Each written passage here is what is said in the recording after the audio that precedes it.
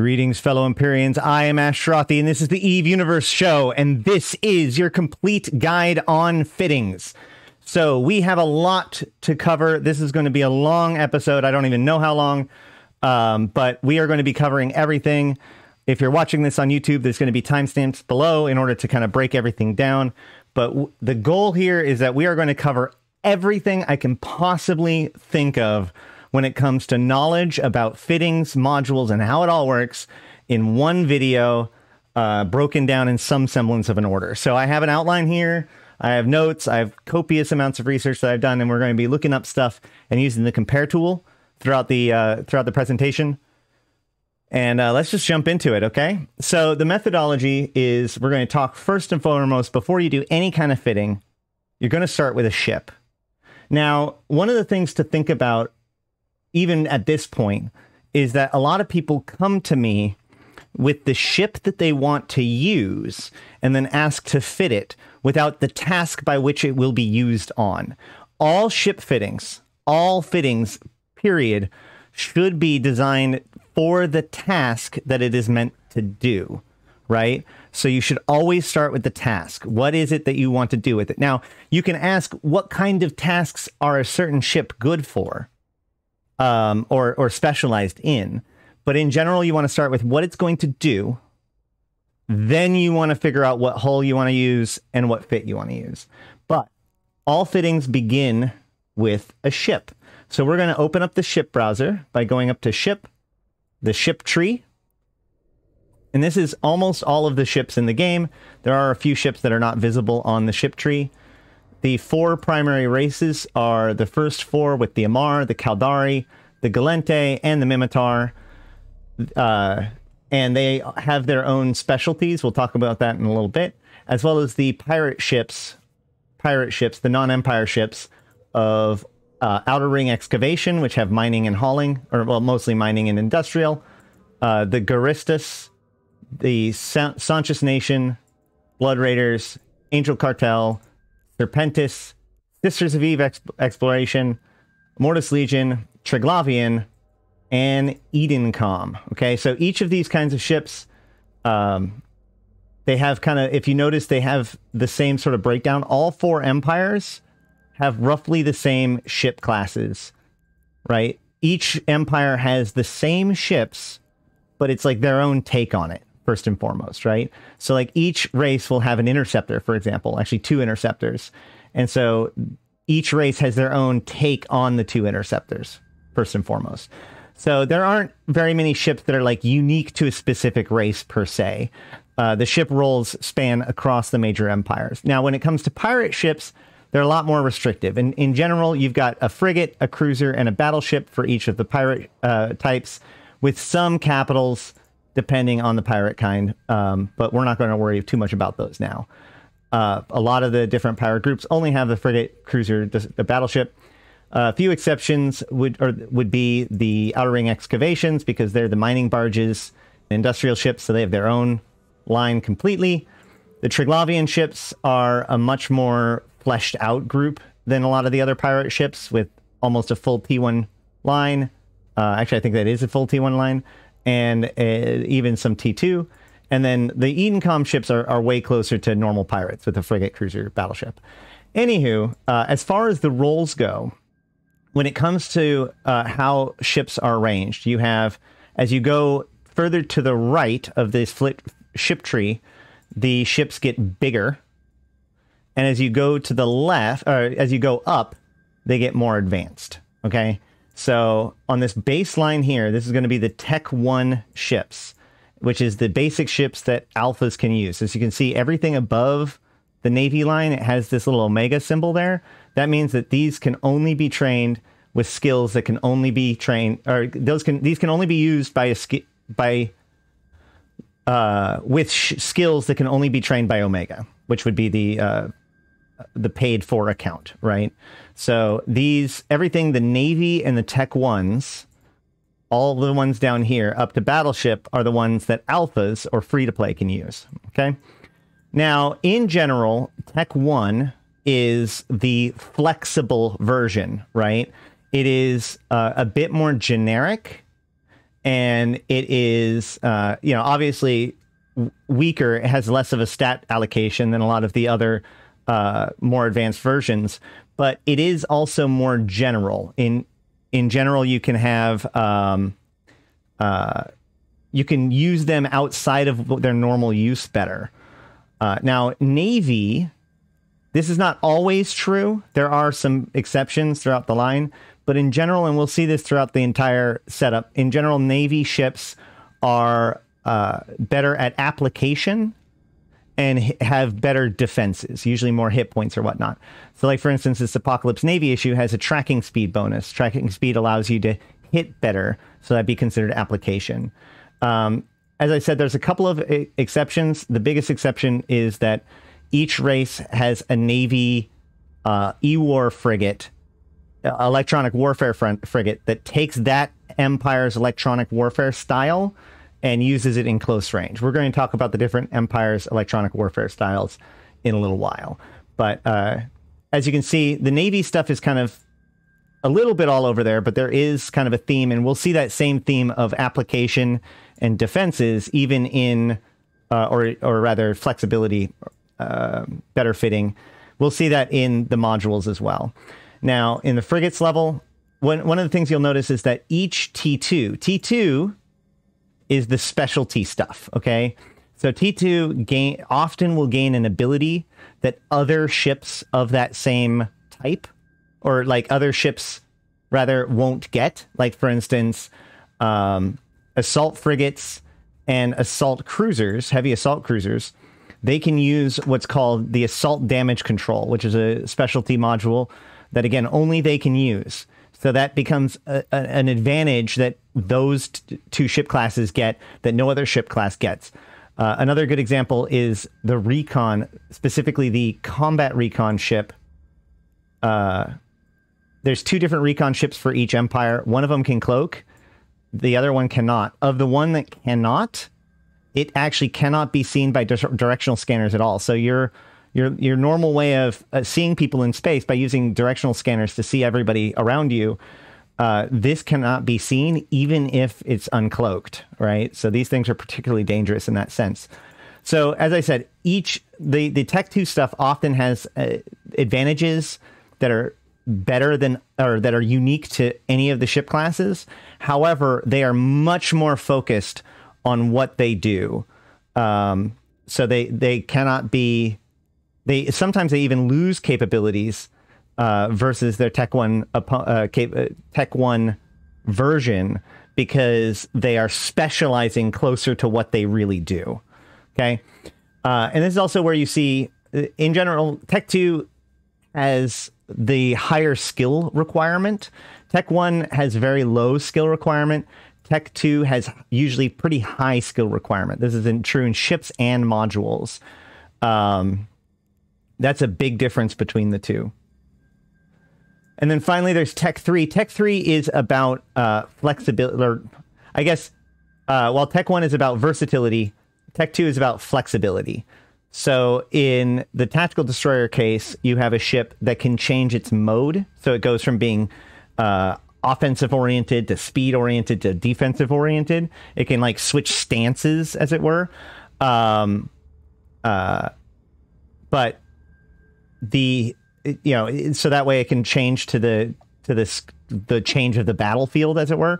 Whereas uh, strategic cruisers can completely change themselves. They are consistent of various subsystems that can be swapped out, and that changes everything about it. Its resources, its abilities, you know, everything. And it's also one of the. It is the only ship class that you can remove rigs on, which we'll talk a little bit about more later as well.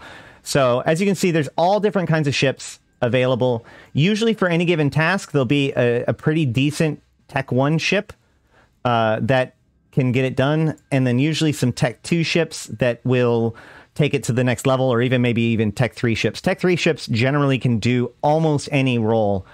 Um, at any given time, but uh, uh obviously not all of them at once. But they're incredibly powerful ships. But they are also spendy and and pretty high in skill requirements because they take six different skills to train uh, for each of the subsystems for each of the the Tech Three cruisers.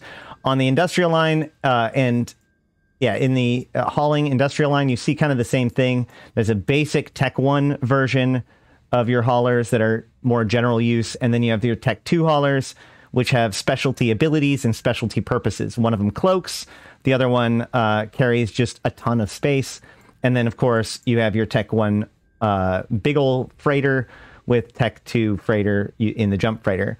Uh, capitals are always Tech One, so there you have it. Although that doesn't mean in this case that they are low skill requirement. Um, they obviously require a huge amount of skill to step up to capitals, but they generally go with the general flexibility as opposed to being, uh, you know, tech two-ified, as it were.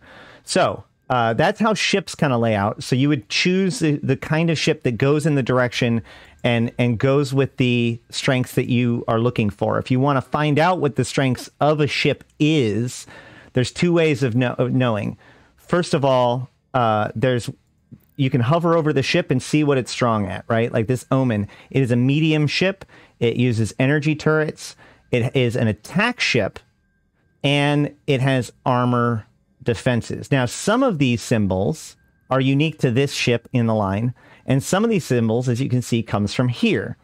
The Amarr Empire has very has specific specialties. All four empires do. Okay, so two of the empires are focused on armor tanking, which means they use armor as their primary defenses to keep themselves alive. Whereas the other two races in general use shield tanking. They use their shields uh, to protect themselves and have much more of their defenses in their shields than in their armor. In addition to that, each uh, race has a weapon system uh, and sometimes a secondary weapon system that they uh, utilize. The Amarr uh, sorry, and then also they have an E-War or even a secondary E-War system that they utilize. So the Amarr and the Gallente are the armor fit ones. Oh, also of the four, one of them is usually based around more of a buffer style, and the other is more based around a resistance style. So in this case, the um, or to put it a different way, I like to think of it as one of the two fights interlocked because they're designed, their ships are designed to fight a little bit more as a fleet um, and have a lot more synergy as a fleet, whereas the other two are more skirmishy and independent. They can still fight as a fleet, but they function more independently of each other.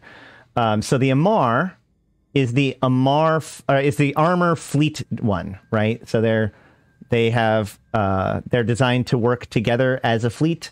Uh, their logistics share capacitor within each other to keep themselves up. Uh, they have good resistances, etc. The Caldari would be the shield fleet uh, version of, or you know, the fleet version for the shields. The Gallente would be the armor skirmishers, and the Minmatar would be the shield skirmishers. Okay, the Amarr also focus on lasers. Now, we'll talk about this a little bit more. Uh, actually, we'll we'll we'll jump onto that when we get to weapon systems. Each race has their own weapon system. Each race has their own E-War system. We'll talk about that when we get there. Um, now, as you can see, so so all of the Amarr ships are going to be focused either, or pretty much all of the Amarr ships are going to be focused on energy turrets or drones. There are a few others. There are a few that have missiles, but they're kind of outliers. Almost all Amarr ships, I think all Amarr ships focus on armor.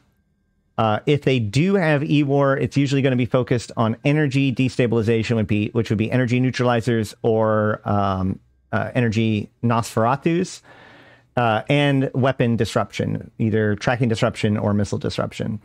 So likewise here, we can see that this medium capability comes from the fact that this is a cruiser. All cruisers are mediums. That's a medium class ship.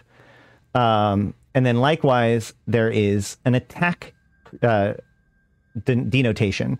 So at each tier, pretty much, um, there are different roles of ships, even in the T1 line, right?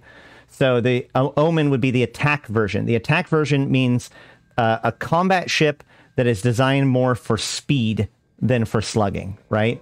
Meanwhile, I got too close to something.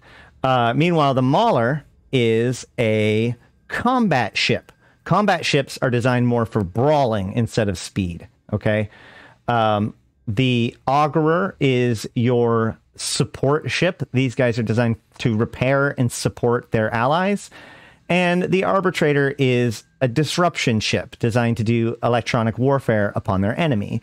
Now, since we know that the Amarr electronic warfare is weapon disruption and energy disruption, we can already guess that this disruption cruiser will be focused on one of those two, which lo and behold, there it is the weapon disruption. You can look at the bonuses to see exactly what the ship is good at. Okay. So as we can see, there's one ship of each of those different roles here. And if we look back here, we can see the same thing in the frigate line. Now, these are all small because they're frigates, but we can see that this one is the disruption frigate.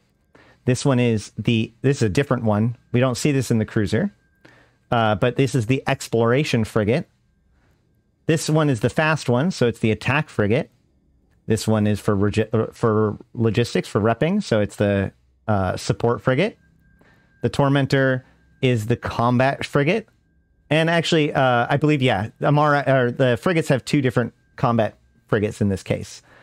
Um, likewise, we can see here that the Coercer is the attack destroyer. Uh, actually, both destroyers are attack. I think that's true about all destroyers. Likewise, you have the combat cruiser, the two combat cruisers and an attack cruiser. The attack cruiser or battle cruiser rather. In the battle cruiser level, it's kind of interesting. The attack battle cruisers are able to fit one size category larger than them. So these are the glass cannons. Technically, destroyers and battle cruisers are glass cannons. They use the same, or they're they're of the same tier as below them, but they bring more weapon systems to bear, but they aren't as agile. So, but in this case, this takes it to the extreme. This uses this is a battle cruiser that uses battleship level weapons, um, but because it's a battle cruiser, it's still pretty agile. Now, uh, battle cruiser comparatively. So these this line of attack battle cruisers are really heavy hitting, um, but if they can be hit, are are pretty much paper thin. So you don't see these a lot in, in PVE, for example. Um, whereas the Harbinger and the Prophecy are much more uh, sluggy, as it were. Likewise, you also see this in the uh, battleship level. We see that this is a combat, so it's going to be more for slugging. This one is uh, a combat. This one is attack. Um, oh yeah, and the navies are, of course, the navies. Now, it's worth noting that while most of the navies are just a better version of of the previous thing with a little bit better uh, tank and a little bit better flexibility, um, or or tracking, there is actually one exception. Each of the logistics or uh, the you know the support cruisers, their navy version are not support. They are brick tanked combat stuff, which means like they are just meaty, meaty, hard to kill stuff uh, that have good combat capabilities. It's a bit of a surprise for some people. I think that that probably, I mean, there's obviously, I could have an entire episode on just how each of the ships and all their little niches. We're not going to talk about all of them right now because we want to get to the actual fittings themselves. Um, destroyers are less agile than frigs, than attack battle cruisers are more agile than others. Correct. Uh, the the attack battle cruisers are actually well, attack are the most agile of that class. So the attack battle cruiser is are the are the agile version of the battle cruisers, if that makes sense. It just so happens that they also have the larger weapon system. So they are fast, less tanked battle cruisers with battleship weapons. Yep. Okay. So uh, also each sorry before we close up ships, um, each pirate ship has their own cheat, right? So a pirate ship, while while a, a, normal empire ship will be impacted by their one empire racial skill. So like a Mar frigate will control how good you are at at these frigates and how big these bonuses are. Uh, Amarr destroyer for these, Amarr cruiser for these. With the pirate ships, there's actually two different skills that go into each pirate ship, two different races. So in this case, the worm gets bonuses from Caldari and Gallente. So they gain some uh, Gallente gives them some missile damage, whereas uh, bonus, whereas the Caldari gives them some shield resistance bonuses. So they get two different uh, bonuses, which already makes them really strong. But then each pirate ship race also gets a cheat. So in this case, the uh, the Guristas cheat is that rather than using a full flight of drones as their major combat system, they actually use a far fewer. They only use two drones, but those drones are so strong. They're they're actually stronger than most uh, most guys' full flight of drones. So these guys become very very deadly and extremely flexible in PVE. And we'll talk a little bit more about why drones and such make them flexible for that as we go on. Um, for now, we'll just accept that to be true. Sansha's Nation gets uh, some afterburner bonuses from their Caldari side and the um, energy turret bonuses from their Amarr side. And they also get a special bonus where, oh, actually, sorry. Um, they get their roll bonus of energy uh, turret damage, which basically means that they get to do the same amount with less turrets. Uh, this gives them more potentially more utility highs and uh, use less crystals and all that sort of stuff. But also the big actually the big one here is actually in their Caldari frigate bonus, their cheat. Their afterburners get so fast that they don't actually need to use micro warp drives. Micro warp drives have a tendency to uh, they move you quickly, but they don't make you harder to hit as much because they actually make you effectively bigger. We'll talk about that uh, as with everything else. We'll talk about that when we get there. Afterburners don't do that, so they get make you faster and harder to hit. Um, so these guys remain fast without making themselves easier to hit, which is kind of nice. Blood Raiders gain a web bonus from the Minmatar side and Nos and Neut bonuses from the Amarr side. Their big cheat is while normally Nosferatus cannot drain from people who have a capacitor lower than theirs, uh, Blood Raiders can drain from the capacitor using a Nos, using uh, whatever whatever their level is. And again, we'll talk about this more when we get there. Angel Cartel are just stupid fast. They get a bonus to their warp acceleration. Basically, I like to think of it as each uh, goes one size category smaller. So, like uh, a battleship moves like a medium, a medium moves like a frigate, and the frigate moves like an interceptor. They're just stupid fast. Um, Serpentis get the uh, hybrid bonus and the web bonus from their two races, and uh, a bunch of extra damage. Their bone, their cheat is actually in this Minmatar frigate bonus, that stasis webifier bonus, these guys, a stasis web is designed to slow down your opponent. These guys can slow them down to a freaking crawl. If they, if a, if a Serpentis ship gets to web you, uh, you, they're not moving very, or if you get your webs on somebody, they're not moving very fast. If you're in a Serpentis ship. Sisters of Eve are a bit different. They are more explo- exploration uh, focused, where the uh, Astero is, you know, all of them have, they're able to use covert ops cloaking devices as if they're covert ops. They have bonuses to their scanning and hacking skills. They're basically like super tech, or somewhere between Tech 1 and Tech 2 exploration frigates. Um, which is kind of a, its own exploration. So we'll uh, we'll talk about that maybe another time more. But they are very combat capable, given the fact that they are exploration frigates. Uh, people that underestimate them on honestly uh, run into a lot of troubles. In particular, the Stratios is very deadly, but even the Astero can be very good. The Nestor is uh, battleship support, which makes it unique in the fact that it is the only dedicated support battleship. So that's pretty interesting. It's got really, really powerful armor reps. So repairing its allies' armor hit points.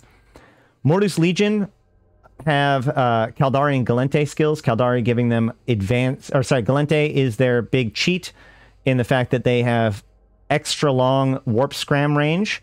Warp scrams, as we'll talk about, are very powerful uh, to have in combat, and the ability to be able to scram further than uh, your opponent is incredibly strong in player versus player combat.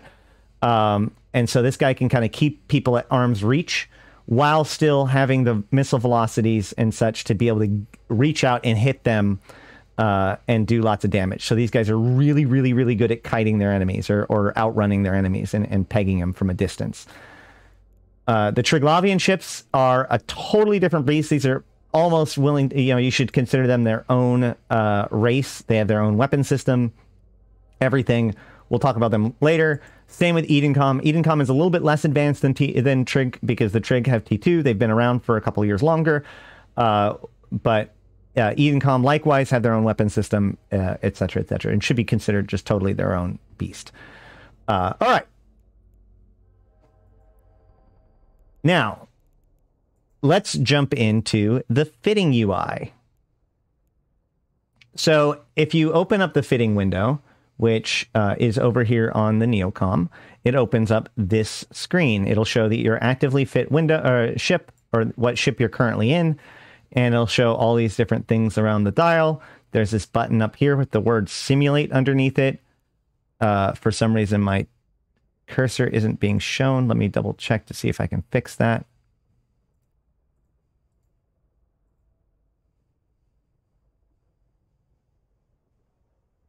Capture cursor. There we go. Uh, over here, you can see the simulate box over, and then off to the right, there's a whole bunch of stats. Off to the left is another gutter that has these three icons on it. It may not be there. It could be like this. In fact, it could even be like this. Chances are it's going to be like this or something like that when you first get to it, um, or probably closer to this.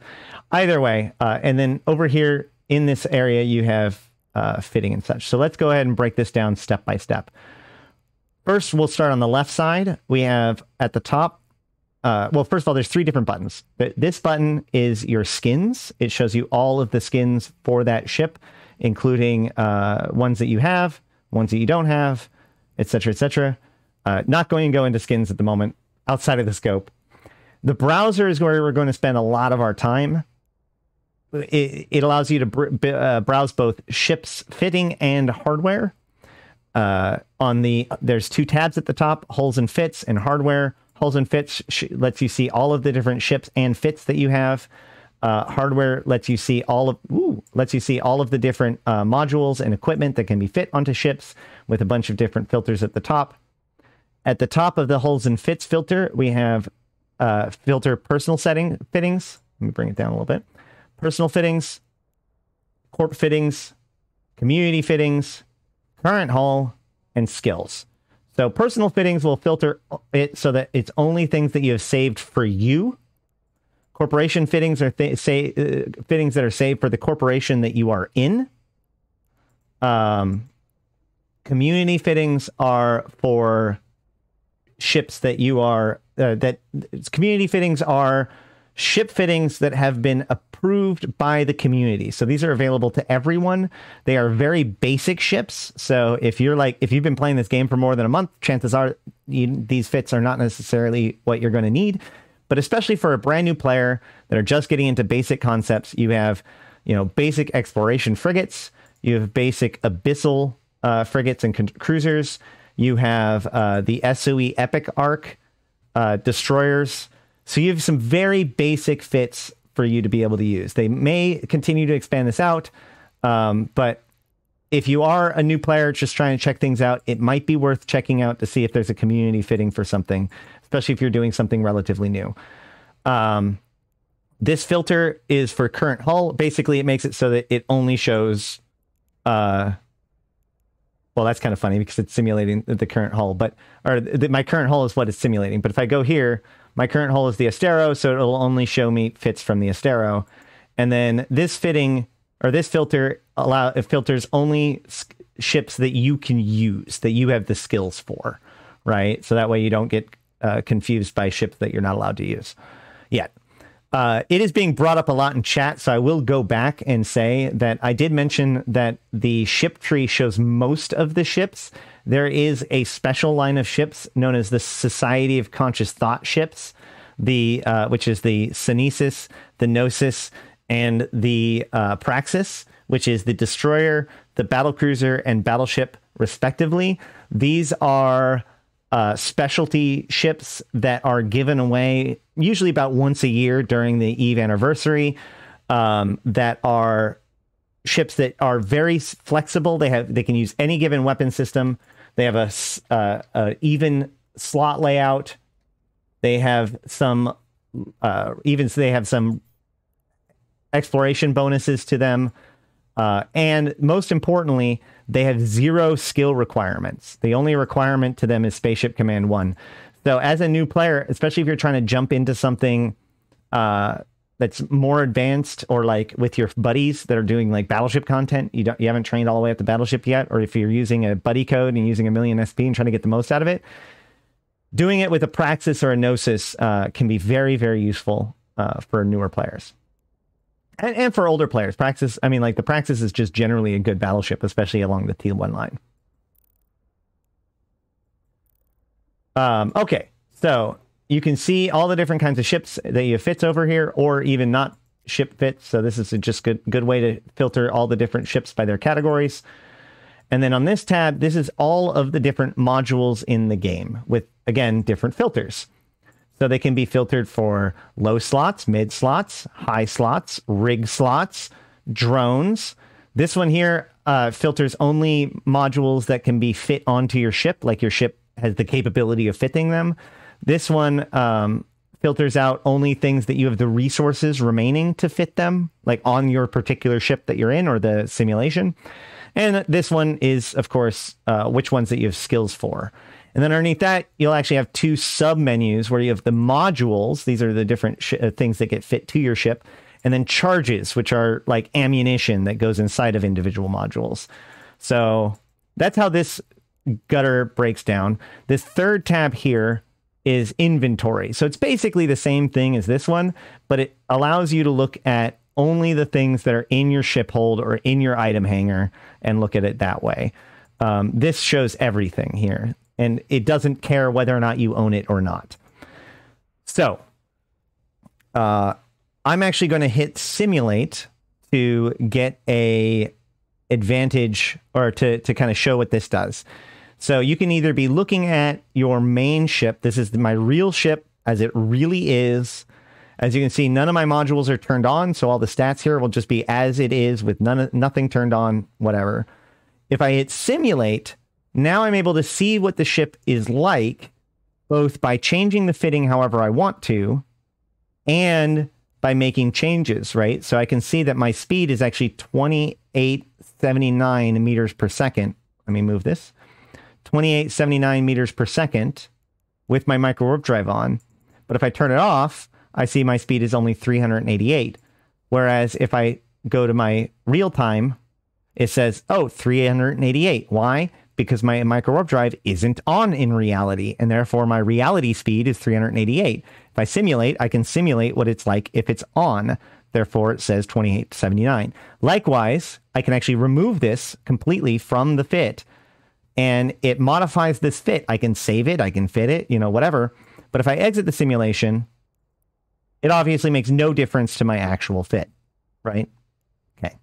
So simulate allows us to experiment. It allows us to try out ship fits that you uh, may not necessarily have. Also, if you make a change to your ship, now I won't be able to do it right here because I'm undocked, but like if you had an open slot and you dragged and dropped something from here to fill it that you don't actually have, it won't, or even if you actually have it, it won't uh, fit it. It'll enter into simulation mode with that now fit uh, because it doesn't just try to do it automatically from from this window. Now, one of the other things to note about this window is that you, if you are going to drag things off, you can't drag it off outside of here. If you want to drag it off, you have to drag it back into this gutter where it came from. You can right click to unfit a module. All right. Now then, let's go ahead and break down this this dial around here. So your ship fitting is broken down into different resources. Okay, you have different resources available to you. You have uh, power grid, deep, sorry, power grid, CPU, high slots, mid slots, low slots, and rig slots. Okay, so let's first start with power grid and CPU. Power grid represents how much power is in your overall system. Um, high powered things will require more power. Low powered things will usually require less power grid. You can see how much power grid and CPU everything any any given thing takes by going into its show info and going to its fitting requirements. You can see like this thing has 21 teraflops of CPU usage, 14 megawatts of power grid usage. If you put on something and do not have enough power grid for it, something will not turn on. It just simply will not turn on at all. So you must have enough power grid and enough CPU for your entire fitting. If you do not, then it'll do this. Let's let's grab something that's too big for this ship. If I take this gigantic afterburner and I cannot I can't even fit that one um, if I take this afterburner and put it on here, you'll see that now my power grid is over. It's over by 666 uh, units, coincidentally enough. Um, and you can see that this bar is flashing. I can hover over the bar to see how far above I am. So at this point, I am actually 1700% over my fitting requirement, which I, I think I'm going to have a bit of a difficulty making up that difference. So chances are I'm going to not be able to fit this particular module on this particular ship, right? Uh, yeah. So we're going to take this back off and we can see, oh, now I've got plenty of power grid. I've only used 45%. This is useful because sometimes you may need to know how much percentage over you are. If you're within like two or three percent, you can actually use what's called an implant to get make that difference. We'll talk about that when we get to it. Okay, so same with CPU. CPU, but unlike CPU, there is no uh, there isn't quite as much of a rhyme and reason as to like which things take more CPU, which things take less CPU. We'll look at that as we look at the individual modules. But uh, in the same sort of way as you have power grid, you have CPU. If you have too much, uh, something that takes too much CPU, It'll blow it out. It'll flash in the same way. You can hover over it. It's basically identical in mechanics as Power Grid, uh, just different things to cost it and different things um, uh, give you CPU. Now, on top of that, you have high slots, mid slots, and low slots. Now, why are these called this? In general, high slots take up a lot of power grid and or a lot of uh, capacitor to use. Mid slots take a moderate amount of capacitor and or power grid, and low slots in general take less power grid and or uh, capacitor. Okay. So, uh, and likewise, we can actually hover over individual modules on our fit and we can see how much they consume, right? So we can see here, like the, uh, hopefully you can see that the green bar lights up a fair chunk. That's a, that's quite a bit of CPU being consumed, but almost none of the uh, red bar lights up. Whereas if I move over here to the, well, actually these are very low powered, low slot or high, uh, high slot items. This afterburner takes up over half of my power grid, right? So, um, yeah. So each module is connected to a type of slot, right? So it's not like you can fit a high powered module into a low powered slot. Let's let's grab a thorax just for just to have something to show. If I look at this thorax, which is an, a Gallente cruiser, I can see I have quite a bit of high slots. I have quite a bit of mid slots and I have, well, a few mid slots and a few low slots. I have one, two, three, four, five high slots, one, two, three, four mid slots, and one, two, three, four, five low slots. Um, also, sorry, there's one other piece, uh, uh, resource, which is hard points. Okay. In this case, you have turret hard points. You have five turret hard points. That's what these circles mean. Okay. If I went with a caracal,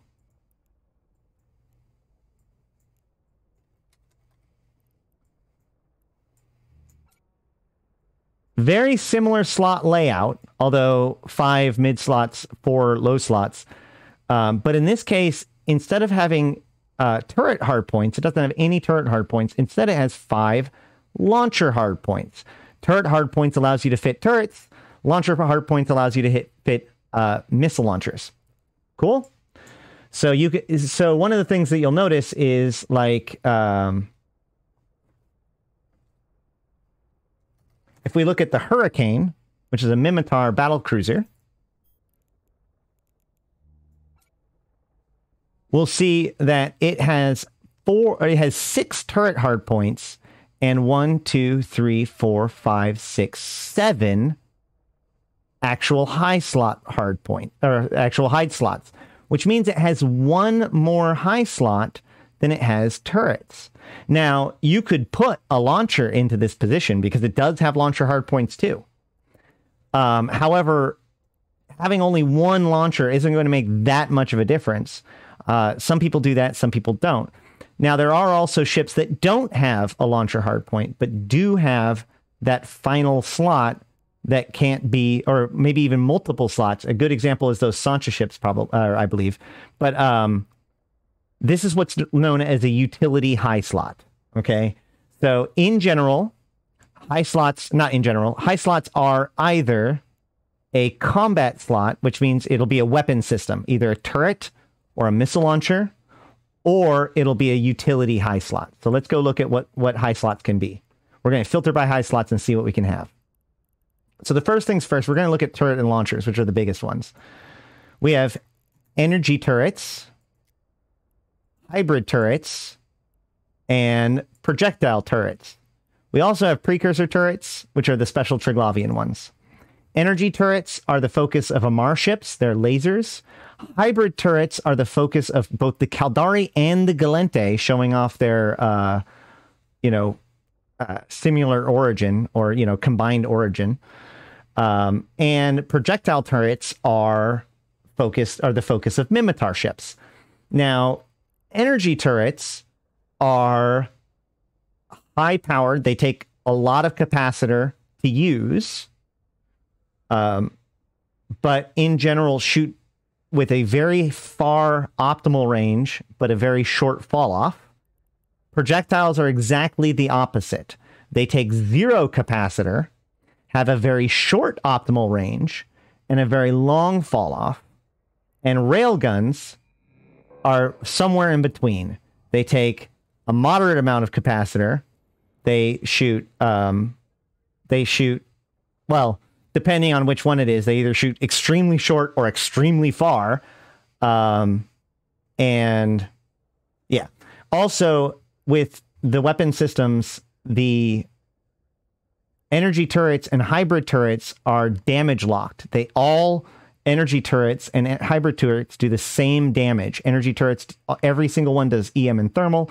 Every hybrid does uh, kinetic and thermal. Right? Hold on, let me double check that real quick.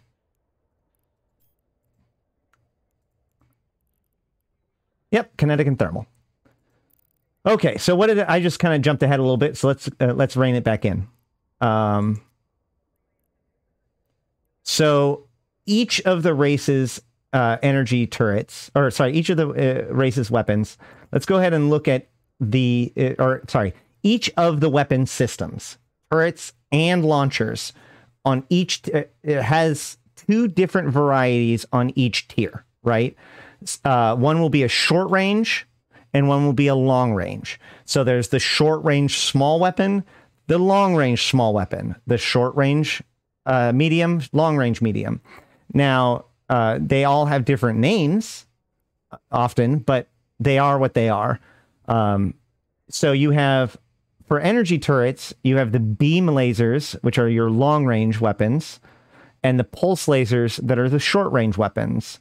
For hybrid turrets, you have blasters that are your short range weapons and railguns that are your long range uh, weapons. For projectiles, you have autocannons that are short range and artillery that is long. Missiles have different names for everything.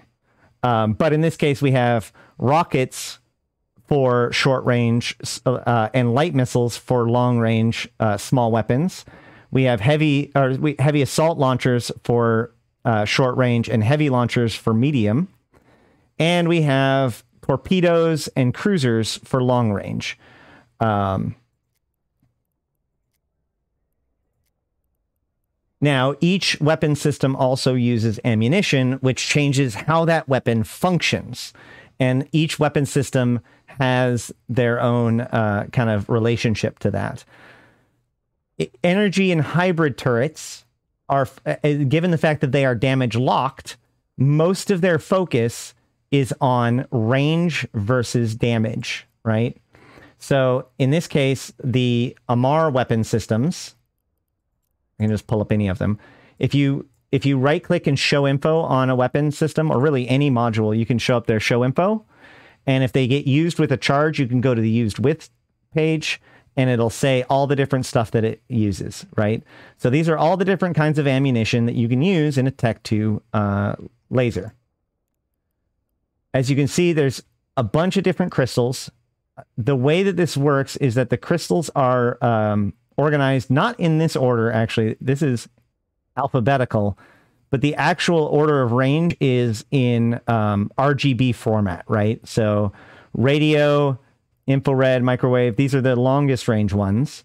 Standard is somewhere in between with uh, gamma, X-ray, ultraviolet in as the short ranger, with multi-frequency being the shortest range, highest damage crystal, right? So we can actually see this in motion by uh, opening up the compare tool. You open up the compare tool by right clicking any item and hitting compare, or by going to the variations tab of any given item and hitting the compare button, which will add all of the different of that version of the item.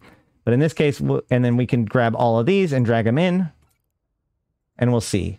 At the top left of the compare tool, you'll have a gear. You'll want to make sure that the check mark only show attributes that differ it appears. And we can see real quick that there you go blue, green, purple, yellow, uh, red, orange, uh, or infrared microwave radio, right? So roughly RGB, uh, yeah, RGB. Either way, um, with multi frequency as the closest range. And you'll also see that their damage ramps up too, right? But it's all EM and thermal either way. There is a bit different of difference in the ratios though, where this is like half and half, whereas this is, you know, seven EM and five thermal. This is no thermal damage, 100% EM.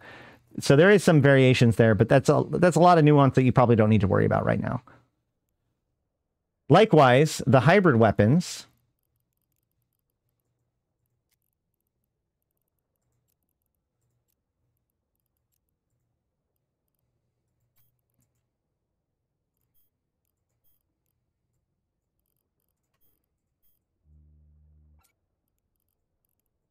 are arranged, uh, are not arranged, but as you can see, they have the highest damage is antimatter with the low with the lowest damage of iron. But iron increases your range bonus by 60%, where um, antimatter is by uh, reduces your range by 50%, cuts your range in half.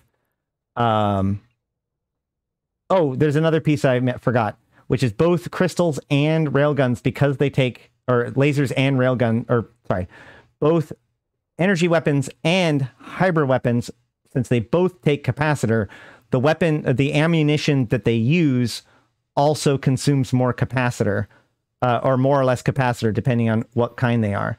So um, you can see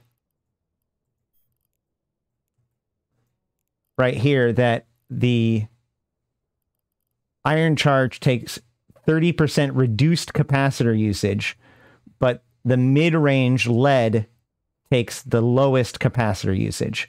Likewise, we can actually see the same thing in lasers, where the lowest, sorry, the, yeah, the lowest range has the the highest capacitor consumption the and the biggest bonus to your capacitor consumption, the biggest reduction in capacitor need, and therefore the less capacitor used, is the mid range. So your standard is going to be your lowest capacitor usage as a laser, and likewise the mid tier one, um, or the mid range one, I should say, of the Gallente Is also so the lead right? Just a little difference there. Now, there is another difference between the two, which is that uh, lasers um, get used. Sorry, lasers will reload instantly, right? So as long as your ship is not firing actively, you know, you just have to turn off your weapon system and swap out your ammo. Um, whereas think it's here. Do they have it here? Yeah, reload time. Whereas a railgun can be upward, you know, five seconds or so of reload. So while they both swap damage or swap what ammo they use uh, based on what range they're uh, attacking at, it is far quicker for Amarr ships to react to range changes than for Minmatar or for, for Gallente or Caldari ships if they're using railguns. Uh, projectiles are even worse in that sense. So, but rails and and and um, and energy turrets are pretty similar in those regards.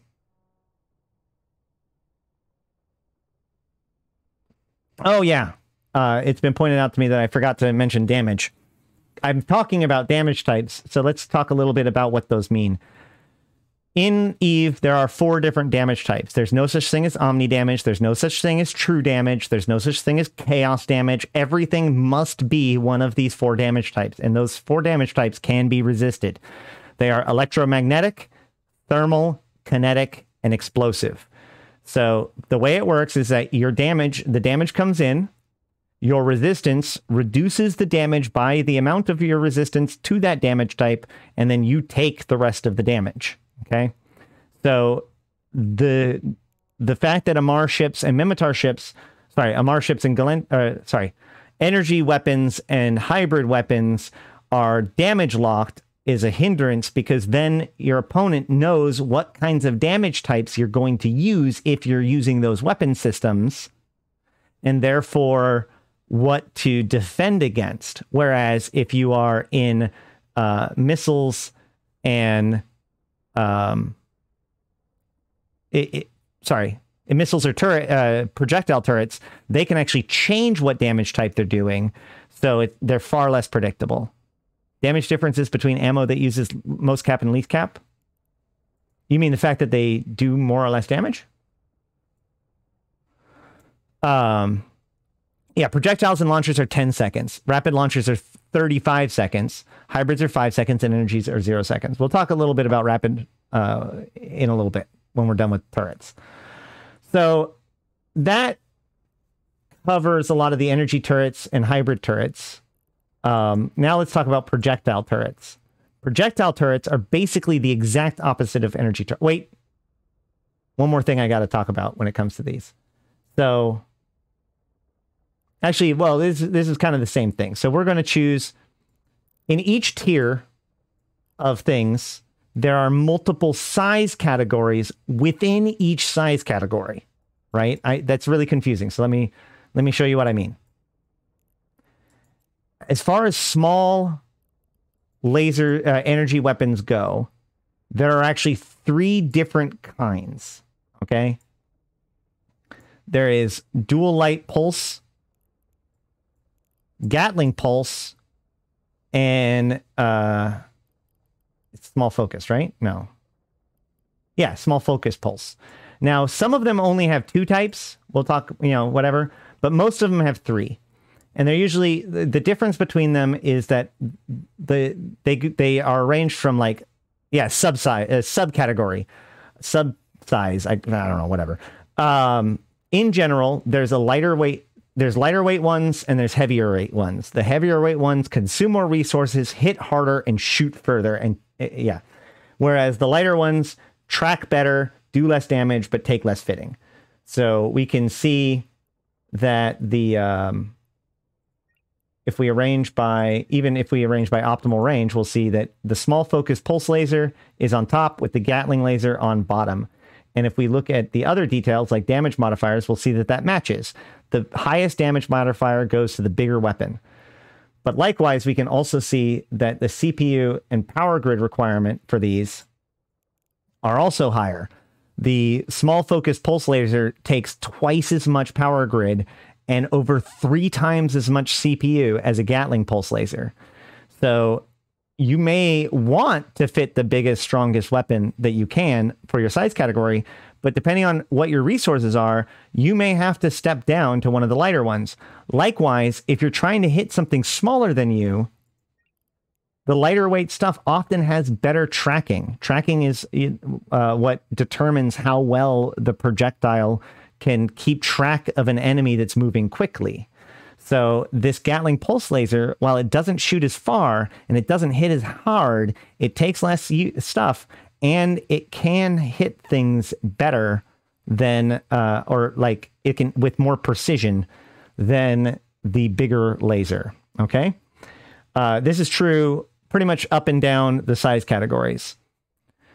And then likewise, there is a focus per weapon system. So we're going to go with this is the heaviest of the uh, laser short lasers. We're going to look at the the short of the projectiles and the hybrids too to see what we can learn from this. Likewise, we're going to bring in all three of the hybrid basic weapon systems. See which one is the highest there. It's this one. Remove the other two. Because we want to just compare the, the highest ones with each other. Uh, and then likewise for the lasers.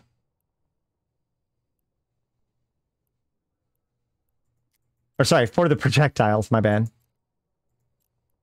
We have it's kind of obvious with uh, projectiles because it's like the bigger one is the biggest one. So let's look at this. As far as CPU usage goes, the laser takes the most. As far, uh, no, my bad. As far as CPU usage goes, the blaster takes the most. As far as power grid goes, the laser takes the most. As far as the damage goes, the blaster gets the most. And as far as the optimal range goes, the laser gets the most. But as far as fall off,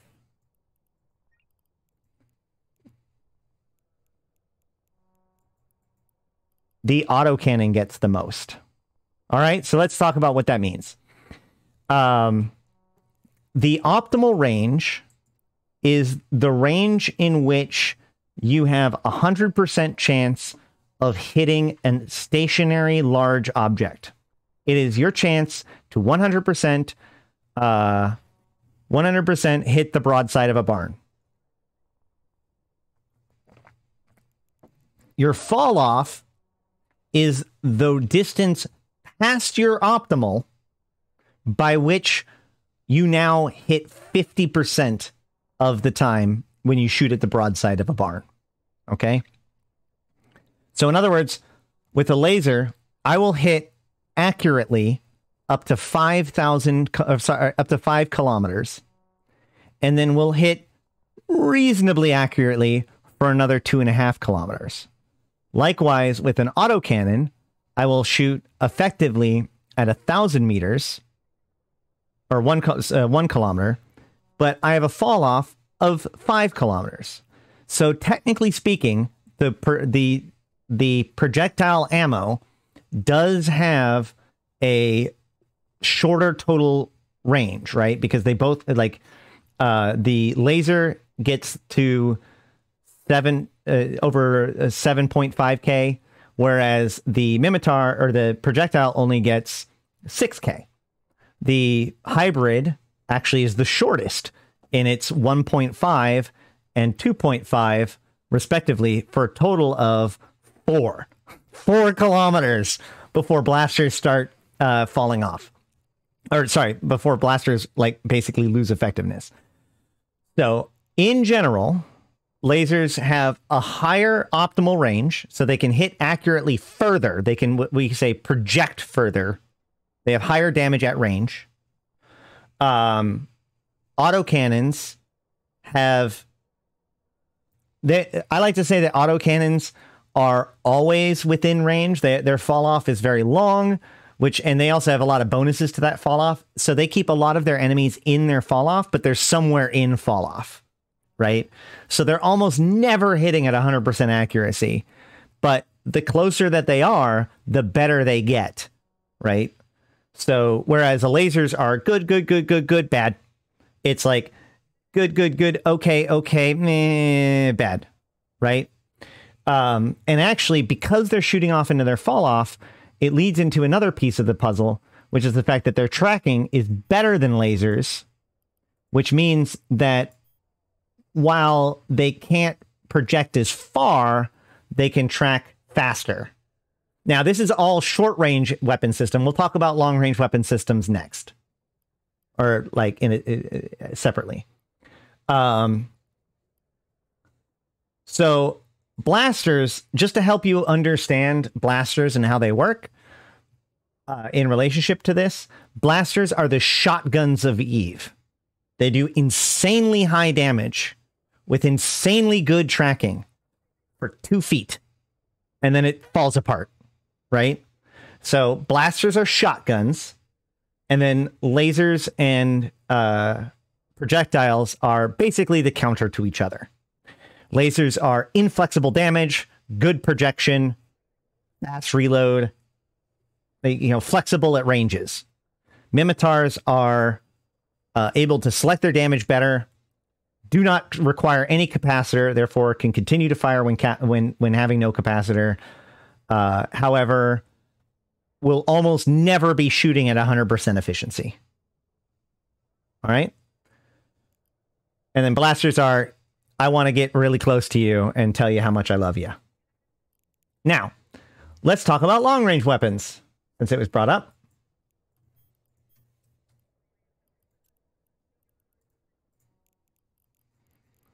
The long range laser system is known as pulse lasers. Sorry, beam lasers. Likewise, we're going to find the best one of each of these. One of the ways that you can tell the base model is looking for the T2 one, there's a lot of other names. So to cut through the chaff, I like to just go to the T2, then go to the variation, and then see like, oh gosh, it's even there. Um, but yeah, dual light beam laser and small focus beam laser. Of the two, we can look which one's got the longest range. This one does. Remove that one. Let's go to hybrids. Their long range is known as railguns. We can go for the biggest number. Kind of handy. And uh, artillery for projectiles. And once again, we can just go for the biggest number. All right. So once again, we look at the rate of fire, the damage modifier, optimal range, tracking, power grid, CPU. Sure. So let's look at these and see what we get out of this. When it comes to the furthest range, we have railguns. Railguns, then lasers, then projectiles. When it comes to the damage, damage modifiers, we have projectiles on top. That's that's worth noting.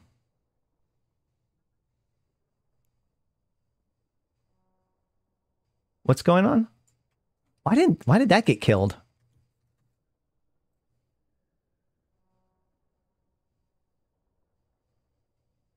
All right. Um, projectiles have really, really, really high damage modifier. The rate of fire, however, the artillery fires twice as slow as any of the other two. Any of the other two. It's the shortest of them all. It's it fires half as often, but it has this giant damage bonus. Likewise, it has very low tracking compared to the laser that has the highest tracking and pretty good optimal Where's fall off? Did we get fall off?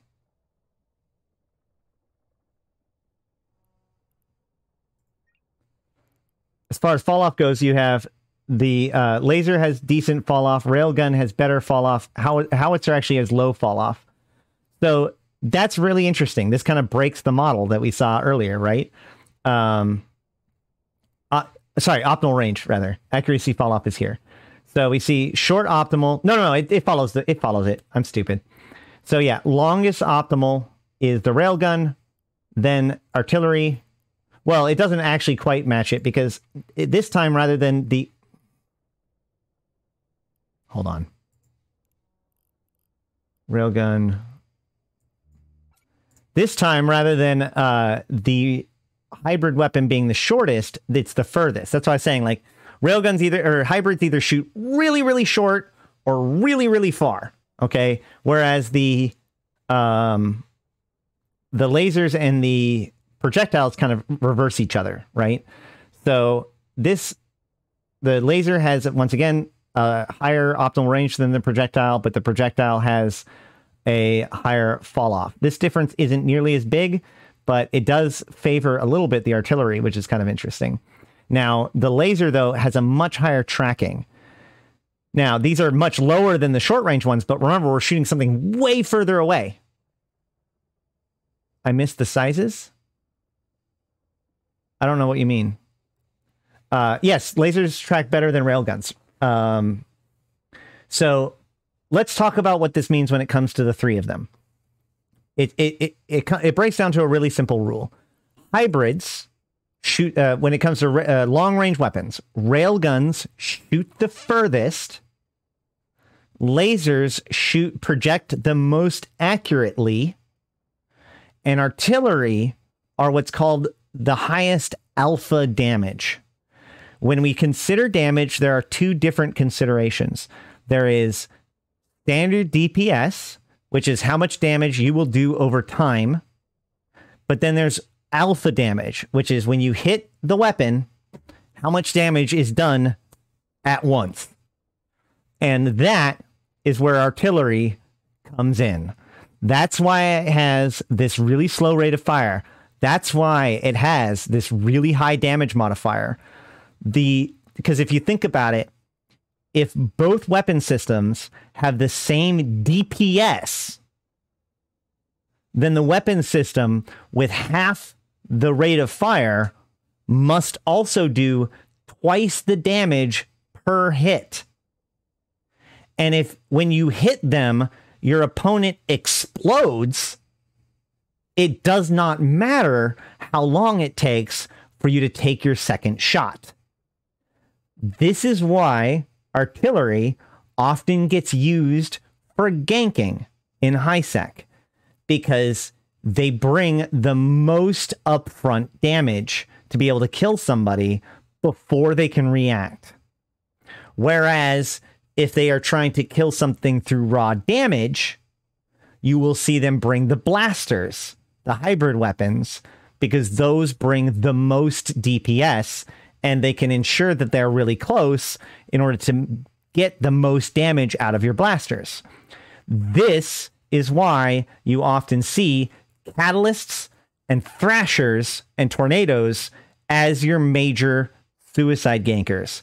Catalysts for high DPS, uh, you know, the maximizing your DPS within the 20 seconds or whatever that you get before Concord shows up tornadoes to delete something before it can even get its you know hardeners on, right?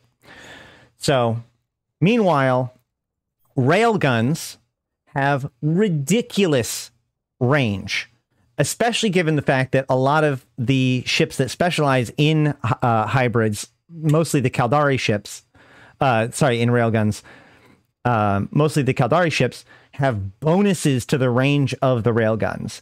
So while they have relatively low tracking, they're going to hit something so freaking far away that it won't matter because like it's so far away, it's basically not moving according to the to it. So you're seeing sniper corms and sniper feroxes being able to uh, put out huge amounts of damage at range. Lasers are able to project at range with accuracy. So um, a lot of again, you will still see a lot of snipers go with that. If they don't need the extreme range of the railguns, you'll see often uh, lasers get used for sniping comps because they'll actually be able to hit things at that range. Uh, yes, Hecates are a good uh, weapons platform for blasters as well, but not necessarily used for suicide ganking because they're um, they're a bit more spendy than them catalysts. Okay, so that kind of explains the turrets and uh, the different kinds of turrets for the different kinds of uh, sizes, or for the different uh, for both short range and long range. Let's apply that to the to the other weapon systems now.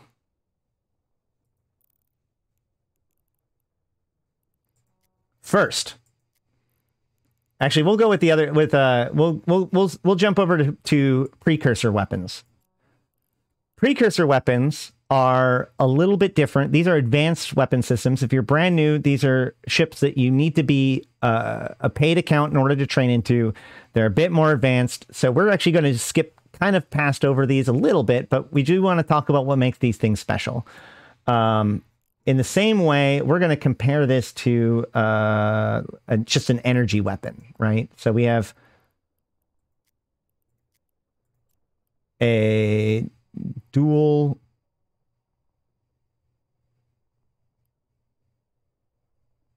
did we decide that it was da- dual afocal light maser? I can't remember now. Oh no, these are beams. Pulse. Small focus pulse laser. That's what it was. Small focus pulse laser versus light entropic disintegrator. Uh, the optimal range. So a light entropic disintegrator is going to shoot a little bit further than even a small pulse so I probably along the same lines as a railgun. Let's go double check that. Or not a railgun, but a blast. No, not a blaster because those don't shoot very far. Uh, no, yeah, because this is the highest optimal. So the entropic disintegrator has the furthest optimal of its class. But where's fall off? There it is. Accuracy fall off you can see that the lasers have 2,500, uh, 2.5 meter or kilometers fall off, while the entropic disintegrator has zero. This is the biggest, uh, this is the first special thing about entropic disintegrators, which is that entropic disintegrators, if they get past their optimal, they shut off. They do not fire past their optimal. Okay. However, they shoot pretty far. And remember, lasers were super accurate, right? Look at that. 410 tracking. Hell, let's go look at blasters.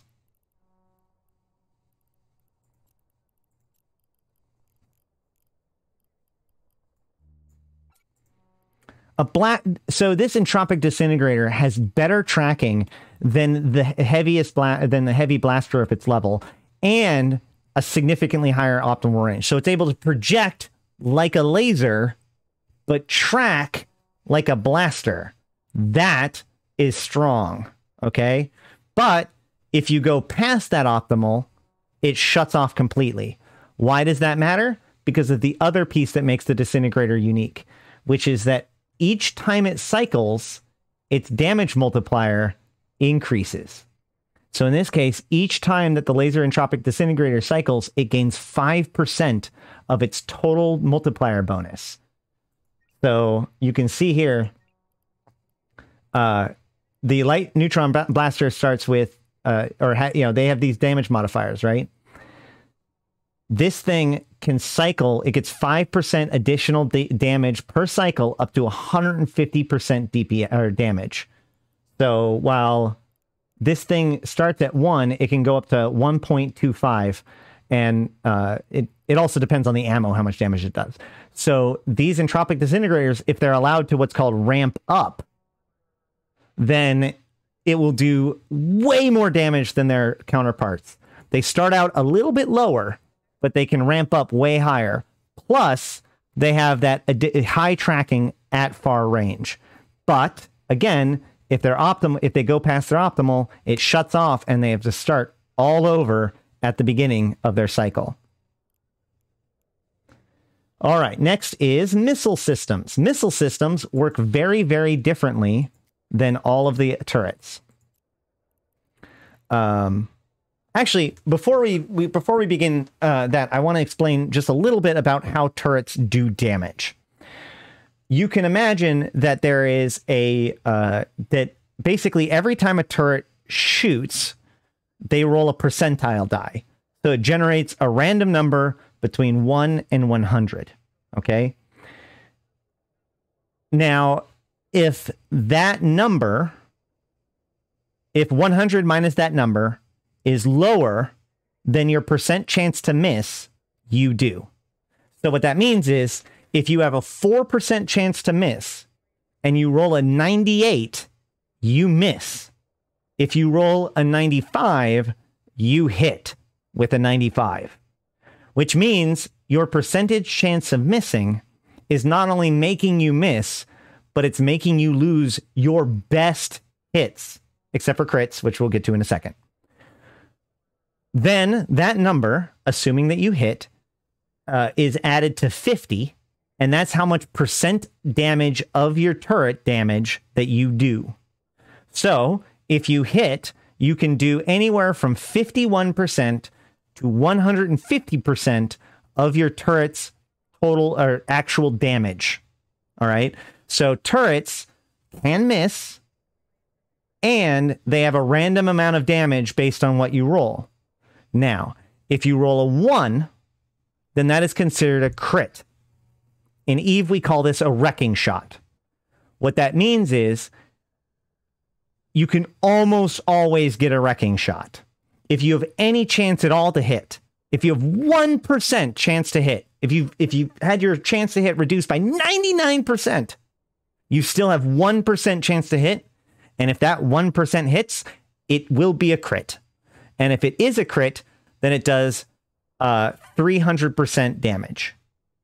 Okay. I have not actually, uh, I have not talked about that. I, will get, I'll circle back on that in a second. Um, yeah, if you have if you point zero zero zero zero one percent chance, then you have that much chance of critting.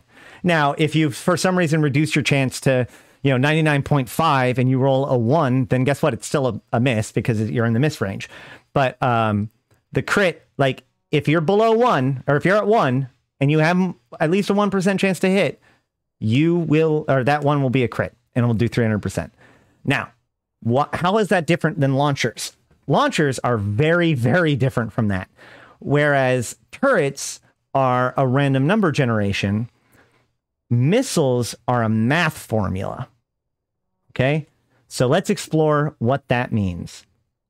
First and foremost, like I said, there is a short range and a long range weapon system for each size category. In in missile systems, they're called guided and unguided missiles, but I can't think of a practical reason why that matters at the moment. So let's go ahead and look at, um, for example, our short range weapon systems, rockets. Or, uh, sorry, our small weapon systems. So you have rocket launcher and light missile launcher. Now, one thing you'll notice is we haven't really talked about the other named ones, but one thing you'll notice is that each category only has one type. We don't have like the laser, the turrets had three different types, two to three types per size category. This only has one. There's there's just miss, light missile launchers and rocket launchers. That's that's interesting by itself. The other thing that's worth noting is there is no optimal range or anything like that here on these either. There's no optimal range. There's no fall off. There's no no range information whatsoever. There's also no damage information whatsoever. Uh, well, actually, that was true about the turrets too. So, but the, where that all comes from is from the ammunition itself. Because see, a turret shoots its ammo, right? Like it it shoots the bullet, and the bullet goes and hits.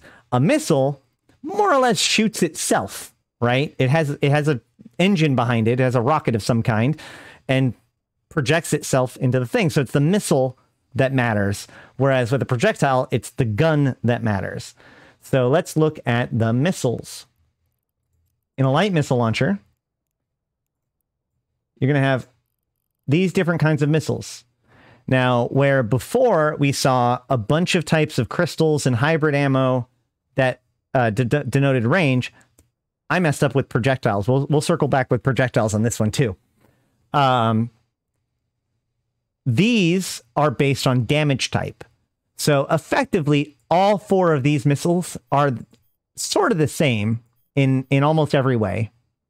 Uh, let's let's do this. Reset all.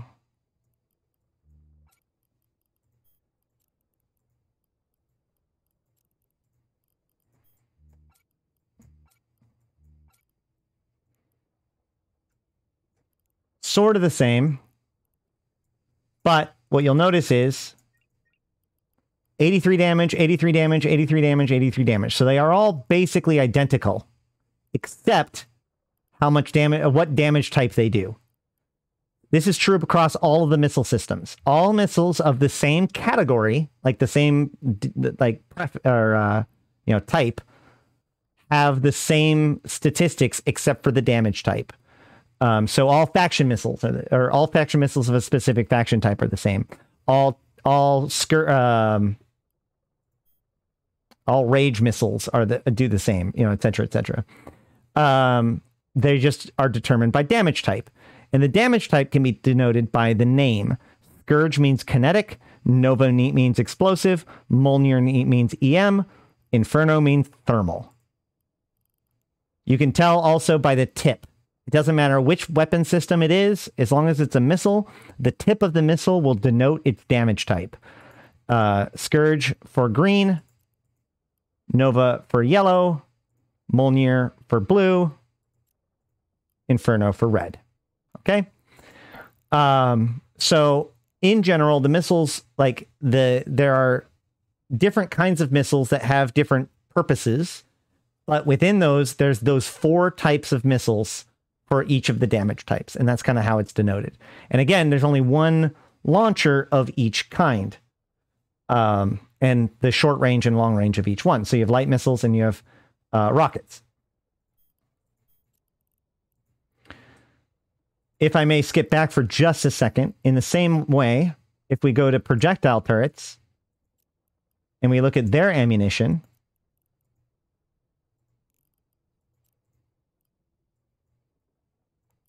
That's definitely not a good example.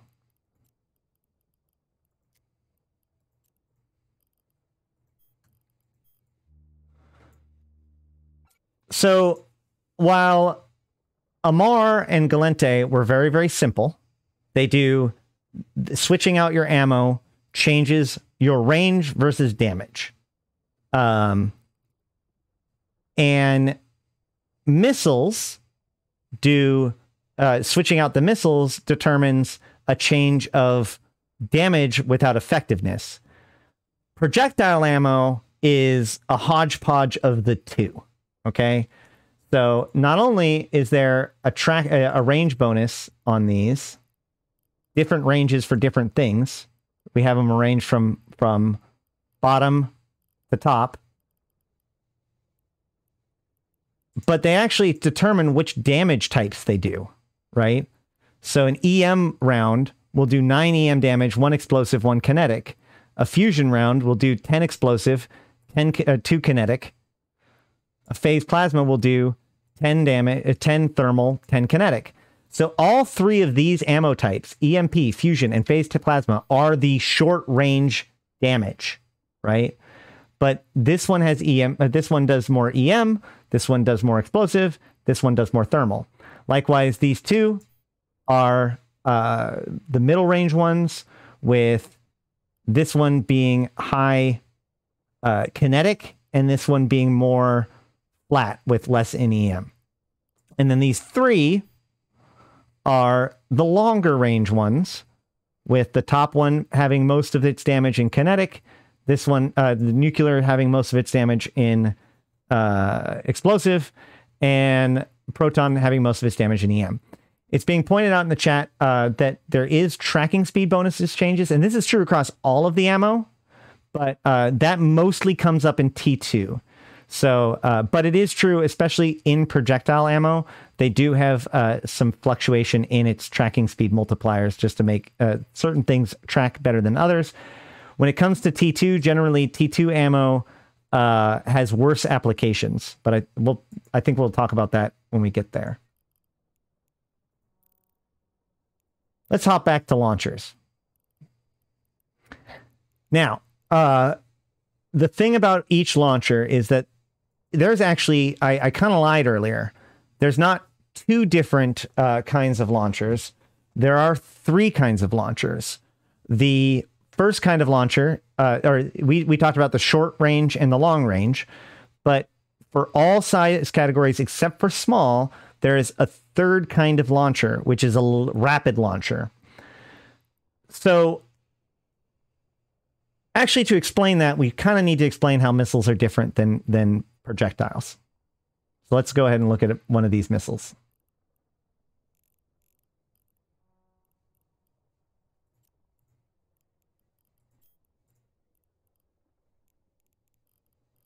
Oops, I got rid of the compare tool.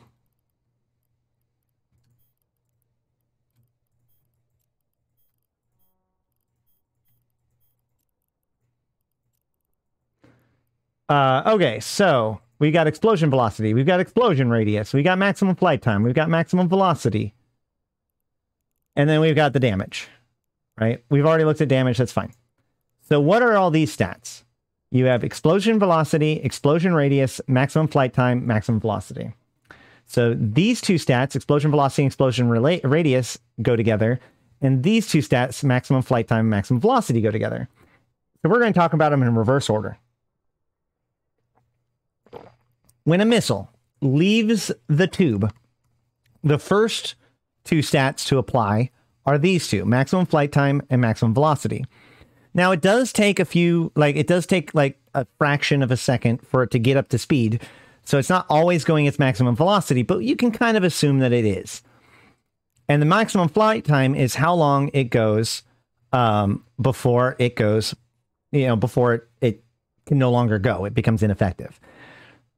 So in general, you can multiply this number by this number in order to get its maximum flight distance.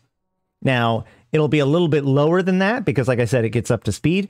And there is a bit of a caveat where, because of the one second tick of the game, um, if it's not a full second of uh, flight time, it does some wonkiness with the math to try to make it all work. So it's not literally true, but for the most part, we can just consider it that way, right? Maximum flight time times maximum velocity equals maximum distance that I can hit things with a, with a missile. Where with a turret, you had optimal range and fall off that determined how well you hit it. With a missile, either the missile makes it to the ship or it doesn't. And if it does, then that's where the other two numbers come in play. You have the explosion velocity and the explosion radius. The explosion velocity uh, is the uh, the explosion velocity is how fast the explosion happens, and the explosion radius is how big the the explosion is. Now I have a lot of notes on here, but we're going to uh, it's just going to work. We're going to try it. So, the way I like to think about it is let's say we have a level, right?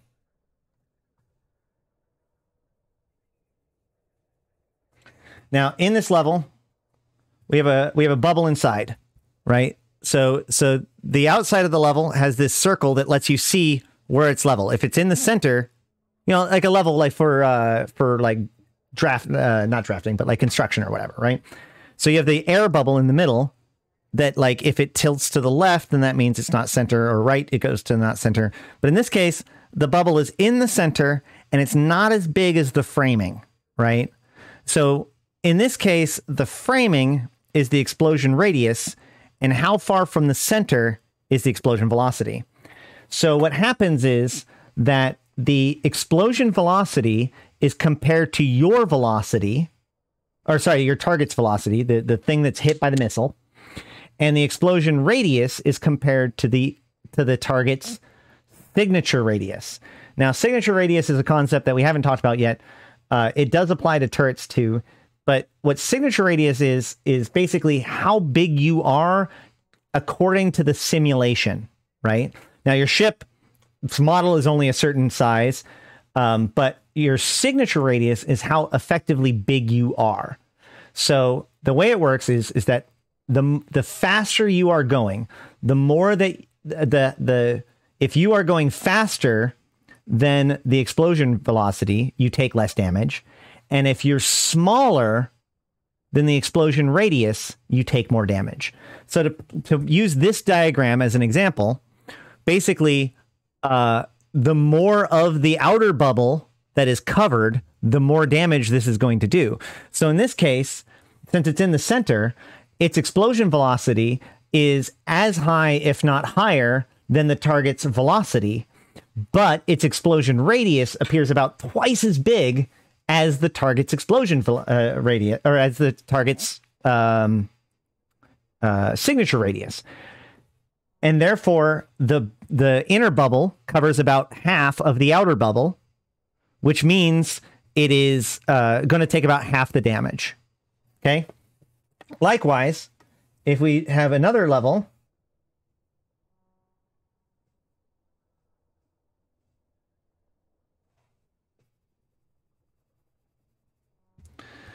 Now this this bottom one has a much larger signature radius than the uh, than the explosion radius, but it's also going faster than the velocity, moving it out from the center. Okay.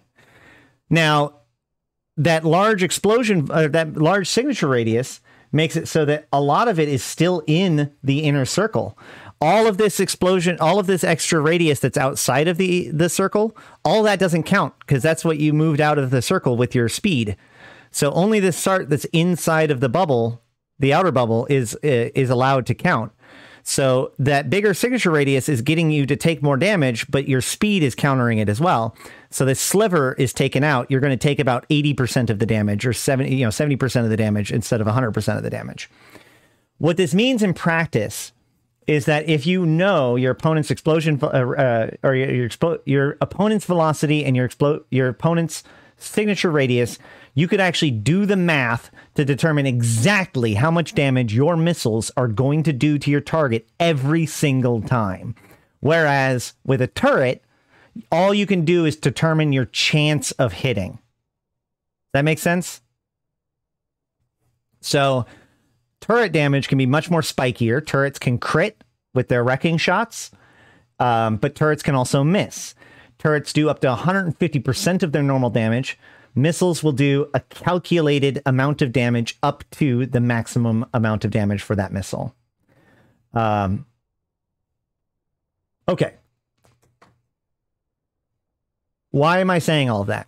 Because in general, because of this, missiles are known for being able to apply to things smaller than them, right? You may not do much damage, but you'll usually almost always do some right? Like a missile, you'll always scrape the paint. Whereas a turret, you just could miss all day. A missiles will a missile will always do as much damage as it can based on its formula. Um, and then the rapid missile launchers take this concept to its logical extreme.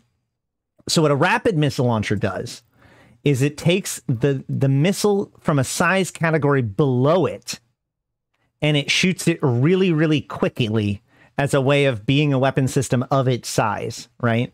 So the medium weapon systems, you have the heavy assault missile launcher and the uh, for your short range, and the heavy launcher for your long range.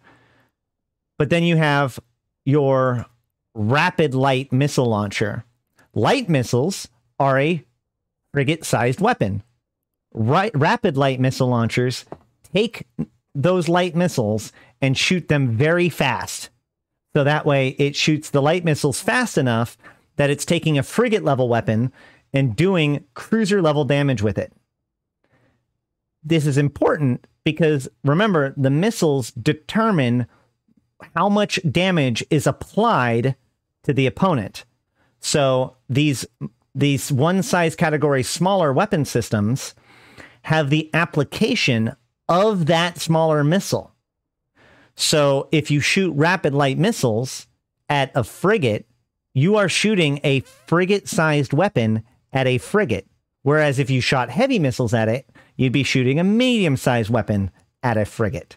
Now, for everything except for the dreadnought sized ones, um, I think. Yeah. So for for the cruiser and battleship sized weapons, for the medium and large weapon systems, the it fires the long range missile below it, right? So light missiles are the long range missile system for small weapons, mediums fire rapid lights. Heavy missiles are the long range weapon system for uh, mediums. Therefore, the heavy missile launcher or the the sorry the large weapon system fires rapid heavies. This is because you know, as you go up in size, you generally be able to shoot further.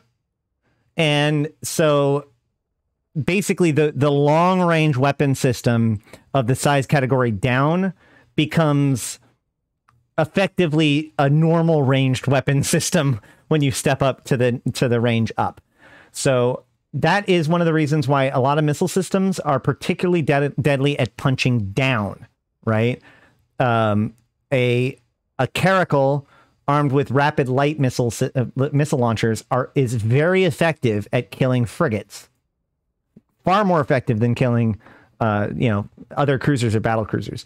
Uh, the practical downside of this, though, is that while rapid missile launchers are very bursty, they put a lot of damage up front.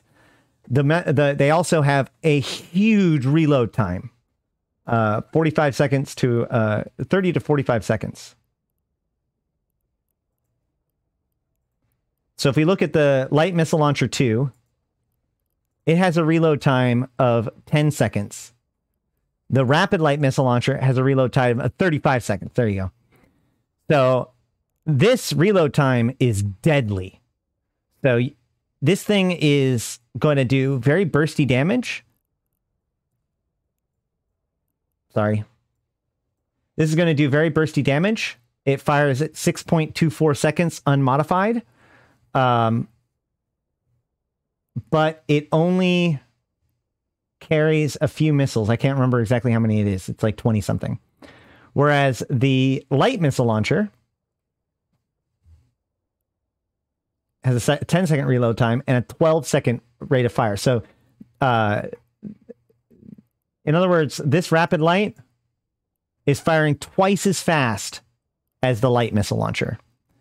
Um, but it, it, when it goes into reload, it's a sit and duck.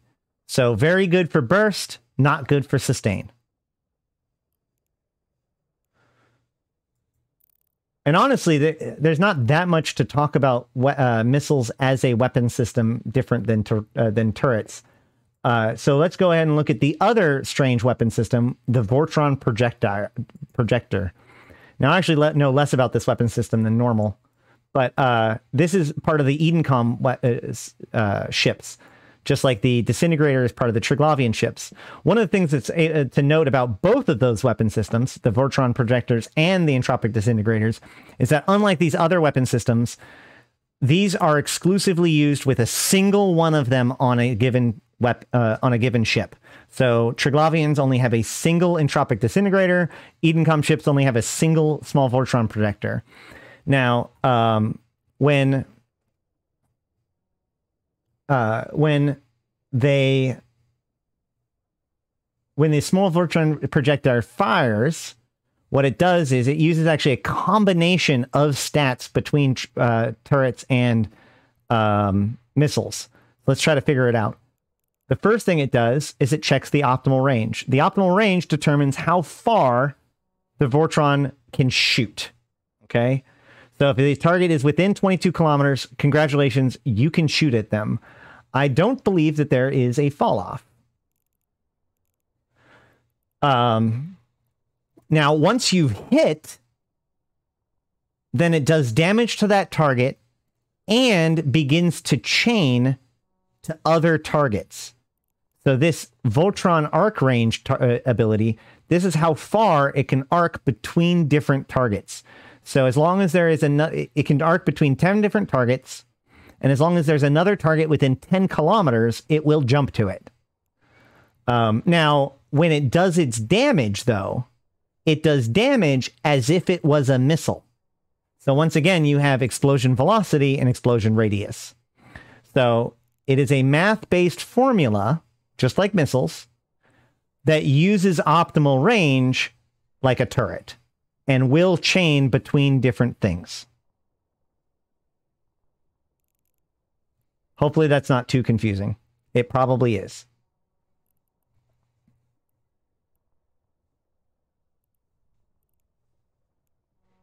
Okay. Now then, let's talk a little bit about the uh the size or the different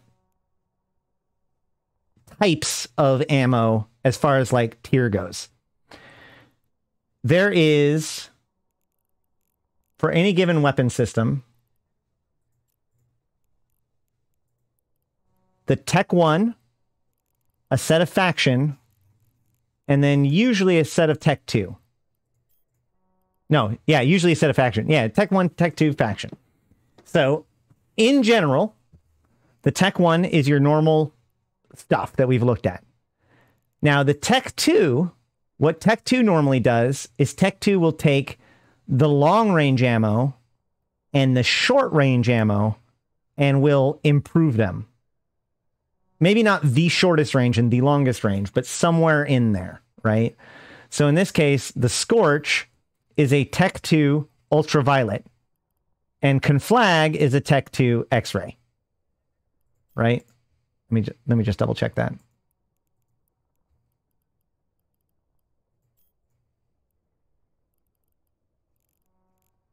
Oh, I'm missing out. Hold on.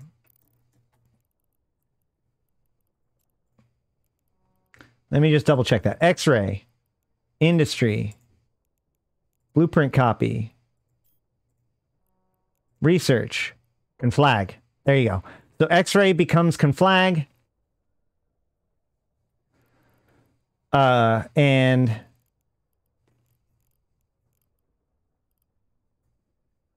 gosh darn it, hold on. I need Tech 2 guns so that way I can have Tech 2 ammo. Uh, that's beam. Damn it.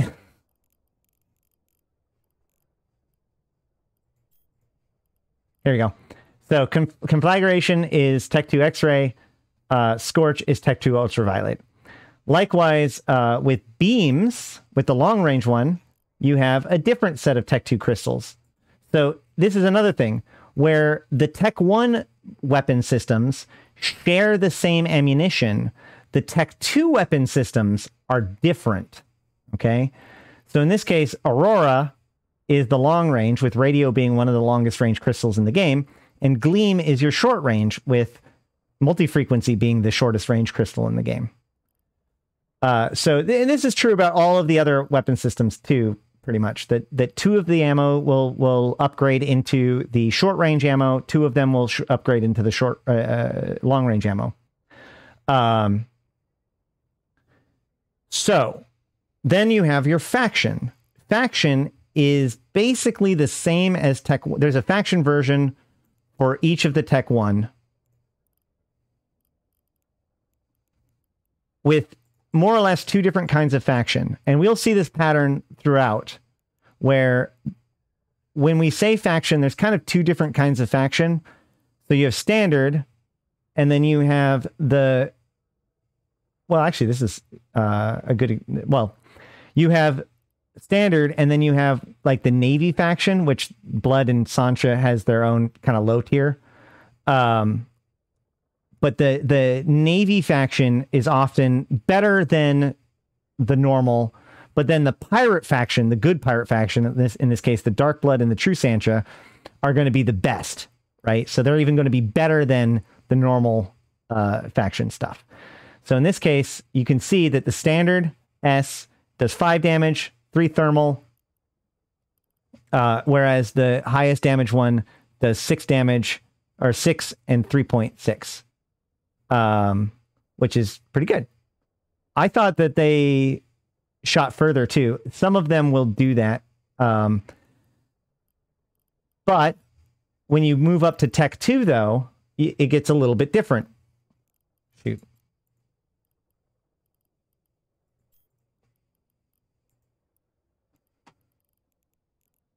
Here we can see that Tech 2 does significantly more damage than even the faction one, right?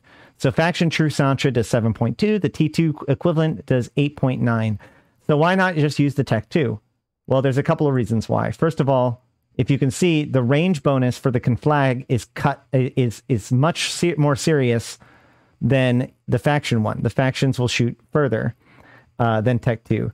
But also the tracking speed. This is a big one.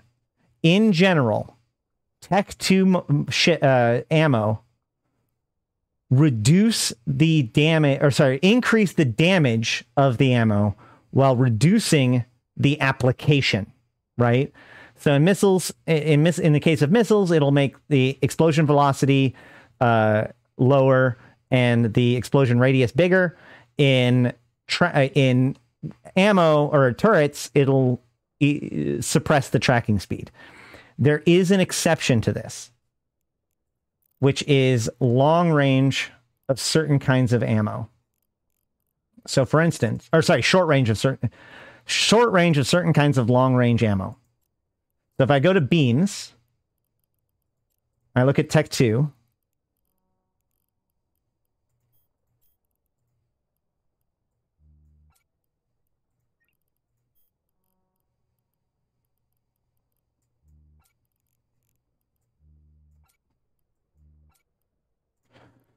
All right. Uh, so here you can see actually, you know, it's the same stuff, more damage for the Tech 2. Um, you know, Gleam does a little bit more damage than multi-frequency. Um, and Aurora does more damage than radio. But in this case, the long range ammo reduces tracking while the short range ammo increases tracking. The reason why this is is because the when the long range ammo is using short range weapons, you now have the tracking of a long range weapon, but you're engaging at a short range weapon profile. Therefore, the short range weapon actually improves your tracking speed. Let's see if that pattern holds true.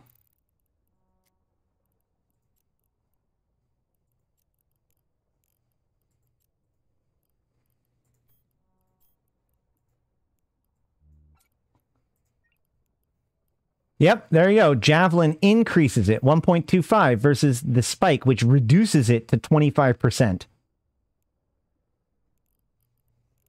Likewise, uh, well, I don't think uh, missiles are, are kind of a unique stuff like too.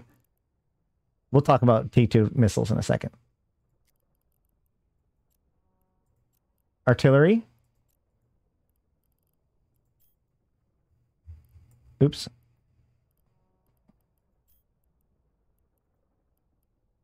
What time is it? Well, good. We still got plenty of time.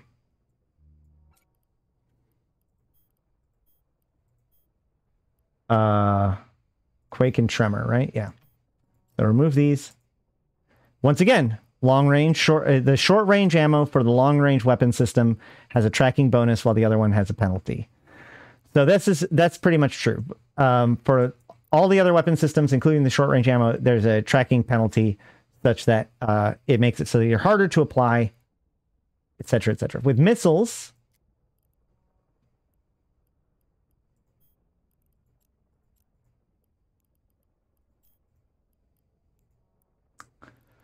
we can see that the explosion radius is not uh, is the same for everything except for Nova Rage. Rage for missiles are well rockets. They all have a different name, man. So the Rage is uh the the short is the high damage one, and Javelin is the long range one, right? So in this case, the Nova Rage rocket is is the most damage, but it also makes your uh, it harder to hit. It increases your explosion radius, which remember makes it so that they have to be bigger in order to take full damage, and it reduces your explosion velocity, which means they have to be going slower to take more damage.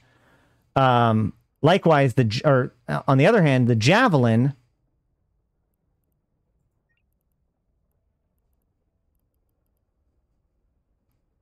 The javelin goes way faster, three uh, three over 3k a second, where everything else is just over 2k a second, with Nova with Rage being less than 2k. So uh, Javelin in missiles is the long range missile system. Rage is the short range, bad application, high damage missile uh, uh, missile type. And then, of course, the uh, the faction stuff um, has the same applicational ability, but higher damage. Right? You've got Guristas with the high, Dread Guristas with the highest damage, Caldari Navy below it, and Standard Guristas below that. Boom. And this goes uh, the same up the route. Um, if we go to light missiles,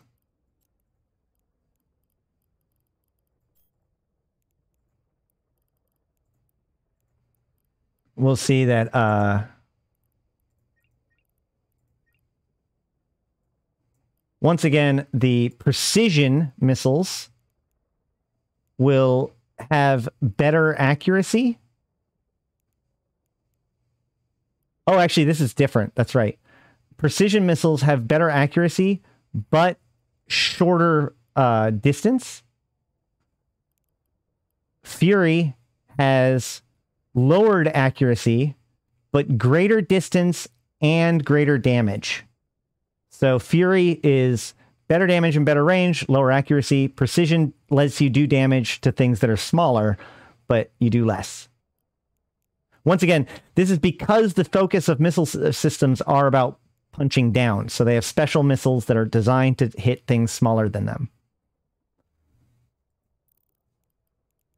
And then for the uh, heavy assault,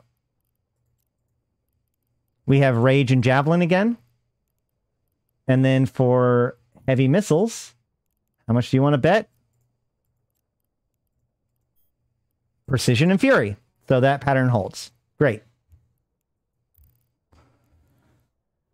Now then, since since we've uh, basically just gotten through weapon systems, let's move on. Uh, I'm sure that there's a little bit of weapon system stuff that I've missed. Go ahead and throw stuff out there if I have, and we might circle back onto it. But I do want to keep going. In addition to weapon systems, though, we do have other things that can go into our high slots. We can have um, what's called utility high, which are things that are put into your high slots that are not necessarily weapons, they're not turrets or launchers, but they give you some sort of utility. The first kind of utility high would be um, okay, fine, we'll start with that. Smart bombs. Smart bombs are AoE abilities that are centered on the ship itself. The smaller the smaller the smart bomb, the smaller the the radius of the explosion. And depending on the smart bomb determines which damage type you're doing. Actually, at this point, I feel like we should take a step back and recircle back to damage types and talk a little bit about the racial specialties. I've we've mentioned that the races have a specialty of each weapon system. So Minmatar for projectiles, Amarr for energy weapons, Caldari and Gallente for um, hybrids, etc. But each race, as I've as I noted earlier, there are four damage types total, um, and each race is focused on one of those damage types in some way or another. Um, the Caldari are focused on kinetic, the Gallente to thermal, the Amarr to EM, and the Minmatar to explosive. Now, this fact keeps coming up over and over and over again. Whenever there's a damage type to uh, to relate to something, it relates to that race's damage type. Okay, so in this case, each uh, there there's a smart bomb per damage type as well. Um, but if you notice, like for instance, lasers do EM therm, which is you know, uh, Amarr are EM focused. The Minmatar do all kinds of damage, but they're one of the only ones that can consistently do explosive. So they're explosive focused. The Caldari uh, missiles can do whatever, but they a lot of their miss a lot of their ships are actually bonused only for kinetic missiles. Uh, also, drones. Uh, the race's drones will do damage of uh, of that race's type, and we're going to get there in a little bit, hopefully. But uh, T two resist profiles for each ship class is based on the enemy's damage type. So, for instance, Minmatar ships uh, uh ships in T2 have an above average EM resistance because EM is Amarr's racial damage. Likewise, the Caldari, their shields, even in T2, still have 0% EM resistances, but really good thermal resistance because the Gallente are their enemy, right? So, uh, just something to think about. Each race has a damage type. It applies to their pirates. It applies to them. It applies to the damage they do. It applies to the damage their opponent resists, etc. Uh, okay. Smart bombs, different damage types, different rages.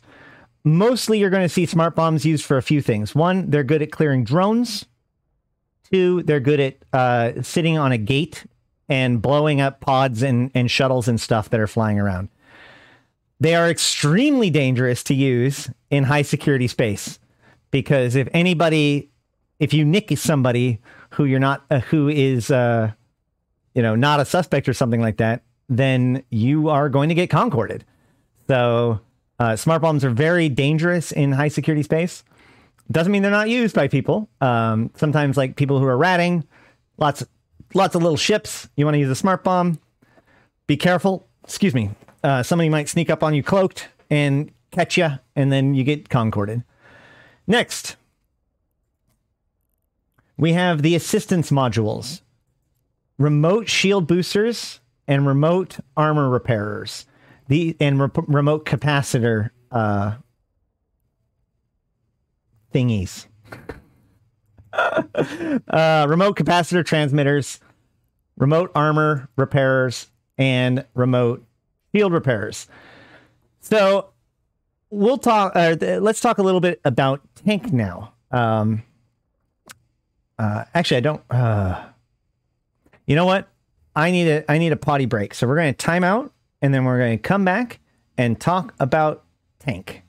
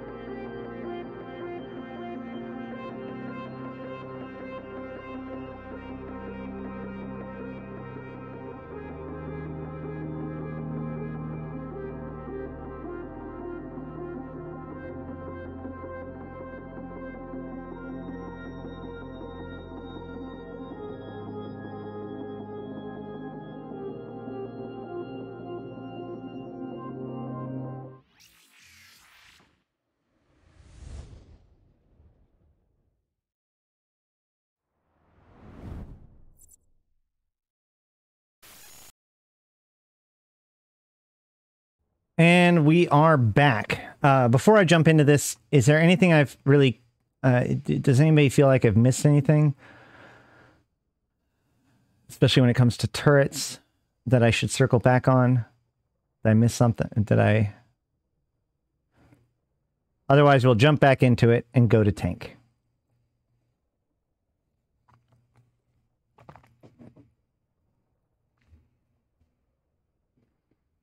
Yeah, the resist profiles of the T2 ships are based on the main enemy of their faction's damage profile.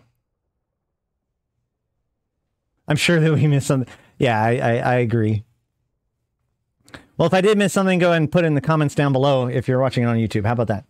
Why is the Triggs not Omni Tank when the ancient enemy has Zasha's Omni damage? That's a good question. Uh, I have no idea. Well, actually, I would suggest that uh, because the oh, I have the answer to that. Actually, I have a real answer to that. The real answer to that is because the Trig don't build their T two ships. The T two Trig ships are built by empires. Yes, this is going up as a YouTube video.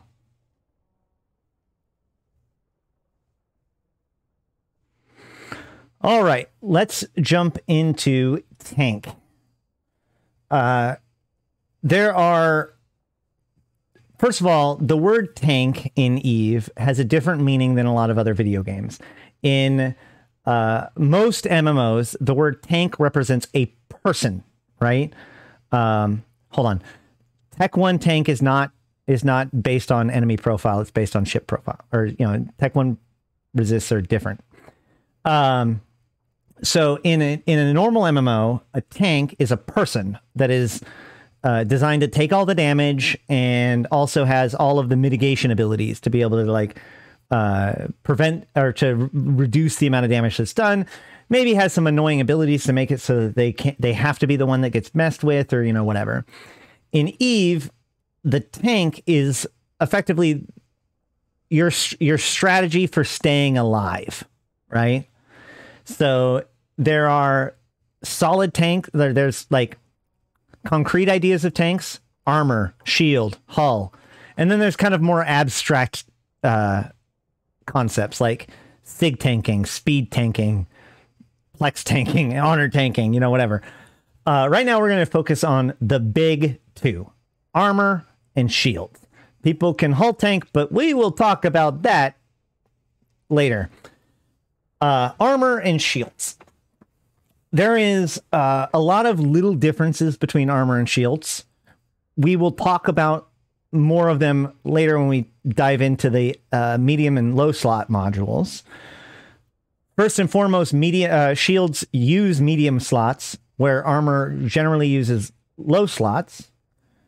Um, but in this case, because we're dealing with armor repairers specifically, the armor repairs of shields and armor are different. In shields, the repair happens at the beginning of the cycle. When you hit F1, it heals them.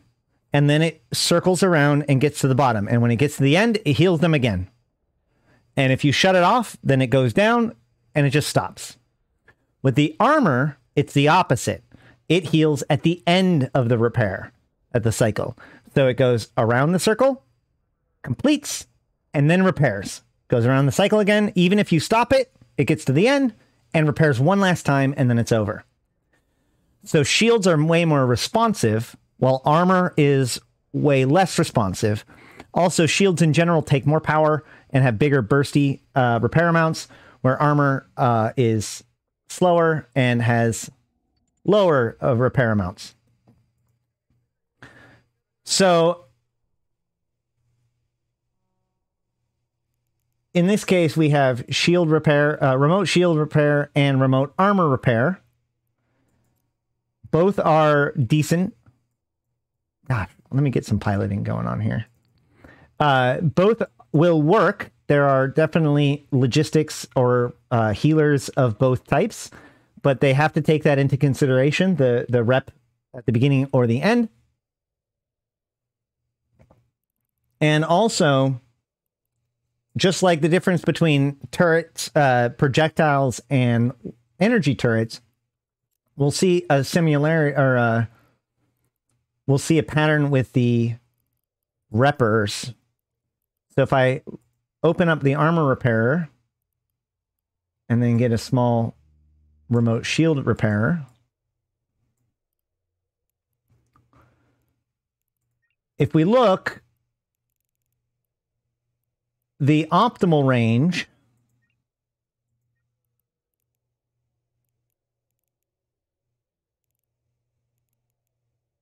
ah, the optimal range of the armor is much higher. The armor repairer can extend twice as far as the shield repairer before it hits into fall off. But likewise, uh, just like a laser, armor has a very low fall off. So you get up to seven kilometers, but then shortly thereafter, you're no longer getting as much effectiveness. Shields, on the other hand, begin their fall off sooner, but fall off slower. And also get further too, if you look at it. This thing has a total of 10.5. This one has a total of 9.5. So, um, so yeah. And how much it repairs and all that sort of stuff, cycle time. There's a lot of little differences to there. I'm just trying to talk about like the big fundamentals, right? So there you go when it comes to repair modules. We'll talk a little bit. I'm sure we'll talk more about it later. Uh, th- actually, there is one more thing I wanted to point out, which is that when it comes to armor repair, repairers, remote or um, remote or local, there is what's called the ancillary repairer. Now, each tank type has a weakness. Okay. The weakness of the shield tank is that shield boosters are very cap inefficient. They consume a lot of capacitor for the amount of hit points that they do. Uh, they may rep relatively quickly, but they don't. Uh, but they consume a lot of capacitor for what they rep. Armor reps, on the other hand, are very efficient in their reps in that sort of way, but they rep much less, right? Um, what this ends up meaning is that, or uh, another piece of this is that because of the nature of things, you tend to have uh, maybe multiple shield reppers and, or sorry, mul- uh, multiple armor reppers, but only one shield repper. Um, the ancillary tries to use a secondary component in order to augment the weakness of that tank type. So in the case of the shields that uses too much capacitor, an ancillary shield repper will take capacitor charges, cap boosters, which are usually used in, in cap rechargers to boost up your cap. Like these are little units that have little chunks of capacitor in them, right? Well, you can load them into an ancillary sh- shield repper and use it instead of your ship's capacitor. So now your shield your shield booster, which normally takes most capacitor, takes zero capacitor. So you could actually oversize your shield rep pretty effectively that way because you don't have to pay the cost of repping. You only have to fit it via power grid and CPU. Now, when they run out of charges, just like the rapid light or the rapid missile launchers, it has a very slow reload time. Um, 60 seconds, a full minute to reload the ancillary shield repper. And continuing to use it while it is running, while it has no boosts, if you if you use it without the cap rechargers, because it's designed to work with the cap rechargers, it actually will consume more cap than a normal shield booster. Likewise, armor reps suffer from not enough oomph behind them, right? Like an armor rep doesn't do enough per cycle. So rather than using cap, boosters in order to uh, you know reduce the cap requirements, they instead use uh, shoot, clicked on the wrong one. They use nanite repair paste. Nanite repair paste is normally used to repair damaged uh, overheated modules. But in this case, you load up the nanite repair paste to augment your armor repper. So when this thing has nanite repair paste on it, it does like way more than even the better, best uh, normal armor, armor repper per cycle. But once again, when it runs out, it has a 60 second reload time and uh, if you continue to rep it with it after it runs out of charges, it will actually re- repair less than a Tech 2 module of, uh, you know, Tech 2 armor repair module. So, Ancil, much like Rapids, are about upfront bursty uh, repairs with a long reload.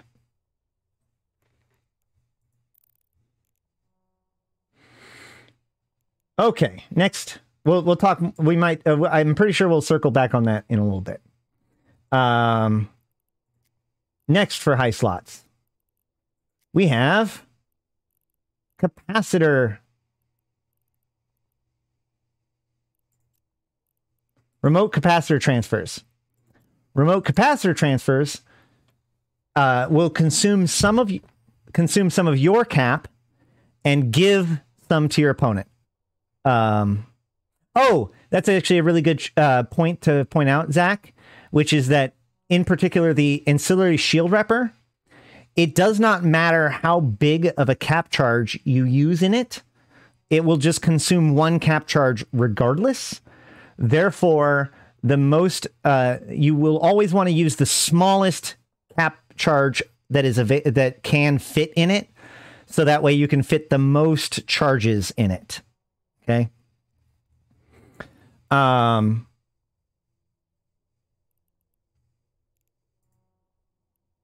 Shield. Okay, remote shield.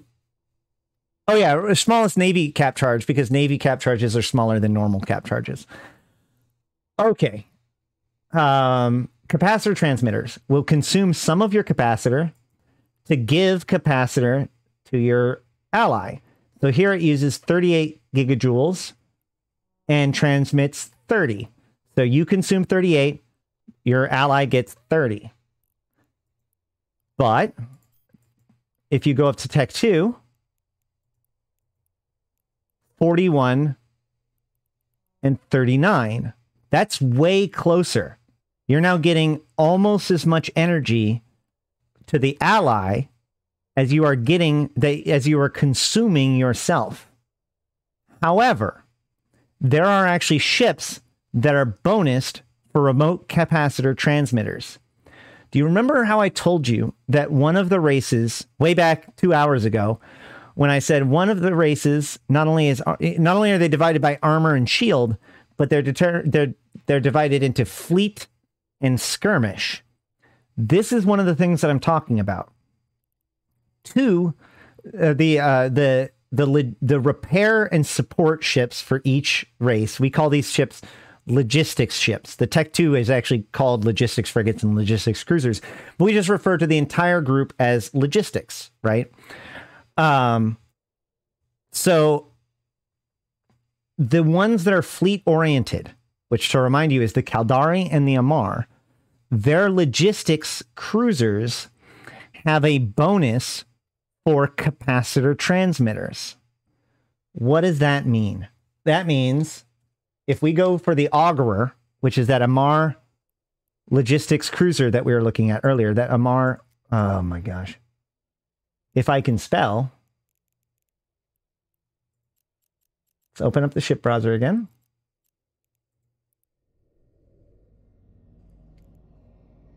The uh, you mean the basilisk in the Guardian?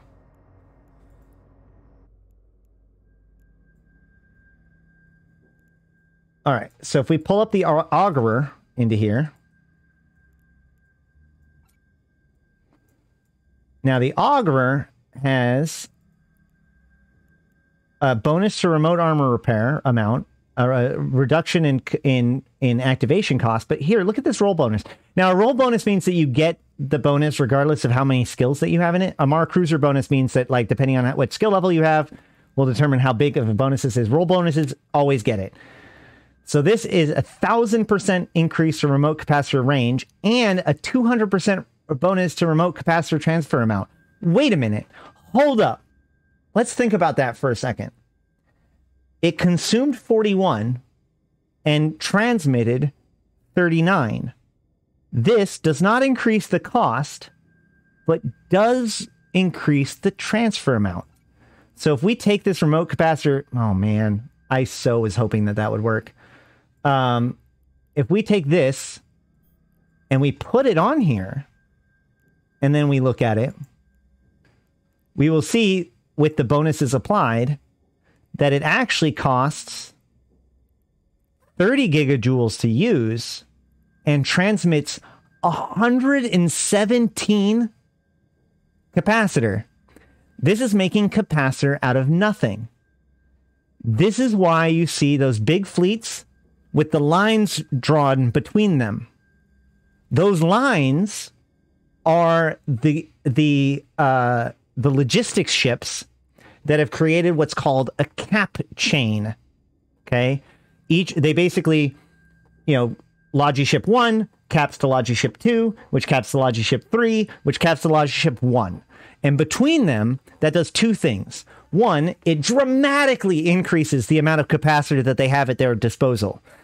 But more impo- almost more importantly, too, it makes the entire chain harder to disrupt. Now, a disruption is more destructive because if you take out one part of the chain, then the entire rest of the chain needs to adapt.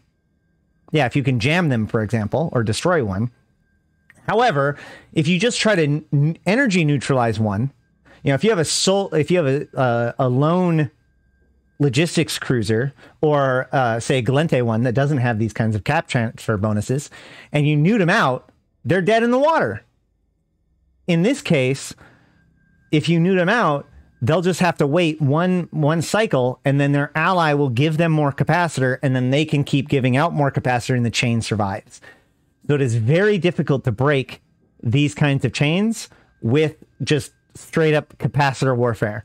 You would have to go with like jamming them out with electronic warfare.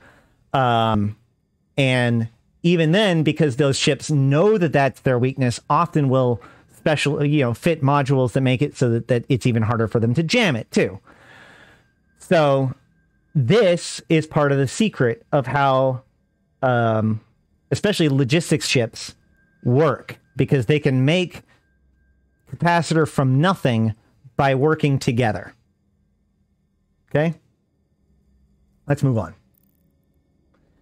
Next, we have energy NOSes and energy neutralizers. So, in the same way that those capacitor transfers are able to give people capacitor, energy neutralizers and energy Nosferatus attack the opponent's capacitor. In the same way that weapons do damage to their hit points, neutralizers do damage to their capacitor. Now, we haven't really talked about this very much because it's uh, a different kind of concept, but capacitor is basically like your mana, it's your energy, it's your active abilities. When things like weapons or propulsion modules or repair modules go off, it they consume a certain amount of capacitor per use, per cycle. And if you don't have enough capacitor for them, they don't work. So by neutralizing them out, if you can cut off their their capacitor, you have left them dead in the water, and um, they have significantly lower defenses. They have significantly they're significantly slower because they can't use their propulsion modules, and uh, if they're using hybrids or lasers, you could even shut off their weapon systems. Uh, we'll talk more about drones in a little bit. So energy neutralizers are direct attack at opponent's capacitor. Energy Nosferatus are a little bit different. Ener- while uh, while energy neutralizers are designed to destroy your opponent's capacitor, energy Nosferatus are designed to use your opponent's capacitor to maintain your own stability. Okay, uh, Nosferatu is named after the vampire of old, right? So these, rather than just destroying your opponent's capacitor, actually steals their capacitor for yourself. This does a couple of things, uh, or this makes a couple of changes from the standard uh, neutralizer. So let's look.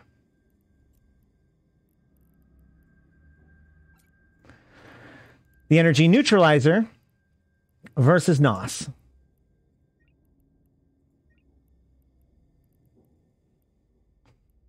First of all, they have basically the same range. Uh, the NOS does not take capacitor, but will gain you capacitor. Uh, the neutralizer damages capacitor. I'm actually really surprised that this does more capacitor damage. Why? Why is that true? I thought that the neuts did more. Maybe it's because of bonuses. Either way, normally speaking, the neutralizer attacks does more damage to the capacitor uh, at, at expensive. Oh, I'm stupid.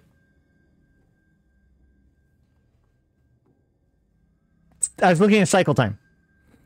Okay, so this will will steal eight units per cycle, and will cycle almost three times.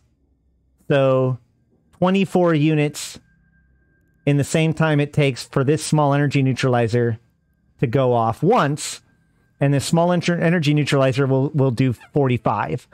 So the small energy neutralizer will hit for more neut than the Nosferatu will, but the Nosferatu has another restriction, which I referred to earlier.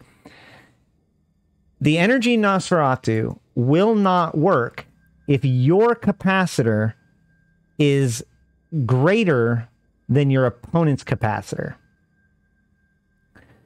So and I believe that that's shoot. I can never remember if it's based on percentage or based on uh, total value. Somebody can tell me about that or not. But basically, if you are below their capacitor and you use a NOS on them, you steal their capacitor and keep them on you. If you use a Nosferatu on them and you do not have, uh, and you have more capacitor than them, then it will do nothing. And in fact, let me look real quick because I think I'm reasonably sure.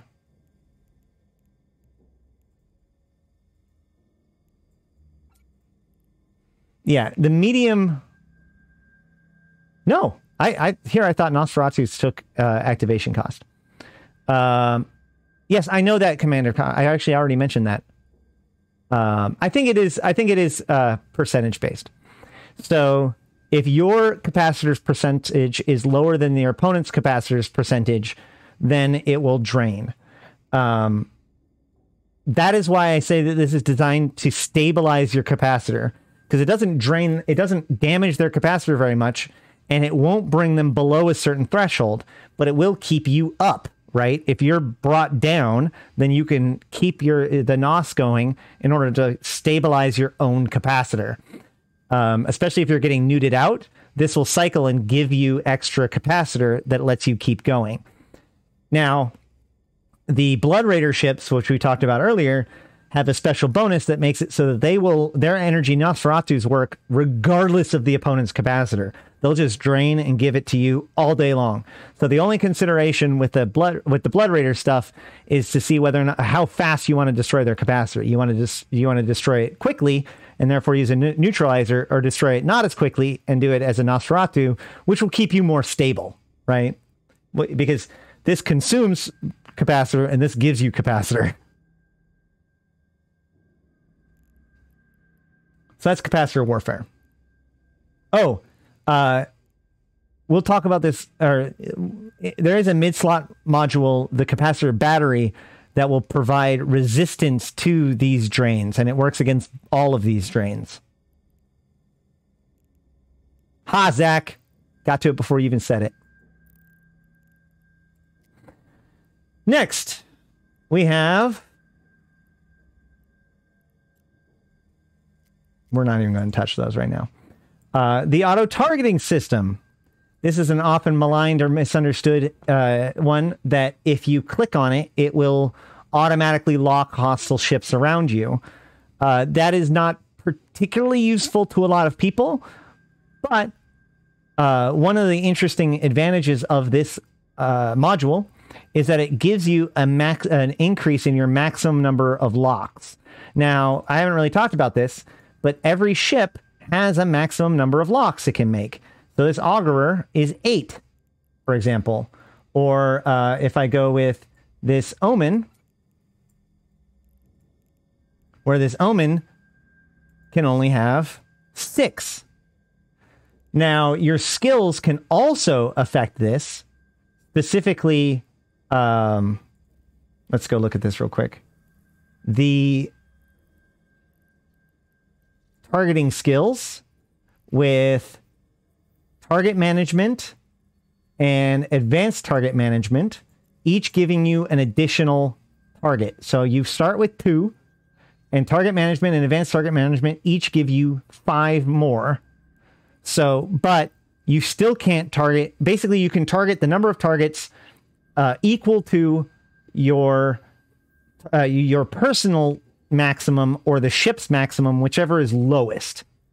So, if you can lock 11 different targets by your skills, but your ship can only lock six. If you put an auto targeting system on top, hey, look, now it can lock eight. This is also kind of important because in certain places, i.e., places that are owned by the Triglavians, they have a tendency to cut how many targets that you can have locked in half. And so this allows you to still lock an extra target. Next is cloaking systems there are three kinds of cloaking systems. The first one is the prototype cloaking system. All three cloaks can only be used by Omegas. The standard pro- prototype is just normal. It's uh, it just lets you cloak. Cloaking does a couple of penalties. One, it makes you way slower. Two, it makes you way uh, harder to lock, but more importantly, when you come out of the cloak, you have a thing called sensor recalibration time, which is a period of time in which you're just not allowed to cloak after you've come out of a cloak. So this cloak will slow you down by 90% when activated, and when it deactivates, won't activate again for 18 seconds. Uh, sorry, my bad. Will not allow you to lock something for 18 seconds. But then there's also a reactivation delay of 30 seconds. So you're 90% slower. When you decloak, you have 18 seconds before you can even begin to lock anything, and 30 seconds before you can try to cloak again. Not a great cloak, but it definitely gets the job done. And when you're cloaked, you appear you don't appear anywhere, right? You can't be descanned. The only well, you'll you'll appear in local. You'll you'll appear in chat groups. That's it not in DScan, not on grid. You're completely invisible. Now, if a physical object, if a decloaked object uh, comes within range of you, within 2,000 or two kilometers, that will forcibly decloak you. This is not true about a gate cloak or something like that, like the cloak that you get from, from jumping through a gate. Only these kinds of cloaks. Next is the improved cloaking device. Now, this is the Tech 2 version. It it requires cloaking 3. It's super fancy. This is the best cloaking device that normal ships can fit onto them. It only reduces your velocity by 75%, and it has the reactivation delay still of 30 seconds. Um, it also has a sensor recalibration time of 20 seconds. I wonder why this one was green and the other one was not. This is 30 seconds and sensor recalibration time of 30 seconds, reactivation delay of 30 seconds. Whereas the uh, improved cloaking device, I don't know why my skills applied on that one. Uh, you have 20 seconds calibration time, 30 seconds reactivation. So in 20 seconds, you can fire, you can start to lock.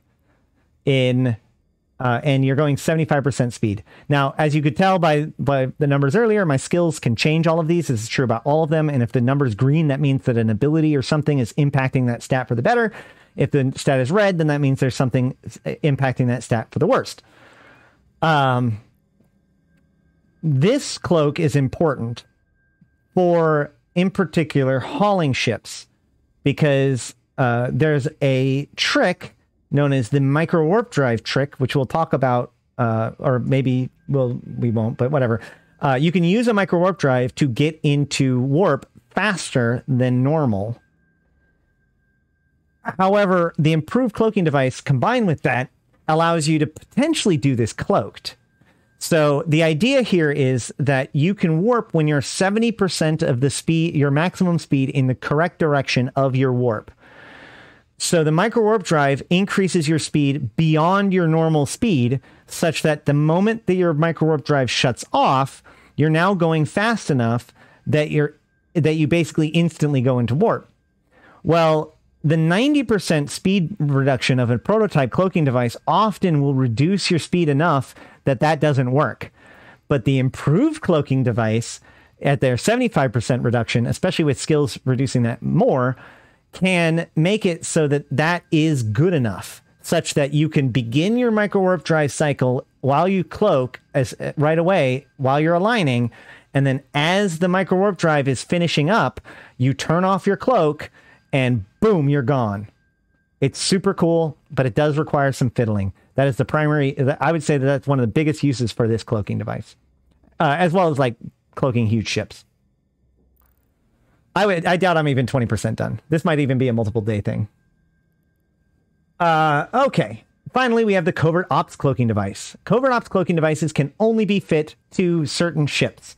These ships here, the uh, the covert ops tech two ships, force recon, so half of the different recon ships. Um, the prospect, which is a mining ship, blockade runners, and stealth bombers. Those are the ship. Cat- oh, and strategic cruisers can fit uh, covert ops cloaking device with a specific subsystems. Those are the types of ships that can use it. But then there are individual ships that can use it. The Stratios is an individual ship. The Astero is an individual ship. Victory uh, luxury yacht Um, Stratios Emergency Responder is a special type of Stratios. Don't even worry about that. And these one, the other ones, the the Etana and the Rabisu are actually just extremely rare ships. You might as well just ignore them for now. So a covert ops cloaking sh- uh, device is only able to be used on a very small sele- subselection of ships, but it has a 10 second recal- recalibration time. It does not reduce your velocity. And most importantly, unlike all of those other cloaks, the covert ops cloaking device allows you to warp while cloaked. This is what allows covert ops and stealth bombers and all these kinds of ships to be so effective. They can warp while cloaked. They can move around while they're invisible. They can hunt down targets invisibly. And as long as you don't get within 2K of them, you will never be seen. It's pretty cool. And yes, there are certain ships, uh, in particular recon ships, that have bonuses that make it for that recalibration delay. Next, uh, tractor beams. Tractor beams are useful for grabbing cans or wrecks and bringing them to you. The small tractor beam goes out to uh, 20 kilometers. The Tech 2 goes to 24 kilometers.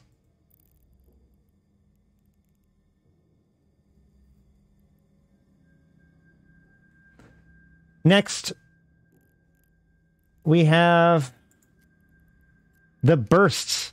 Okay, so we've talked about support and and in the use of like repairing other people. But there's another kind of support which is buffing people. And that's where command bursts come in. Battle cruisers, command ships, and command destroyers, as well as capitals, can fit command bursts. Command bursts are are two different. Are there's four different kinds of command bursts. There's armor, shield. Well, five: armor, shield, skirmish, and information. The fifth is mining. So armor and shield are pretty straightforward. Information it generally is designed to focus around your ship's like censoring abilities, sensor abilities, and your electronic warfare. And skirmishes are about like speed mostly. Each burst has three different scripts that can be used with it. Each script is the burst itself, right? So in this case, armor bursts have armor energizing charges, which increases everybody's resistances, armor reinforcement charges, which increases everybody's uh, armor hit points, and rapid repair charges, which increases uh, both rep speed and reduces the cost of that rep, such that it doesn't like cost more capacitor. You just rep faster and therefore more. Likewise, shields kind of have the same exact thing. You have active shield charging, which is shield reps, uh, shield extension, which is shield hit points, and shield harmonizing, which is shield resistances. Skirmishes have evasive maneuvers. We'll just double check these. Uh, evasive maneuvers are reduces your signature radius, which makes you again signature radius is how effectively large you are. So this makes you smaller, and agility bonus makes you uh, a little bit faster and also allows you to change speed faster. So you're a little bit faster and a little bit smaller and harder to hit. Now, these percentages seem small, but they get amplified quickly uh, based on the ship that's doing the bursting, the skills of the person doing the bursting, and whether or not they have a specific implant that increases their bursting. This can go up to like 30 to 50% almost uh, depending on on how it is, and that's a huge, huge bonus when it comes to these kinds of fights, um, or you know, when it comes to these kinds of things. So the interdiction maneuvers uh, will increase your web range. Right? We we haven't really talked about this, but you learn about webs in the basic tutorial. Webs of course, are a mid slot uh, uh, EWAR module that reduces your opponent's speed. Webs are notoriously short ranged. This increases the, your web range by a lot. That is really good. Uh, and then finally, rapid deployment, which simply just increases your speed with an afterburner or micro warp drive. Just raw, you go faster. So once again, skirmishes are all about like speed, right? Making you go faster, making your opponent go slower. Information, on the other hand, is all about your systems. In this case, you have sensor strength, which is your resistance to being jammed, um, and a reduction in sensor dampeners and weapon disruption. So this will reduce the effectiveness of weapon disruption and sensor dampening on your ship when this is active. The next you have uh, that's electronic hardening, so that makes your systems far more resistant. Electronic superiority increases the range and strength bonuses of your electronic warfare modules. So all of your uh, all of the non-web electronic warfare modules um, will be impacted by this. It mean which includes sensor dampeners, weapon disruptors, target painters, and electronic countermeasure modules. Uh, all of them have their range increased with this one. And then finally, sensor optimization, which increases your scan resolution bonus, which uh, determines how fast you can lock things. And it increases your targeting range bonus, which uh, determines how far you can lock things. Uh, basically, the exact opposite of sensor dampening. So, this again, uh, information warfare is mostly about targeting and e war effectiveness where uh, the skirmish is about speed. Mining foreman is, of course, about mining. Now, each burst can only use one of these module uh, of these uh, uh, charges at a time, and therefore you have to pick. And depending on the ship, you don't actually get all. Uh, you know, you, it's hard to get all of the bursters because, for instance, uh, battle cruisers can fit one command burst. Uh, command ships can fit two command bursts, I think. Hold on. Yeah, two command bursts. And then some other things that can you fit command bursts, I think are also two. I can't think of anything that does three by default. Check the Orca. Yeah, oh no. The Orca can fit three, and I think capitals can start to fit them. Either way, whatever. So usually one to two sometimes three. Uh, command destroyers can only fit one as well. Now, there is a special rig that will increase the amount of command uh, command processors that you can or command bursts that you can use but that takes up a rig slot and these command bursters also take up a high slot and a lot of uh, fitting room. So usually only ships that are dedicated to command uh, bursts will use those. However, like a battle cruiser gang is particularly nasty because battle cruisers can even the Tech One version can bring a burst per, and even not fired by the best of skills, some of these bursts are extremely useful. So that's bursts. Oh, also bursts have a range when they go off. Different ships have different burst uh, bonuses for that. So obviously, you only affect the target, the uh, ships that are within your range.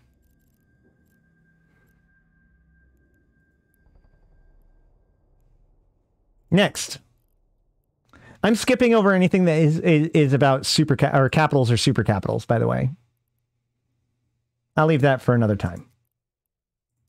Probably another person. Uh, harvesting equipment is almost exclusively stuff about mining or gas huffing, except for salvagers. Salvagers allow you to salvage uh, enemy re- or wrecks out there, right? Now, while it does create a suspect flag for stealing from a wreck, uh, i.e., taking the loot out of a wreck, and a suspect flag means that anyone in, can attack you anywhere for 15 minutes without any repercussion whatsoever. Uh, besides, you can now fire at them. Uh, you can salvage without triggering a suspect flag. So if you see wrecks out there, like on a, if if a bunch of people have fought on a gate or something like that, you can salvage all of the wrecks and get the salvage from that. And salvage is used to build rigs for people. So this is how you get the parts to build rigs. So salvagers are really good to keep uh, around if you just want to make a little bit of extra money with your utility high.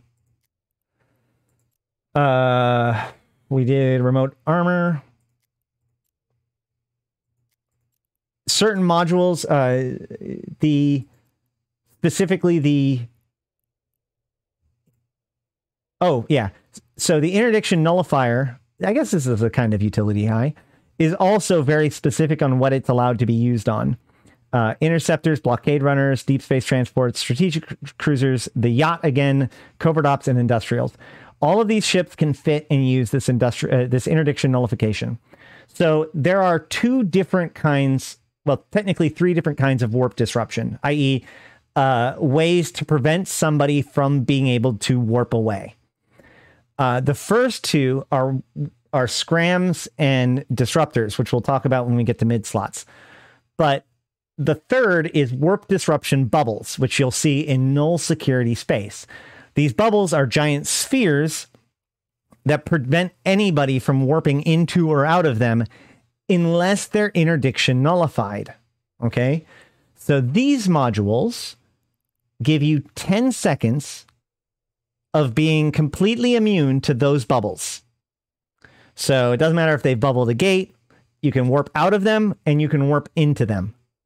However, fitting these interdiction nullifications greatly nerfs your scan resolution bonus, making it very difficult to target people.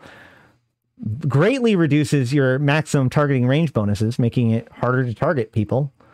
And halves the number of drones that you're allowed to use at one time. So even if you could target them, like the drones are notorious for being able to like go after people even if you can't target them. But e- this makes it so that even that doesn't work. Um, so this, and it does have a reactivation delay, so you have to be targeted in how you use it. However, many of these ships have a bonus for that, such that it cuts it down, right? Um, but yeah, so this allows you to get out of bubbles. Only these ships can use it. Ah.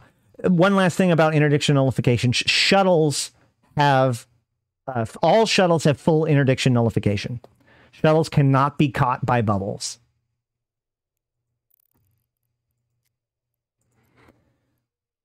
We have Entosis links. Entosis links are used for high, uh, for null security space. This is how they fight over territory. These basically allow them to interact with the territorial beacons that um, allow them to kind of win the sites in order to uh, win the overall con- you know soft conflict, and that's how territory is fought over in nullsec.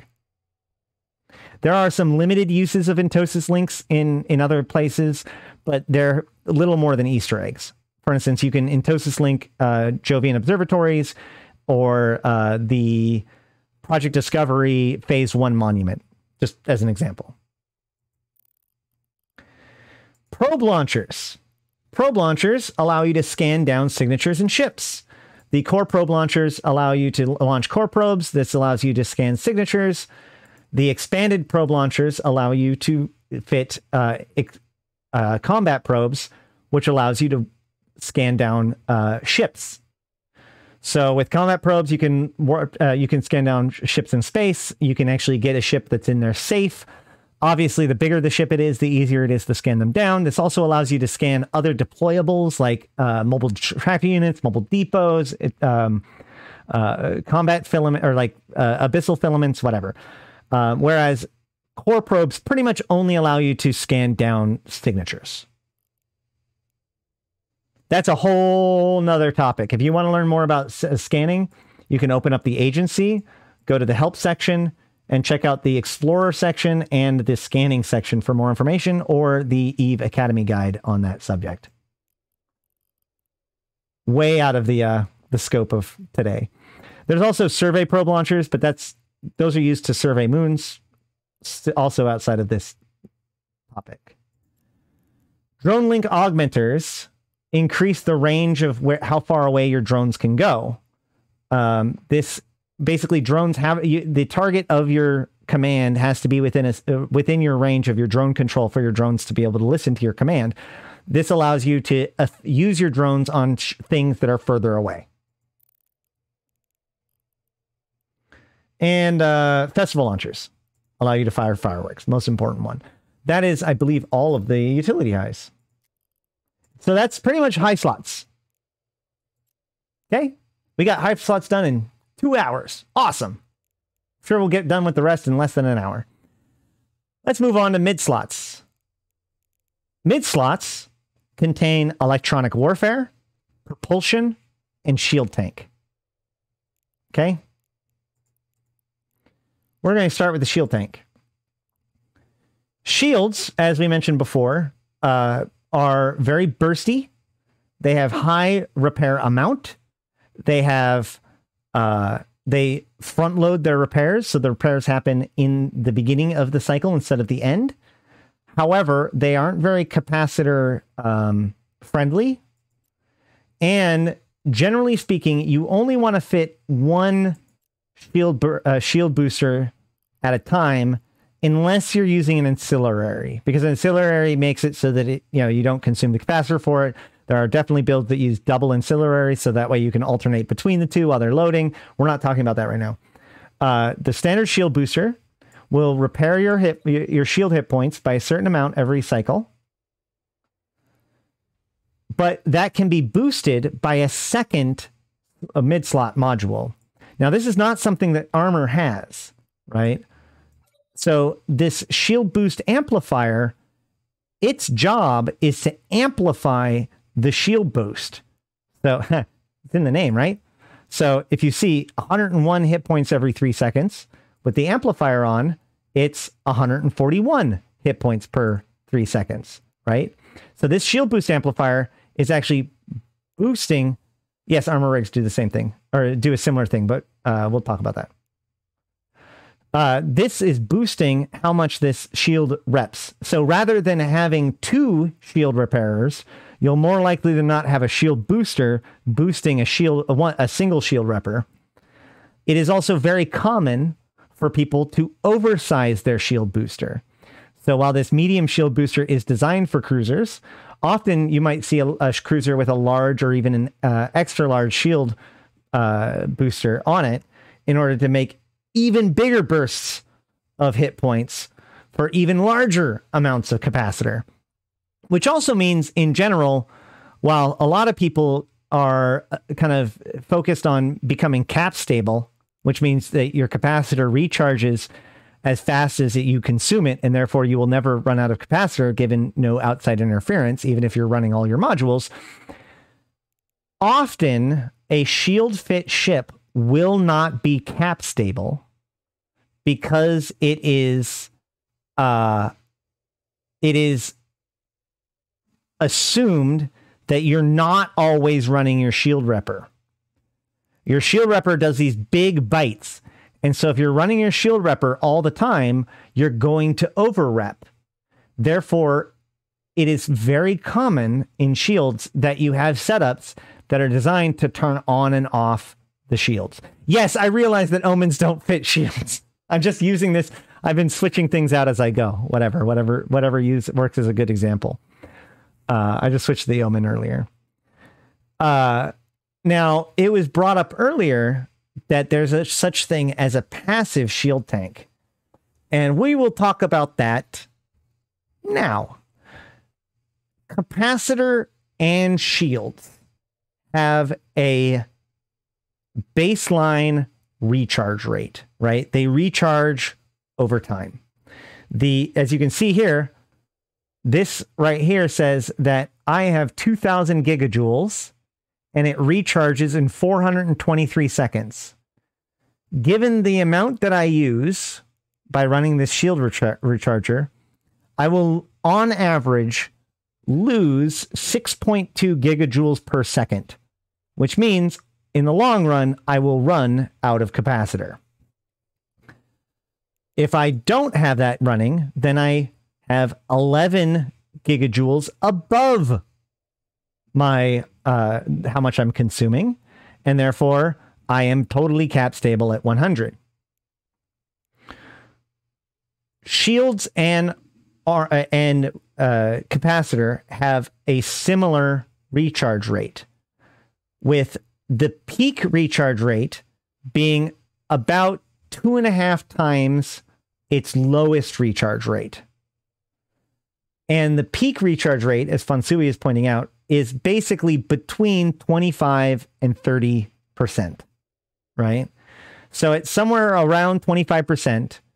You will be get, uh, 25% shields. You'll be regenerating the most amount of shields per second that you possibly can. And at 25%, capacitor. You'll be recharging 20, uh, you know, more capa- the most amount of capacitor per second that you can. However, for those of you, uh, the more aware of you, those of you who've been paying attention might notice that 25% is not in the middle.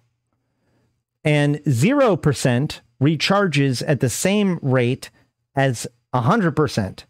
So what you see is you have this peak and then you have fall off in both directions. Fonsui's brought up a, a good image. In fact, let me see if I can pull that up.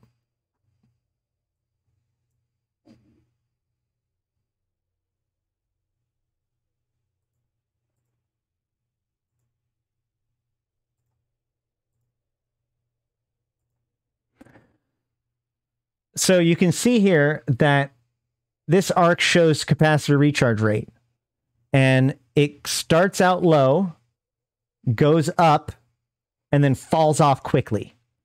What this means is, is that if you're at 25% capacitor, or if you're at 24% capacitor, I should say, or 24% shields, you are only going to get slower. That's why it's that, this is referred to as being broken, right? If your shield tank is broken, that means you're below 25%. If your capacitor is broken, then you're below 20, 25% capacitor. Because whatever's bringing your capacitor down, it's only going to get worse from here. It also means that the longer you can keep your shields and, and capacitor somewhere closer to this level, the more efficient you're going to be. The reason why, uh, the reason why you don't necessarily want shield bursts to be running all the time is because you really want to leverage this fact, right? You want to keep your capacitor and your shields pretty balanced and lower than 100%, but higher than 25%, right? And you kind of juggle those two. That's how shield tanking works, or at least on that level. Now, the other interesting thing about recharge is as you notice here, it says 2000 gigajoules in 423 seconds.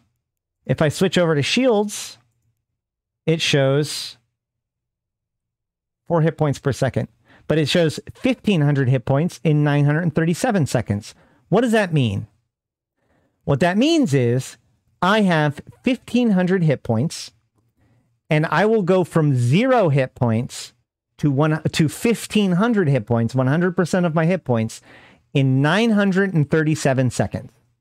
So if somebody wipes out my shields completely, it'll take 937 seconds for my shields to naturally recharge to 100%. Here's the fun thing about that. These two numbers are independent of each other. Most people would think that if you increase your shield hit points, you're also going to increase the amount of time it takes to regenerate it. But that's not how this works. Let me show you. If I take off these shield bursters and I go to the other shield modules, extenders, we'll see a very different story. Now, extenders, extenders just add a raw amount of hit points to your shield. They don't they don't activate. They're not boosting up your hit points. They just straight up give you hit points, right? So you can even see like this is going to increase my hit points from 9,900 to one to 11,800. It doesn't do anything to my resistances. It doesn't do anything to that. But look, wait a minute. It also increases my hit points per second. Why is that? Well, if you look here, this 937 seconds has not changed. And yet, when I hover over this, I now go from 2,875 hit points every 937 seconds to 4,250 hit points every 937 seconds, which means the more hit points you have in shields, the faster the shields regenerate. This is also true about capacitor. It also means that if, uh, likewise, if I go with a shield recharger, a shield recharger reduces the amount of time it takes. Why doesn't this turn the, the numbers green? This is weird. Uh, a shield recharger reduces the time it takes to recharge your shields. So it goes from 300 or 937 seconds to 796 seconds. Therefore, it also increases your hit points per second. What does this mean in practice? What this means in practice is that A, shields can have what's called a passive build, which utilizes its passive recharge in order to keep itself alive. If you push up your shield amount and reduce your shield recharge rate enough, you can actually have enough passive recharge that you can counteract incoming damage. Now, obviously, the Omen isn't going to do this, but there are a few ships that absolutely can. Uh, likewise, if you have a, a different module, like uh, a shield hardener that takes amount of resources, you'll see that it reduces my cap stability. It, it tells it reduces it lowers to the point of my capacitor in which I hit cap stability, but I'm still cap stable. I'll just hit cap stability at 88% because by that point, my regen has amplified up enough that it counteracts the consumption of this module. Okay? So, shields. You can extend them with shield extenders, or you can speed them up with uh with speed up their recharge with shield rechargers, or you can just give yourself back hit points with shield boosters. So those are the three ways of kind of keeping up your hit points. But you also want to prevent your hit points from going away, right? And that's when hardeners come in. There are uh, there are typed hardeners, and there is the multi-spectrum hardener. Okay, so there is shield types. Sorry, the type hardeners are EM, uh, EM explosive kinetic thermal, just like we would expect.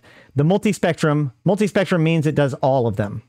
So the multi-spectrum is going to do less, but it's going to do all of the types. So multi-spectrum tech 2 is 26% to each of them. Whereas an explosive hardener is going to do 44%, but only to explosive. So if you get a type hardener, you get a big boost to one type of resistance. If you do multi-spectrum, then you get all of the resistance types, but a much smaller amount. All right. Uh, the other thing to consider here is a thing called diminishing returns. Basically, subsequent modules that affect the same statistic have diminishing abilities to uh, to affect that statistic. So while the first module will get 44%, uh, let me see if I can find that real quick. Uh, stacking.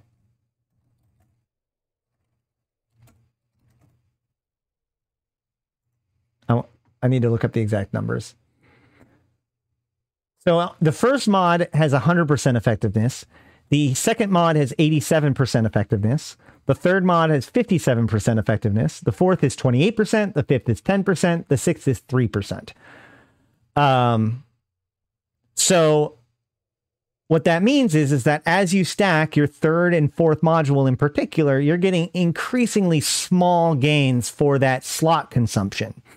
So often bonusing different things of the same in the same realm can be useful, right? Like more hardening may not necessarily be the way to go. You might need more hit points now in order to get the, the higher amount of EHP. Interestingly enough, things like shield extenders do not have diminishing returns because they give you a flat amount, right? So uh, that's a little fun. In addition to that, this is kind of a more advanced concept, but as resistances get higher, the the value of further increases go up. So, for instance, if you're taking 50%, if you have a 50% resistance profile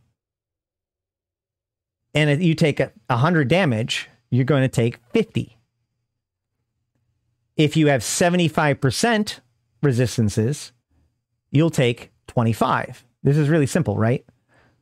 However, you've gone 25% in resistances from 50 to 75, but the amount of damage that you've taken has halved.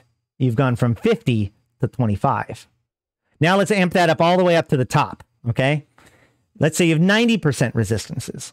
You take 100 damage, you actually take 10 damage. Now you have 91% resistances. Instead of taking that 100 damage, you now take 9 damage. 9 damage is 90% of 100, or of 10 rather, which means a 1% increase in a resistance from 90 to 91 represents a 10% reduction in, in, in incoming damage from the amount of damage that you take when you have 90% resistances to the amount of damage that you take when you have 91% resistances.